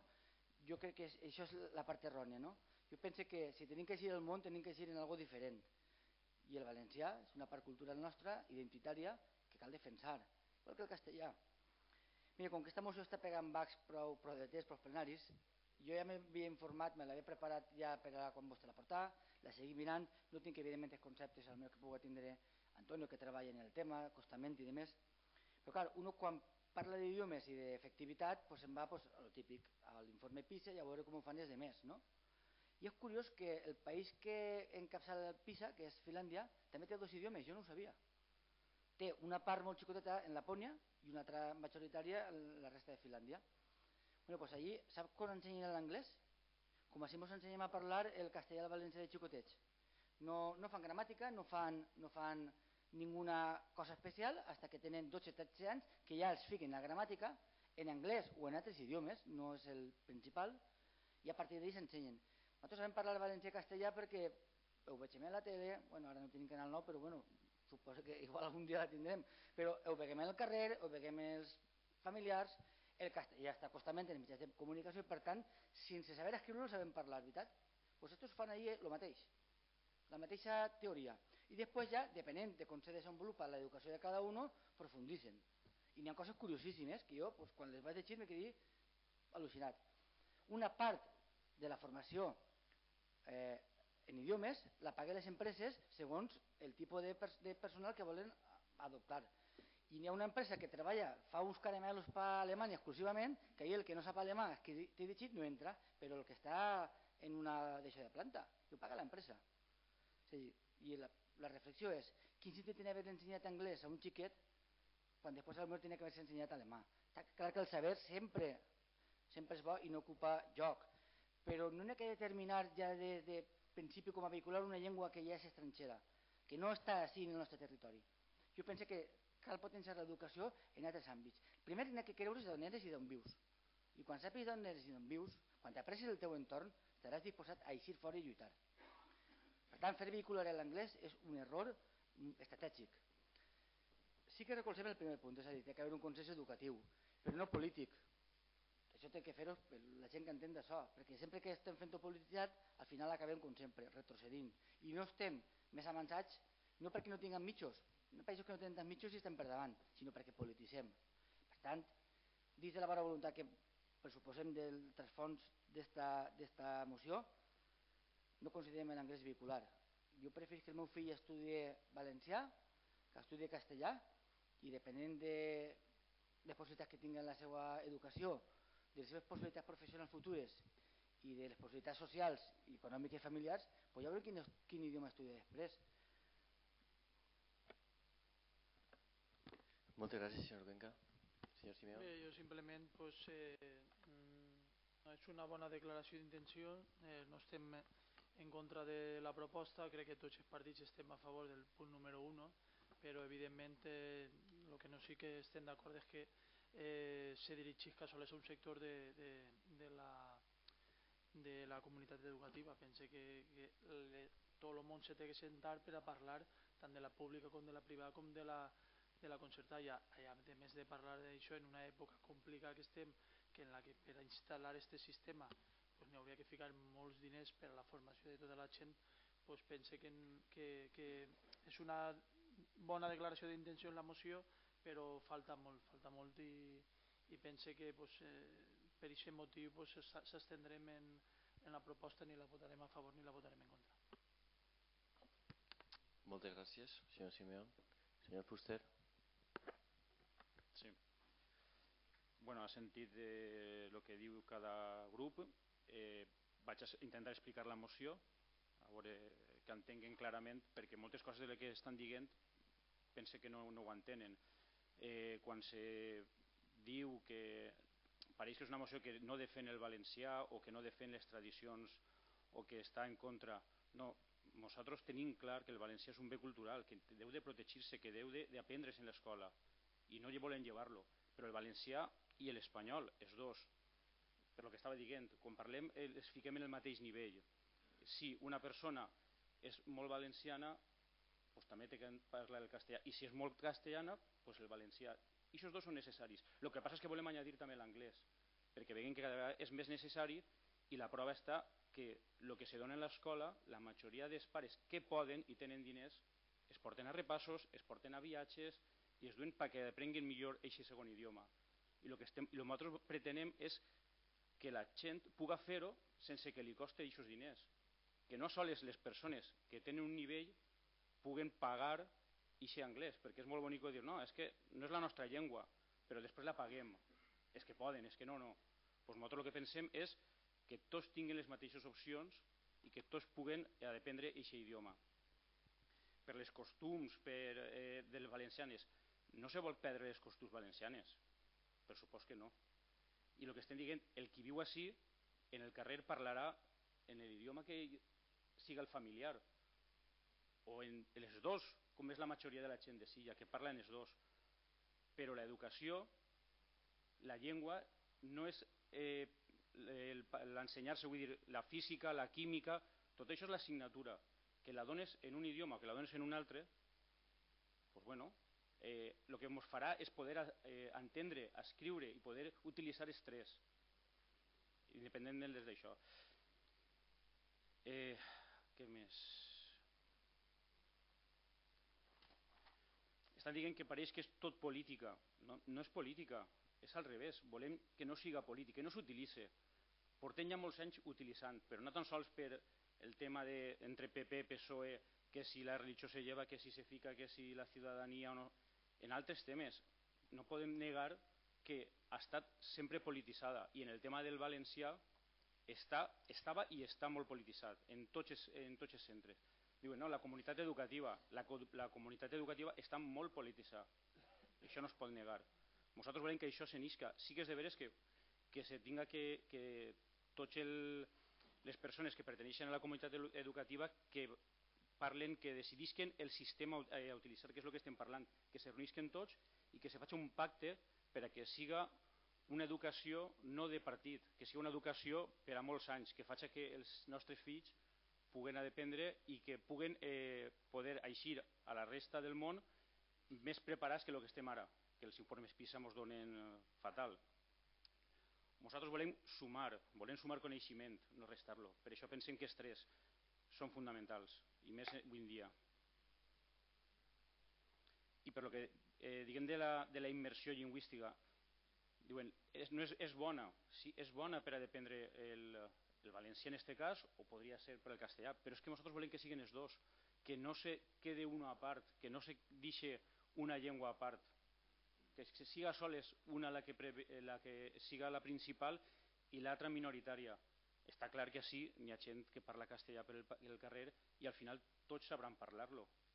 Però també és de veres qui treballa en l'educació i ho reconeix que cada vegada s'escriu pitjor el castellà, hi ha més faltes, i això per, per què serà també?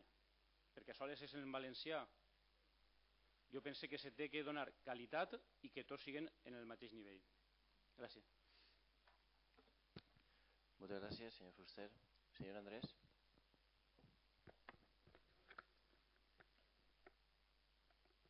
En fi, ha quedat prou clar no? quina és la voluntat de, de la gran majoria dels que s'hi representem a, al nostre municipi i, el que li falta a l'educació, senyor Fuster, eh, no és sumar-li. Primer tindrem que consolidar-la. Estem ara mateixa en el pòdium europeu, per no dir mundial, de fracàs escolar, abandono escolar, frustració escolar, pues, principalment el que, deurem, lo que deurem fer és consolidar la nostra educació, la que ja tenim. perquè anem a donar més passos avant si realment no aconseguim, no aconseguim consolidar eh, la, nostra, la nostra educació. Eh, té molta raó el que diu el senyor Cuenca. Té molta raó. De què val que vostè s'ensenyi anglès si al final la feina que té que desenrotllar el que va necessitar és l'alemà o el francès o, o l'holandès o el xino eh? o el xino o el russo eh? que, també, que també pot ser un país emergent si no ara en el futur eh? entonces clar no la encertaríem no la encertaríem nosaltres eh, el que proposaríem seria potenciar l'exaltació de lo nostre de la manera que he expressat abans i, i el que sí que diríem per tot això que el comentari de la religió i de més pues mira, pues, pues, què faríem amb tots aquests professors que, que imparteixen classes de religions? Estirem al carrer? Eh?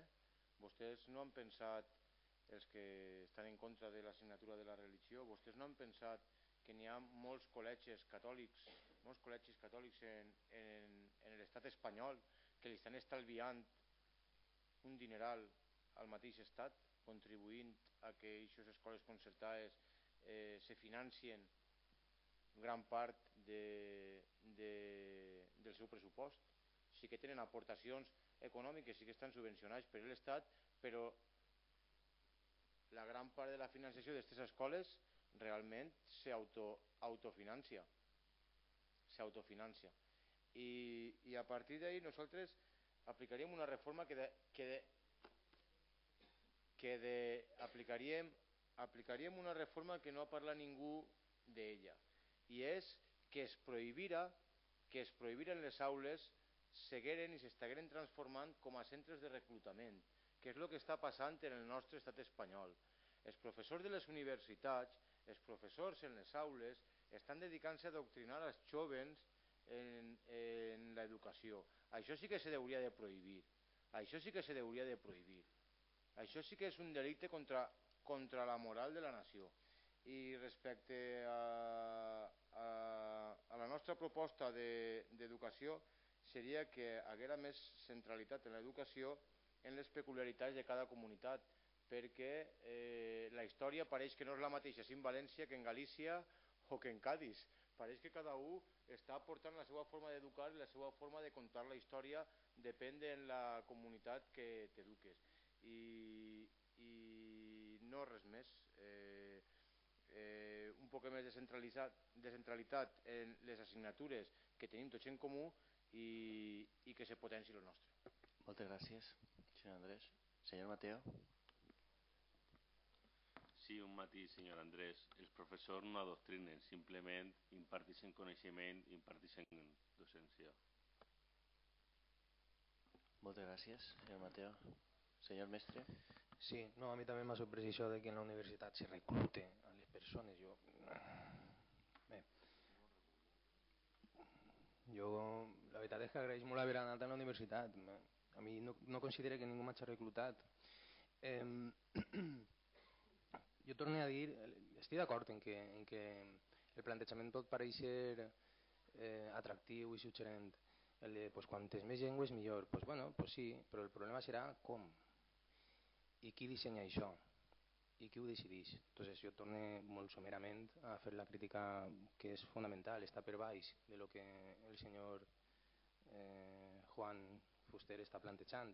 I és a dir, que no podem establir això, no és responsable establir això des d'un criteri polític, s'ha d'establir des d'un criteri pedagògic. I per tant això que ja se li ha dit, no? la contradicció entre el primer i el segon punt. Això estem més o menys en general d'acord. M'agradaria reivindicar la llengua com un patrimoni cultural que enriqueix la persona més enllà de que siga una, un, un recurs mercantilista per a poder trobar, trobar més treball o no. Jo, per exemple, he estat educat en, en, la, en el liceu francès i a mi la cultura francesa, vamos, pues, eh, per a mi és un, una de les grans xolles que he tingut en la, en la meva educació. significa que és superior a l'alemana? No. No, significa que ha obert la meva ment més enllà de la cultura valenciana o la cultura espanyola una persona que tenga cultura valenciana, cultura española, cultura alemana, cultura italiana, pues, joder, té més sort que jo encara. Entonces, aquest plantejament que tots compartim, quantes més llengües tingues, quantes més cultures sigues capaç d'incorporar, millor per a tu, vale, però el tema és procedimental, és a dir, no ho polititzem, deixem que els pedagogs s'apanyin de com fer-ho. Vale? O sea, simplement ahí està el punt clau de per què ens neguem a, a votar a favor d'esta moció. Moltes gràcies, senyor mestre. Senyor Navarro. Sí, la moció nosaltres creiem que entra en, una, en un problema que no hi ha, que no existeix en aquest país.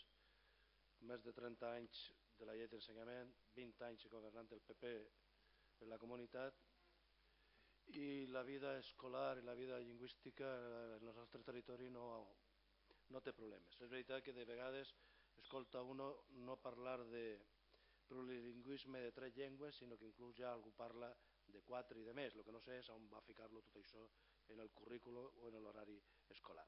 Per a nosaltres sí és important llevar la religió de l'escola. Abans se parlava de qüestions pròpies o impròpies de l'Ajuntament. En l'escola si hi ha una assignatura impròpia és la religió i per tant això sí que hauria que treure-lo d'ahí. I mira, ja, teníem, ja tenim ahí dues hores, dues hores per a poder donar una altra llengua vehicular i ja no tenim cap problema. Nosaltres eh, creguem que la inversió no és un problema, la inversió és una solució positiva per a molta gent, solució positiva, perquè dona l'opció a moltes xiquets i eh, xiquetes, estem parlant de primària, estem parlant d'infantil, no estem parlant d'universitat, això no és universitat, és escola primària, i per tant és la introducció de, eh, en el nostre territori d'introduir-se en una nova llengua que és estranya des de que arriba. Per tant, la immersió és fonamental. I l'altra llengua està en el carrer i no patís ni té ningú problema, ni en ninguna escola ningú problema, ni ninguna família té ningú problema i totes aquestes coses. Els mestres estan polititzats i la comunitat educativa està polititzada. Clar, com tota la societat està polititzada. Els 40 milions de persones que viuen en aquest país són polítics. Alguns professionals i altres estan polititzats. Tots, igual que nosaltres, igual que tots. Per tant, mm, en l'escola se segrega políticament? Doncs pues no, jo no veig denúncies ni hi ha ningú problema de, perquè si hi ha alguna cosa propera en l'escola primària on pares, mares, professors i alumnes formen part pràcticament d'una comunitat educativa de portes obertes. Per tant, si hi hagués algun problema, de centre de reclutament i totes aquestes històries en este país pues bueno, ja haguera estallat i més governant el PP pues 20 anys segurament es tindria tots en fila. Eh, continguts, si n'hi ha algun problema serà de continguts, no de llengua. I per tant, el que tindrem que plantejar-nos és una ensenyança amb capacitat econòmica per a totes aquestes coses. I és si els pedagogos, els mestres, la comunitat educativa està polititzada i deixem entonces en manos dels polítics l'educació, mal assumpte. Claro, es que el primer punt és convocar a las fuerzas políticas parlamentarias de la Corte a que presenten este tipo de cosas. Claro, si queremos sacar la educación porque es que los sectores que controlan la educación están politizados y lo ponemos en manos de políticos, yo no tengo ningún problema. Ya le he dicho que el primer punto nosotros lo íbamos a apoyar que, porque creemos que eso nunca viene mal, de que els partits polítics que estiguen representats en les pues se senten, xarren, parlen i produïsquen eh, llengua per a, 20, per a 20 anys, cap problema. En el segon ja li he dit que el votarem en contra.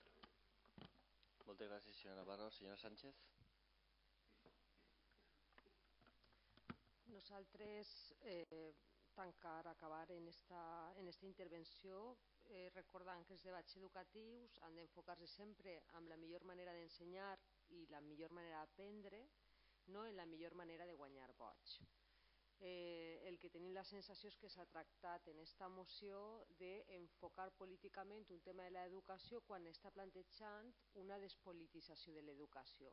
Per tant, el que li proposem és que el debat sobre l'educació s'ha de fer amb molta calma, sense pressa i sempre escoltant a sectors educatius, començant per els experts, per els docents, per els professionals, per la universitat, seguint per els usuaris de l'ensenyament. I al final de tot aquest procés podem opinar els partits polítics, els representants polítics, però que n'hi ha, ha que deixar el, el debat en mans de qui sap, que són els experts de la pedagogia. I poc més tinc que dir sobre aquesta moció. Moltes gràcies. Senyor Cuenca. Gràcies, senyor alcalde. Bé, comentava el senyor Fuster que se detecta que persones que són valencianoparlants, quan escriuen en castellà, tenen faltes d'ortografia. Si fiquem una tercera llengua que parlaran en valencià-spanglish o alguna cosa així, serà un... Claro, quan més llengües feques, segons aquest plantejament, pitjor van a escriure, pitjor van a entendre. No és un problema de llengües, és un problema d'educació, d'esforços, de mitjos i de sistema. Diu que vostè vol que la plegui l'educació en un tercer idioma a tot el món no és això el que està dient la moció. S'està deixant fora l'educació privada i la concertada, que és un, una part important. I si tenim tres models educatius en un mateix territori, acabarem cada un fent el que vulguem i això no és l'ideal per a un sistema educatiu coherent i cohesionat. Nosaltres pensem que la comunitat educativa no està polititzada. Tots tenen idees polítiques, no? A lo millor serà que pues, tenen per carències, per vocació, per altres històries, però bueno, tanta política puga fer, no sé, Pablo Iglesias en la universitat com la hauria de fer José María Pemán, no sé. És que és, això és cada un conforme li, li pugui anar. Però realment, si volem treure profit d'això, este no és el camí. Portar aquesta moció així al plenari no és el camí, perquè nosaltres no tenim la competència ni la capacitat per a decidir què és el millor model educatiu per als nostres fills. I aquest és el problema. Si nosaltres portem a este plenari esta moció estem invaint coses que no corresponen a aquest plenari. Estem polititzant un assunt que no se deu tratar en aquest plenari i estem ja fanguejant ja un tema que de per si ja és delicat. Vostè diu que la gent se gasta diners en que un fill s'ensenya anglès, no? També se gastem en que juguem al futbol, vaig anar a la piscina i vaig anar tal. I no per això anem a fer educatiu totes les extraescolars que li fem als nostres fills. I quan els enviem a l'estranger perquè s'ensenyi idiomes, no s'enviem a ensenyar només l'idioma, sinó la forma de viure per a que comparen i per a que se desenvolupen com a persones.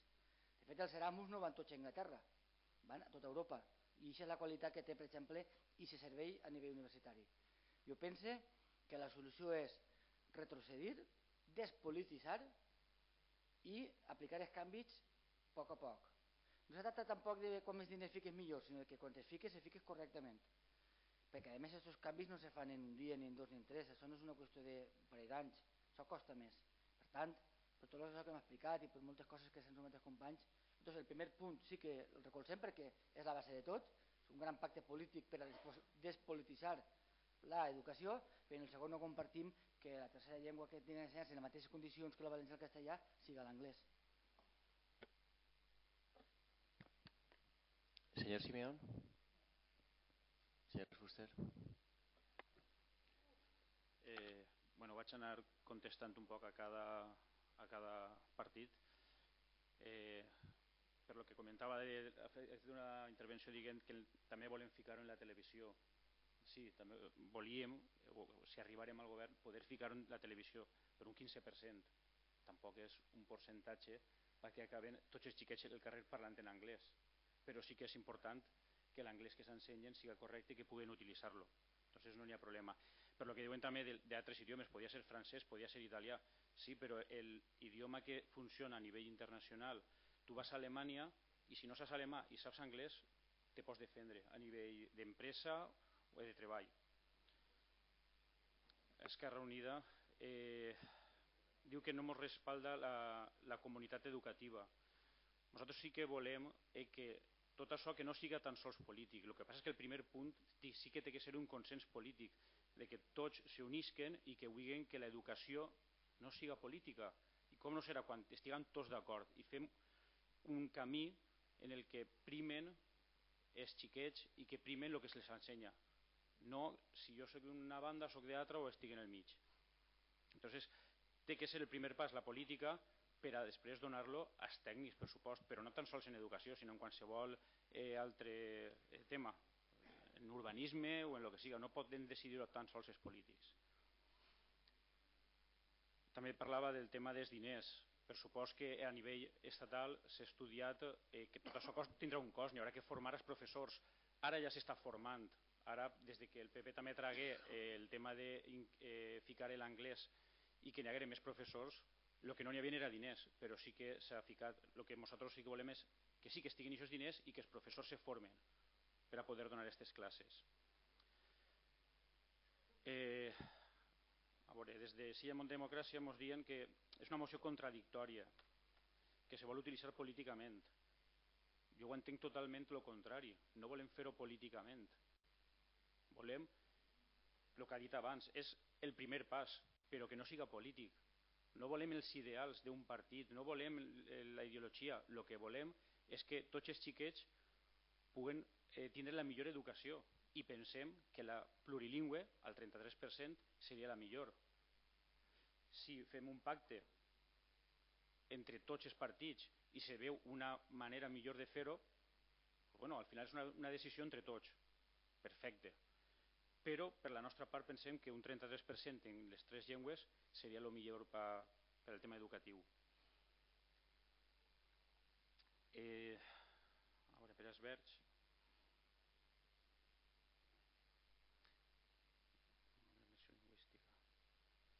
Parla de que, eh, que així en València no n'hi ha un problema, que estem creant-lo. Pues no és el que es veu per el carrer. Jo sí que veig eh, a persones que te parlen, que te diuen i que tenen problemes. Sí que és de veres que ara no estem en... Uh, ara pots triar en agarrar una línia en castellà i en menys eh, hores en valencià. També són les que menys n'hi ha, per lo menys en el que ens perteneix, que Silla, si te'n vas a la camp, possiblement n'hi ha més castellà i apenes valencià. També estem en contra. El que volem és que en tota la comunitat valenciana s'adeprenga perfectament el valencià. No ara, segons la comarca en la que estigues, l'utilitzes o no. Nosaltres volem que siga en totes. I entonces sí que n'hi ha un problema. Eh, respecte al compromís, dia que, bueno, entenia jo que era més o menys el que havia plantejat el PP, però és totalment diferent. Sí que es, pareix en el tema de ficar l'anglès, però no és en les mateixes condicions ni en els mateixos mitjos. Estem d'acord en, en compromís que sí, que tenen que fer els professionals, però ho torno a repetir, el primer pas és donar el pas polític. Això ho enllaça contestant al PSOE dient que no tenim competència en aquest tema.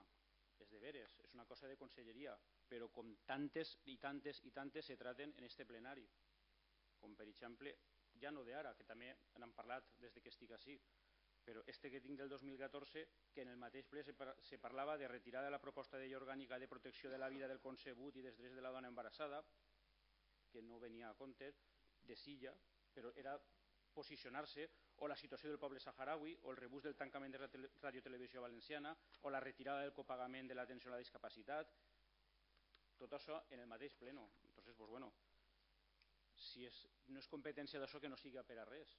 No sols per lo que es convé. Parlar dels pobles, parlar d'unes competències i d'altres no.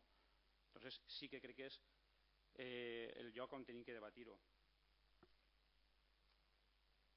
i el que comentava els nostres fills tindran que competir en el mercat laboral ojalà, ojalà hi hagi feina de sobra en Espanya i en València per a poder treballar així i no tindre que utilitzar-ho ojalà però no és la realitat. La majoria tenen que anar-se'n tenen que començar a donar cursos ràpidament no tenen el nivell correcte d'anglès i cada vegada és més complicat però més dic, ja no fa falta anar-se'n a treballar a l'estranger senyor Fuster per favor vaig acabant. Sinó per treballar així jo tinc el meu exemple. Jo he tingut que treballar i estàs comunicant en empreses en Xina, en Estats Units, en Alemanya i parlant en anglès, no en xinès ni en... i tens que fer-ho des d'ací, les mateixes empreses, per a poder estar en este món global. Entonces, pense que és prou necessari que el nivell d'anglès aputxe prou, prou el que tenim ara. I la, i la millor manera seria d'un sistema plurilingüe. Gràcies. Moltes gràcies. Anem a passar a la votació. Eh, entenem que esta aquesta moció du dos punts o sols un punt? Senyor Fuster? Dos. Dos punts. Doncs pues anem a votar per separat. Vots a favor del primer punt?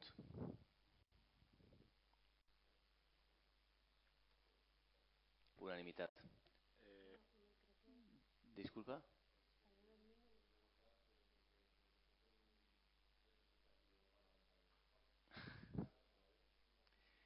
¿Vostè s'abstén? Senyor Andrés? Per aquesta regla de tres no votaria vostè ninguna vegada.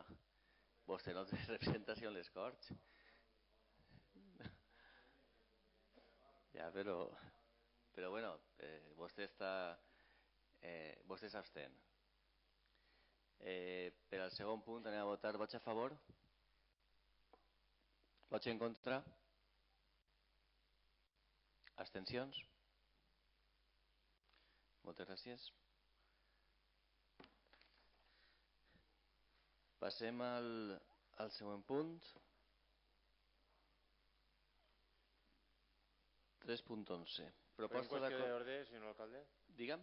Per un qüestió d'ordre, eh, no sabem a què és degut que en les pròximes mocions la nostra es presenta el dia 7 d'octubre després l'altra es presenta el dia 16, l'altra el dia 21 i la nostra es posiciona en l'últim lloc de l'ordre del dia. No sabem a què es deu, si és un motiu de desconeixement, però realment són eh, 10 dies de la següent moció que se presenta antes la nostra i 20 dies de l'altra i se'ns col·loca l'última.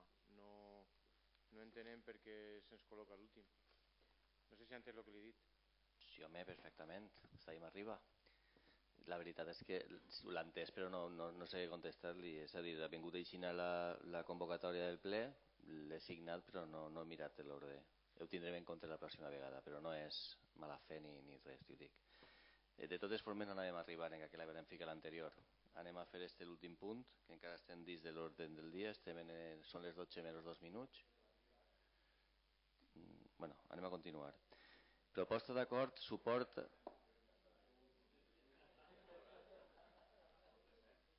Per favor, per favor, si voleu, si voleu acabem ja, eh? Si, si voleu acabem ja, eh? Vale, pues si tots estem d'acord, eh, perfecte. Jo, jo ho dia per si algú volia que entrara una moció, vale, de categoria. Pues entonces anem a passar al pròxim punt, que són els assumptes no inclosos en l'ordre del dia. Hi ha alguno, senyora secretària? No n'hi ha. Intervencions dels, dels, de la gent, del públic? Algú vol fer alguna intervenció? El públic? No hi ha ningú? Bueno, doncs passem a l'últim punt, que estarem parlant de pregs i preguntes, no?, dels regidors. Senyor Andrés.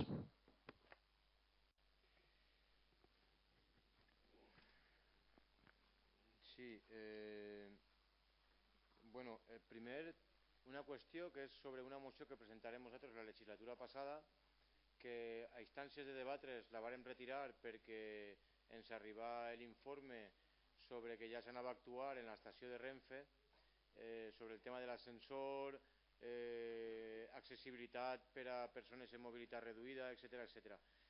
Jo faria menció que en, en agost de l'any passat ja estaven ja ens va dir el Partit Popular que ja s'havien aprovat eh, les obres, ja venien a marcar, ja havia vengut dos o tres persones així a fer, a fer proves i demés i jo realment, després d'haver estudiat la llei, perquè presenté la moció i vaig estudiar la llei sobre, sobre on s'obliga que a peaderos com Massanassa tinguen una estació en tot tipus de luxe, en ascensors, eh, acondicionada per a persones de mobilitat reduïda, en fi, totes les estacions hasta València ho tenen, menys la de Silla. L'estació de Silla, una de les condicionants que deu de tindre per a, per a que se complisca o per a que complisca DIF esto, est, estes condicions és que tinga 700, 700 eh, viatgers al dia i en Silla se sobrepassen. En definitiva, que si saben algo de, de les adequacions de l'estació de Renfe, que ja està passant molt de temps, que n'hi hauria que pressionar, ha canviat el govern, ara tampoc poden tirar-li la culpa a qui estava i que ens diguen alguna cosa. Després, eh, el plenari passat nosaltres vam fer menció de diferents mocions que havíem presentat, algunes ja es declaraven en vigència i n'hi havia una que estava aprovada per unanimitat que era per el tema de la llei de recaudació de la Comunitat Valenciana sobre prolongar el període voluntari de, de pago d'impostos per a que el fraccionament no costarà interessos als veïns. Eh, vostè es va comprometre així davant, davant de tots a que ho enviaria novament per a veure si el programa de o l'empresa que s'encarrega de recaptar els impostos el nostre municipi, que és la Diputació en aquest cas, ja era capaç de rectificar el seu programa informàtic per tal de que això tingués cabuda, ja que la llei de recaudació és algo també que que s'emitís des de, des de, de competència. I després, eh, la veritat és que ha estat molt desencertada eh, la presentació de, de la Setmana de les Lletres Valencianes.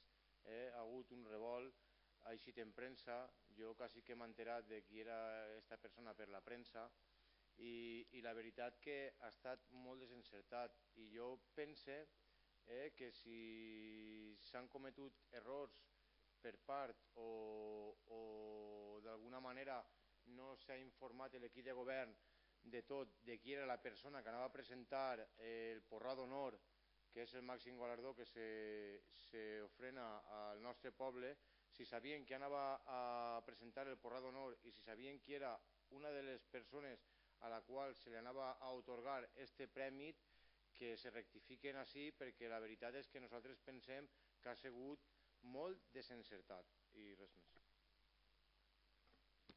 Moltes gràcies. Senyor Fuster. Veure, en primer lloc, eh, sobre una notícia que, que ha eixit avui, que era el tema de les luminàries, eh, que n'hi ha 1.700 bombilles que no estan ficades perquè estan donant problemes, jo el que volia preguntar si eh, tan sols és un fallo eh, que es trenquen o que fallen les bombilles o que si també n'hi ha un problema d'il·luminació, de, de que són eh, insuficients. Els lúmens que s'aconsegueixen són insuficients i per tant els carrers no estan il·luminats el que, lo que marcaria la normativa. Pues això es pregunta. I per altra banda també volia comentar, eh, com estava comentant Andrés antes, eh, Núria Cadenes eh, va fer la presentació de Joan Francesc Mira i qui la proposa? Volia preguntar qui és el que proposa aquesta persona si és per part de l'Ajuntament, per part eh, de Joan Francesc Mira, perquè crec que ha deixat a Silla en molt mal lloc. Gràcies. Senyor Navarro. Si alguns veïns es demanen que es traslladem la possible poda d'alguns arbres en Vicent Alexandre, ui, Vicent Alexandre, l'avinguda d'Alacant, perquè alguns estan tocant ja les balconades i les finestres i demés. Se peguen la mirada i si és possible. Després teníem el plenari passat, preguntàvem sobre la nota de la entrevista en l'oposició de la bolsa per a monitor de pintura.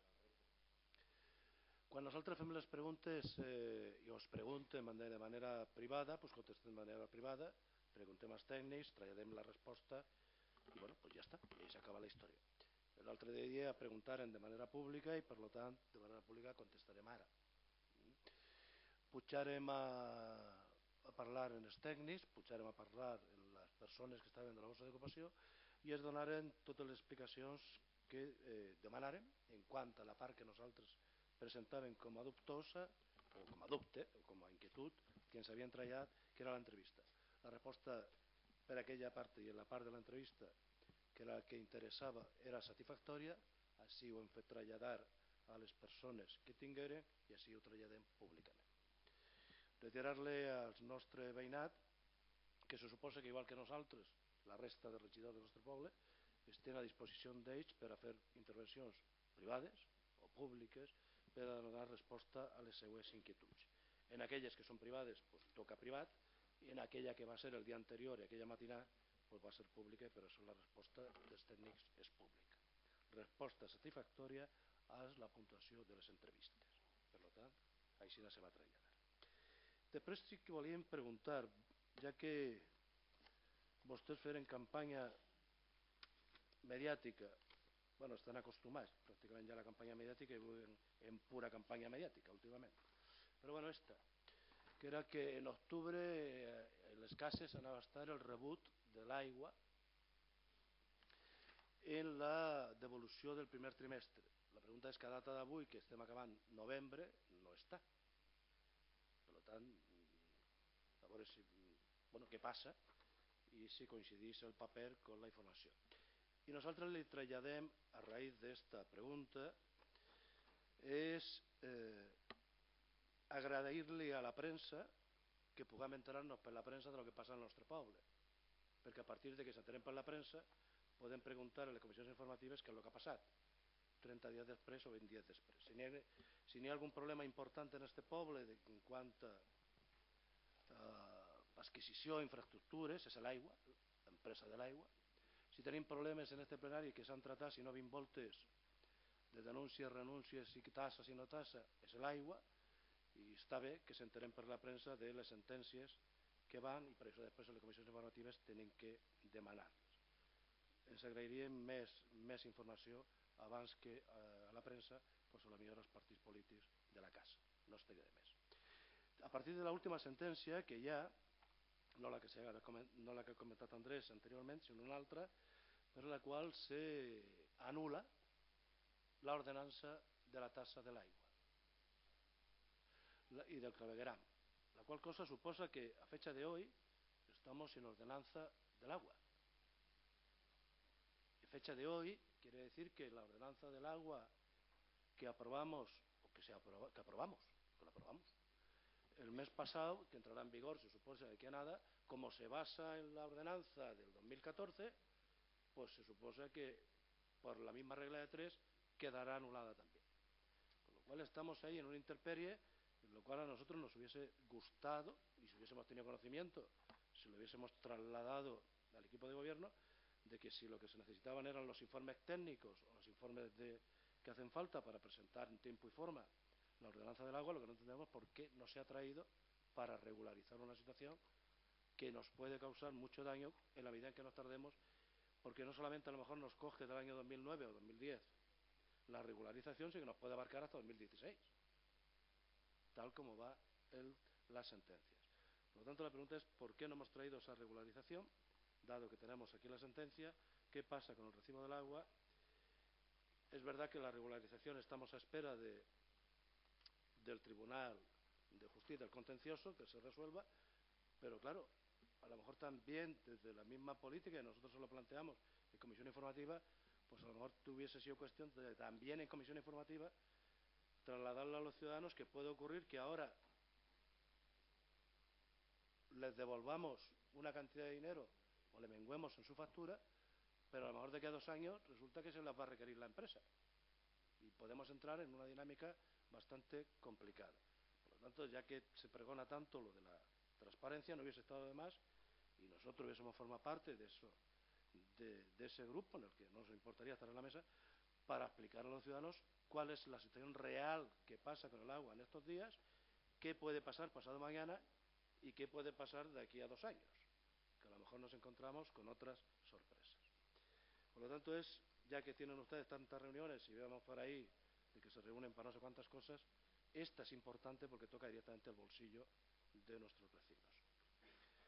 A nosotros eh, la noticia de las provincias ni nos molesta ni nos deja de molestar, porque es un periódico. Y como partido político nos podrá gustar más o nos podrá gustar menos como las de otro partido político. Lo que no entendemos es la utilización política del gobierno de la página municipal. Nosotros sí que les reclamamos que sean ustedes más prudentes utilizando la página oficial del ayuntamiento. Ustedes hacen comunicados del gobierno contra un medio de comunicación. Yo creo que se han pasado tres pueblos. Se han pasado tres pueblos. ¿Qué pasa? Que mañana, cuando no les guste otro titular de prensa, por el motivo que sea, van a hacer otro comunicado. La prensa tiene que mirarse a ver si a ustedes les gusta o no, porque en la página oficial van a hacer comunicados de prensa. ¿Comunicados? Yo, miembro de la oposición del grupo municipal, tengo la opción de también hacer un comunicado de los verdes sobre algo que en prensa no me guste. A mí no me gusta el comentario, pero no creo que la página oficial del Ayuntamiento de Silla se deba utilizar por el gobierno de Silla para criticar a un medio de comunicación. Creo que no. Creo que no. Por lo menos así lo entendemos nosotros, porque la dinámica en la que se puede entrar no creo que sea muy positiva. Senyor Simeón. Sí, jo anava a començar també per ahir, però al final eh, jo a vostès no sé no, quan governava no s'he contestat quan fent notes de premsa per la web de l'Ajuntament. La web de l'Ajuntament s'utilitzava per a, per, i a més que estan fent d'ahir acusacions que potser eh, un diari podria entrar eh, en reclamar-li si veu algo que no eh, legalment a l'Ajuntament perquè acusar-lo de mentider pues. Eh, que sí és cert és que a vostès s'han clavat un gol per tota l'esquadra, no sé si saben d'això o no, i pues, pues és per estar fotuts, però no li tiren la culpa que embruten ni, ni no embruten. Uno, quan eh, convida unes persones tindrà que informar-se d'elles. De, I, I no és plat de bon gust i que el, que el poble de Silla isca d'aquesta manera. Bé, eh, a l'altre sí que es demana pues, que estiguen eh, més, més atentos a l'hora de, de, de convidar la gent perquè l'Ajuntament és qui dirigís Esporroig eh, l'Ajuntament pues, es podran dir que és que aquesta persona és la que ha triat el, el premiat i tal però, però el que té l'última paraula és l'Ajuntament de Silla que és el que, el que dona els prèmits i el que vol com se realitzi l'acte. Eh, després eh, Bueno, el tema de l'aulla l'ha comentat, eh, l'ha comentat eh, el senyor Navarro, el tema de rebuts, que ens ho hem contat molts veïns, i, i també estàvem mirant i després comentar un poquet al senyor Andrés el tema de Renfe, en què contestarà, supongo que Valentín el tema, o, o Melero, no sé qui, qui dels dos. Eh, jo no, en el mes d'agost no vas dir això que està dient vostè, jo en el mes de març va ser, d'este any, va ser quan li vas dir que eh, la empresa Dragados y Construcciones, en el pleno de setembre lo que li vas dir és que eh, la Renfe havia iniciat el procediment de l'adjudicació i en el mes de març del 2015, o sigui, en guany, eh, en el mes de març o abril crec que va ser, ja li vas dir que mm, la empresa Dragados y Construcciones és la que li havien adjudicat el muntatge de l'ascensor a partir d'ahir supon que el govern haurà tingut conversacions en Renfe i ja li explicaré. El 24 d'abril de 2014 tens el comunicat que ens fas arribar a tots. Eh, sí, però jo, això és una, una carta de Renfe. però jo en el mes de març o en el mes d'abril, ara exactament no li puc recordar en quin plenari, vostè me pregunta al respecte, li vas dir que a principi d'enguany és quan s'havia adjudicat l'obra. En setembre va ser quan s'iniciaren la d'això, bueno, ara, i ara li contestarà l'equip de govern. Moltes gràcies. Anem a... Per favor, un... a guardar un poc d'ordre i silenci. Senyor Andrés, ara mos toca a nosaltres parlar i contestar, si no... Jo, jo bueno, respecte a l'últim que estàveu comentant, que ha sigut el comú denominador de, de, dels quatre portaveus, que sobre el tema de, de, la, de la senyora esta que vingui a exaltar al, a, al porró d'honor, pues, vostè també, vostè parla més que ningú inclús d'això, no? Sí, bueno, té, té la costum, no, no sé, li atraïs jo a vostè, cada vegada que parle, vostè parla, deixem, deixem que acabe, per favor, vostè no l'interrompisc en tot el seu... Val? Dir-los que nosaltres el que sentim molt és que s'embrute el que és uns premis tan importants per a nosaltres, que s'embruten en aquest tipus de, de coses, perquè sí que és de veres que nosaltres, com bé estava dient el portaveu del Partit Popular, que ens informen, jo la veritat és que no tenim per costum mirar els antecedents penals de ningú, ni vostè tampoc quan seré alcalde, estic completament segur, d'acord? Bé, dit això, pues, vingué aquesta persona, va saltar, jo me vaig assabentar el, el diumenge, igual que vostès, un diari que fica, ho firma l'editor, no? per, per el que vostès diuen, no? perquè m'agradaria a mi saber, perquè no va preguntar a ningú, m'haver agradat que per lo menos haver, haver consultat i haver dit, bueno, això com ha segut i haver contrastat i haver, la, la notícia haver sigut un poc més plural, però bueno, dit això, dit això, nosaltres fem un comunicat en conjunt en el qual eh, fiquem tres coses en valor. La, prim, la primera de totes és dir pues, pues, que és una llàstima que s'hagi embrutat el que és els premis per d'honor. Això és el principal. Després el segon dir de que no tenim, no, nosaltres no tenim per costum mirar els antecedents de ningú, per tant, pues mira, pues aquesta xica, eh, que després és molt, eh, després podríem estar debatint així molt de rato si és culpable, no és culpable, si ha sigut condenat, no ha sigut condenat, si ha sigut esculpat, no ha sigut esculpat, però és que no volem entrar en això, és que per això estan els xutxes, nosaltres som ningú per a xusgar. I després, en el tercer lloc, és que si algú ciutadà pues, s'ha sentit ofès, pues, demanem disculpes, que no passa res se demana disculpes i ja està. Val? No passa absolutament res, però que sí que és de veres que el que, el que ha tret això ho ha tret en molt mala, en molt mala bava per embrutar el que són uns premis tan importants com per a nosaltres, que són els premis Foros d'Honor de Silla.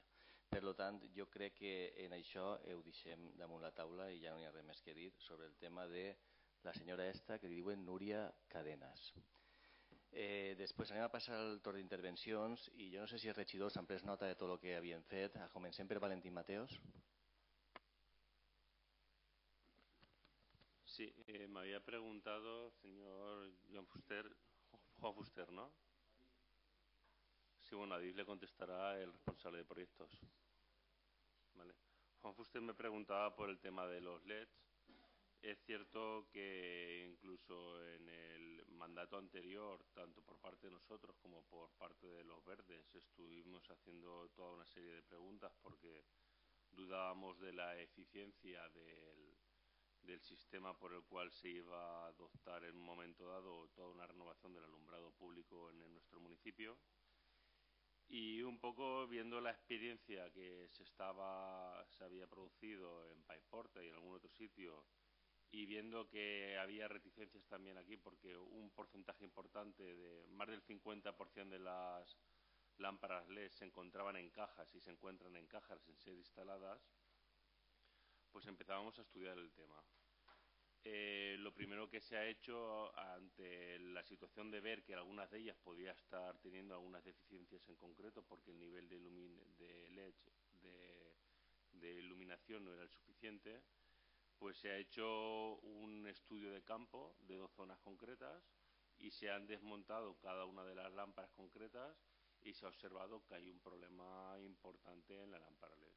La lámpara LED está constituida por tres, por tres líneas y la línea central, que es la que más próxima se encuentra a la cabeza donde tiene que reflectar toda la luz, tiene un problema de disipación del calor que está generando que toda esa línea de LEDs estén ya empezándose a fundir. De las inspeccionadas en cada una de ellas, pues te puedo dar datos concretos de que, por ejemplo, la primera revisión que se hizo el 25 de septiembre, de 94 lámparas inspeccionadas, eh, el 51% se encontraban con fallos importantes. Y la segunda revisión realizada el 6 de octubre también estábamos con fallos en el 43%. Con lámparas que tienen una vida a fecha de hoy utilizada de 9.000 horas y se supone que tenemos una garantía de 40.000 horas de funcionamiento. Eh, estábamos en conversaciones con la empresa a la empresa se le dijo que puesto que esa solución nosotros no nos da ningún tipo de garantía, lo que se le ha dicho, se le ha comunicado por escrito todo el trabajo de campo que se ha venido realizando y evidentemente lo que se pide es una sustitución de la solución que tenemos aquí en estos momentos en el municipio. Estamos hablando de que una parte muy importante del municipio en estos momentos está afectada por esta solución que se adoptó y, evidentemente nos preocupa, nos preocupa porque estamos hablando de dos planes de eficiencia energética que suman en total 480.000 euros. Teníamos pendiente un convenio singular de 200.000 euros que automáticamente había una propuesta de firmarlo también con esta empresa y automáticamente se ha paralizado. No vamos a seguir con la misma solución y es por uno de los motivos por el cual con este convenio singular también, señor Andrés, se solicita la ampliación de la prórroga a la Diputación a la hora de ver qué solución adoptar. Y en estos momentos estamos en el plazo que se le ha dado porque desde el punto de vista de los servicios jurídicos se nos aconsejó que nosotros teníamos que aguantar, eh, agotar todos los tiempos, de darle un periodo de 15 días para que la empresa pudiese aportar una solución técnica pero ya se le ha comunicado que si no aporta una solución técnica lo que realmente hay hoy en día instalado, pues se le va a plantear la resolución del contrato y la devolución de la totalidad de los importes con los costes que ha tenido que asumir el ayuntamiento, porque aquí estábamos hablando de un suministro y el ayuntamiento como tal ha asumido un coste de todo lo que sea la instalación de las lámparas ya que están funcionando, que estamos hablando aproximadamente de unas 1.200, 1.300 lámparas realmente eh, Silla tiene un grave problema a fecha de hoy con las lámparas LED que se tienen instaladas. Y luego con la pregunta que se estaba haciendo respecto al tema de la devolución del agua, sí que es cierto que nosotros en ese escrito se informó, eh, si no me, me, corrige algo el señor concejal de Hacienda, eh, se informó de que se devolvería en octubre, pero puesto que al final también en esa misma decisión se decidió ampliar el término de voluntario de pago, eh, eso tenía una consecuencia que retrasaba lo que era este tercer trimestre. Nosotros este tercer trimestre, eh, si no falla nada y se cumplen todo el tema las comprobaciones de los padrones correspondientes, estaríamos hablando que sería ahora en finales de esta semana que viene, donde a la gente se le, devolverá el tercer trimestre, donde se va a producir esta compensación de la regularización de los 400.000 euros. Evidentemente, la regularización de los 400.000 euros, todo acuerdo que este ayuntamiento adopte y sea recurrido ante el TSJ o ante la jurisdicción ordinaria, siempre estará pendiente, pero nosotros vamos a seguir con los acuerdos adoptados.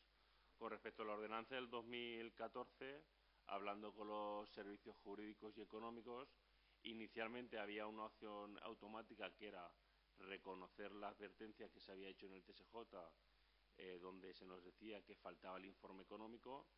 Por parte de los servicios económicos y técnicos, concretamente de los servicios económicos, se planteaba que no se compartía el criterio que había adoptado el TSJ porque planteaba que era una ordenanza nueva. Si fuese el criterio del TSJ que fuese una ordenanza nueva, entonces se nos tenía que haber dado a nosotros la razón, porque justamente a Esquerra Unida se le, uno de los argumentos que se utiliza para no darle la razón es que se le dice que tiene una continuidad en el servicio, por, es por lo cual se da validez a la ordenanza del 2009, que era la polémica que nosotros teníamos en su momento.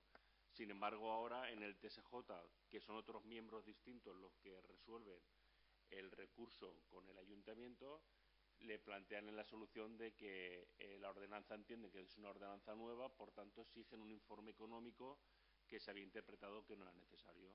Al final se ha adoptado la solución de recurrir el acuerdo del TSJ, por tanto la ordenanza del 2014 tendría validez hasta que no tengamos la sentencia de ese recurso que nosotros vamos a plantear inicialmente. No sé que se ha recurrido. El plazo realmente para presentar el recurso era mañana. Y la decisión que se ha aconsejado es en todo momento por los servicios técnicos económicos era que lo mejor era recurrir la, la anulación de la ordenanza de ¿Al Supremo? 2013. ¿Cómo? ¿A dónde hemos recurrido? ¿A dónde vamos En a recurrir? En casación. Al Supremo. No, no, claro. Vamos a recurrir al Supremo. Vale. Bueno, contestada la pregunta, eh, ¿tienes alguna más que contestar, Valentín? Melero?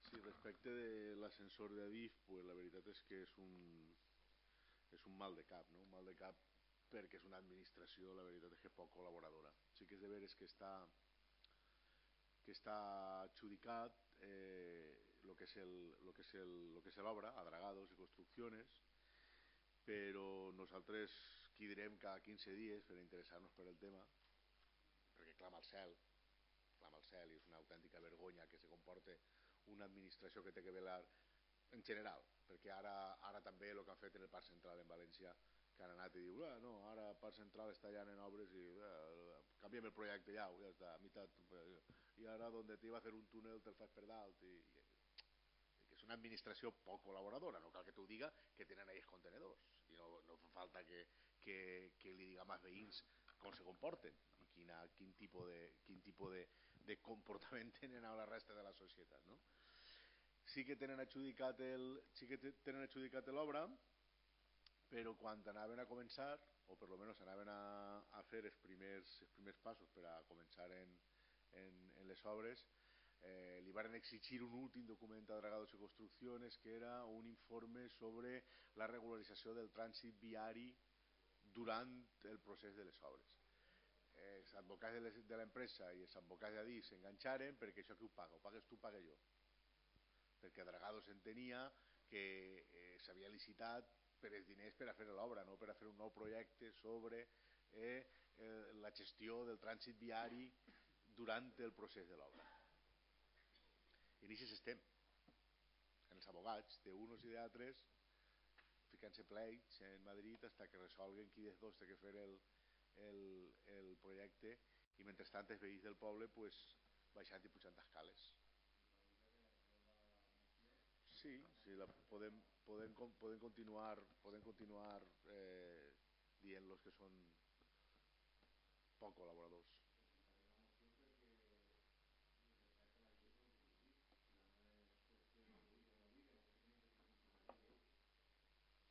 Contestada la pregunta, ¿alguna, ¿n'hi havia alguna pregunta més? Sí, la pregunta que havia fet el portaveu d'Espanya 2000 sobre el programa informàtic de la Diputació per a fraccionar el pagament. Te l'estic contestant a si no després no t'enteres. Mira, eh, vol fer-se, està mirant-se per fer-se per una part social, és a dir, això porta un cost, el dividir en més rebuig, xires més rebuig, n'hi ha un sobrecost i de més.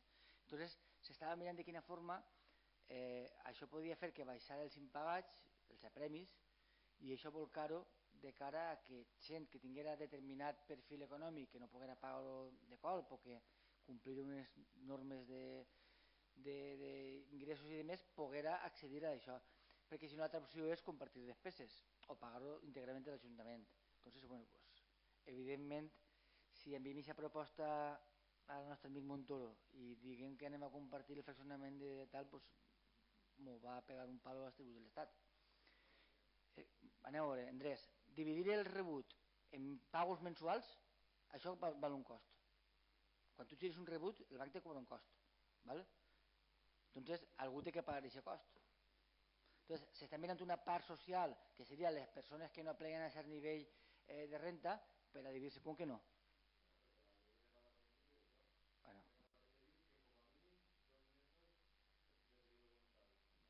Però, a veure, el període voluntari no vol dir que tu no pactes una pròrroga d'ingressar, però no t'ho xiren, m'entens? Tu pots pactar, me t'ho pagaré, però és el que volen és que tu domicilies. Això, perquè per poder fer un pacte d'això tens que domiciliar-ho. perquè així no tenim el conveni de la Diputació. Evidentment, tenen que assegurar-se el cobrament, tenen que tenir un compte corrent sobre qui anar. I ahí està el problema, que això gestió val diners. Entonces, això qui ho paga? Entonces, ahí està el problema de veure com se gestiona i com ho fan. Si la Diputació té voluntat política i aplega a la part social d'això, a la gent que no pot pagar perquè té menys recursos i vol partir-ho a poc a poc, pues estupendo. Si no, pues tindrem que esperar a estar en millors condicions econòmiques nosaltres, perquè a nosaltres ens ve molt mal fer, pues a més pagar 20 o 25.000 euros que pot costar aquest servei, com a mínim. Perquè segurament s'acolliria tot el món.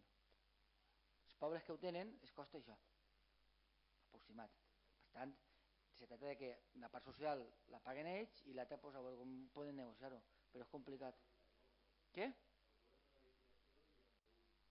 Qui? No, tenen recaudació pròpia. Tenen recaudació pròpia. Bueno, pues están contestadas todas las preguntas. Señor Navarro. Nosotros no lo hemos preguntado por la información de las provincias, lo hemos preguntado por la utilización de la página web municipal en contestación a un diario privado si ese es el método de utilización. Y si cualquier grupo de la oposición, cada vez que una noticia en prensa no le guste, puede utilizar la página municipal para hacer un comunicado en contra. Yo no entro en la noticia, entro en lo que nosotros hacemos en nuestra casa. Lo que los otros hagan fuera a mí no me gusta, pero... Vamos a ver, en primer lugar, lo que ese periódico está, hablando no es de ningún partido político, está hablando en general de la población de Silla y de los premios por Rey de Honor. Esa página es de silla y entonces esa página lo que es recibe una contestación para que tenga una para que mediáticamente llegue a la mayor gente posible en la página web del ayuntamiento, que es donde tiene que estar. Pero no le veo yo ninguna ningún inconveniente en ese caso. Por eso mismo lo hicimos allí, pero que realmente Vale, pues nada, pues muy buenas noches a todos y nos vemos pronto, porque dentro de poco estamos aquí para los presupuestos, ¿vale? Venga, hasta luego. Eh, favor, se podeu quedar els portaveus dos minuts?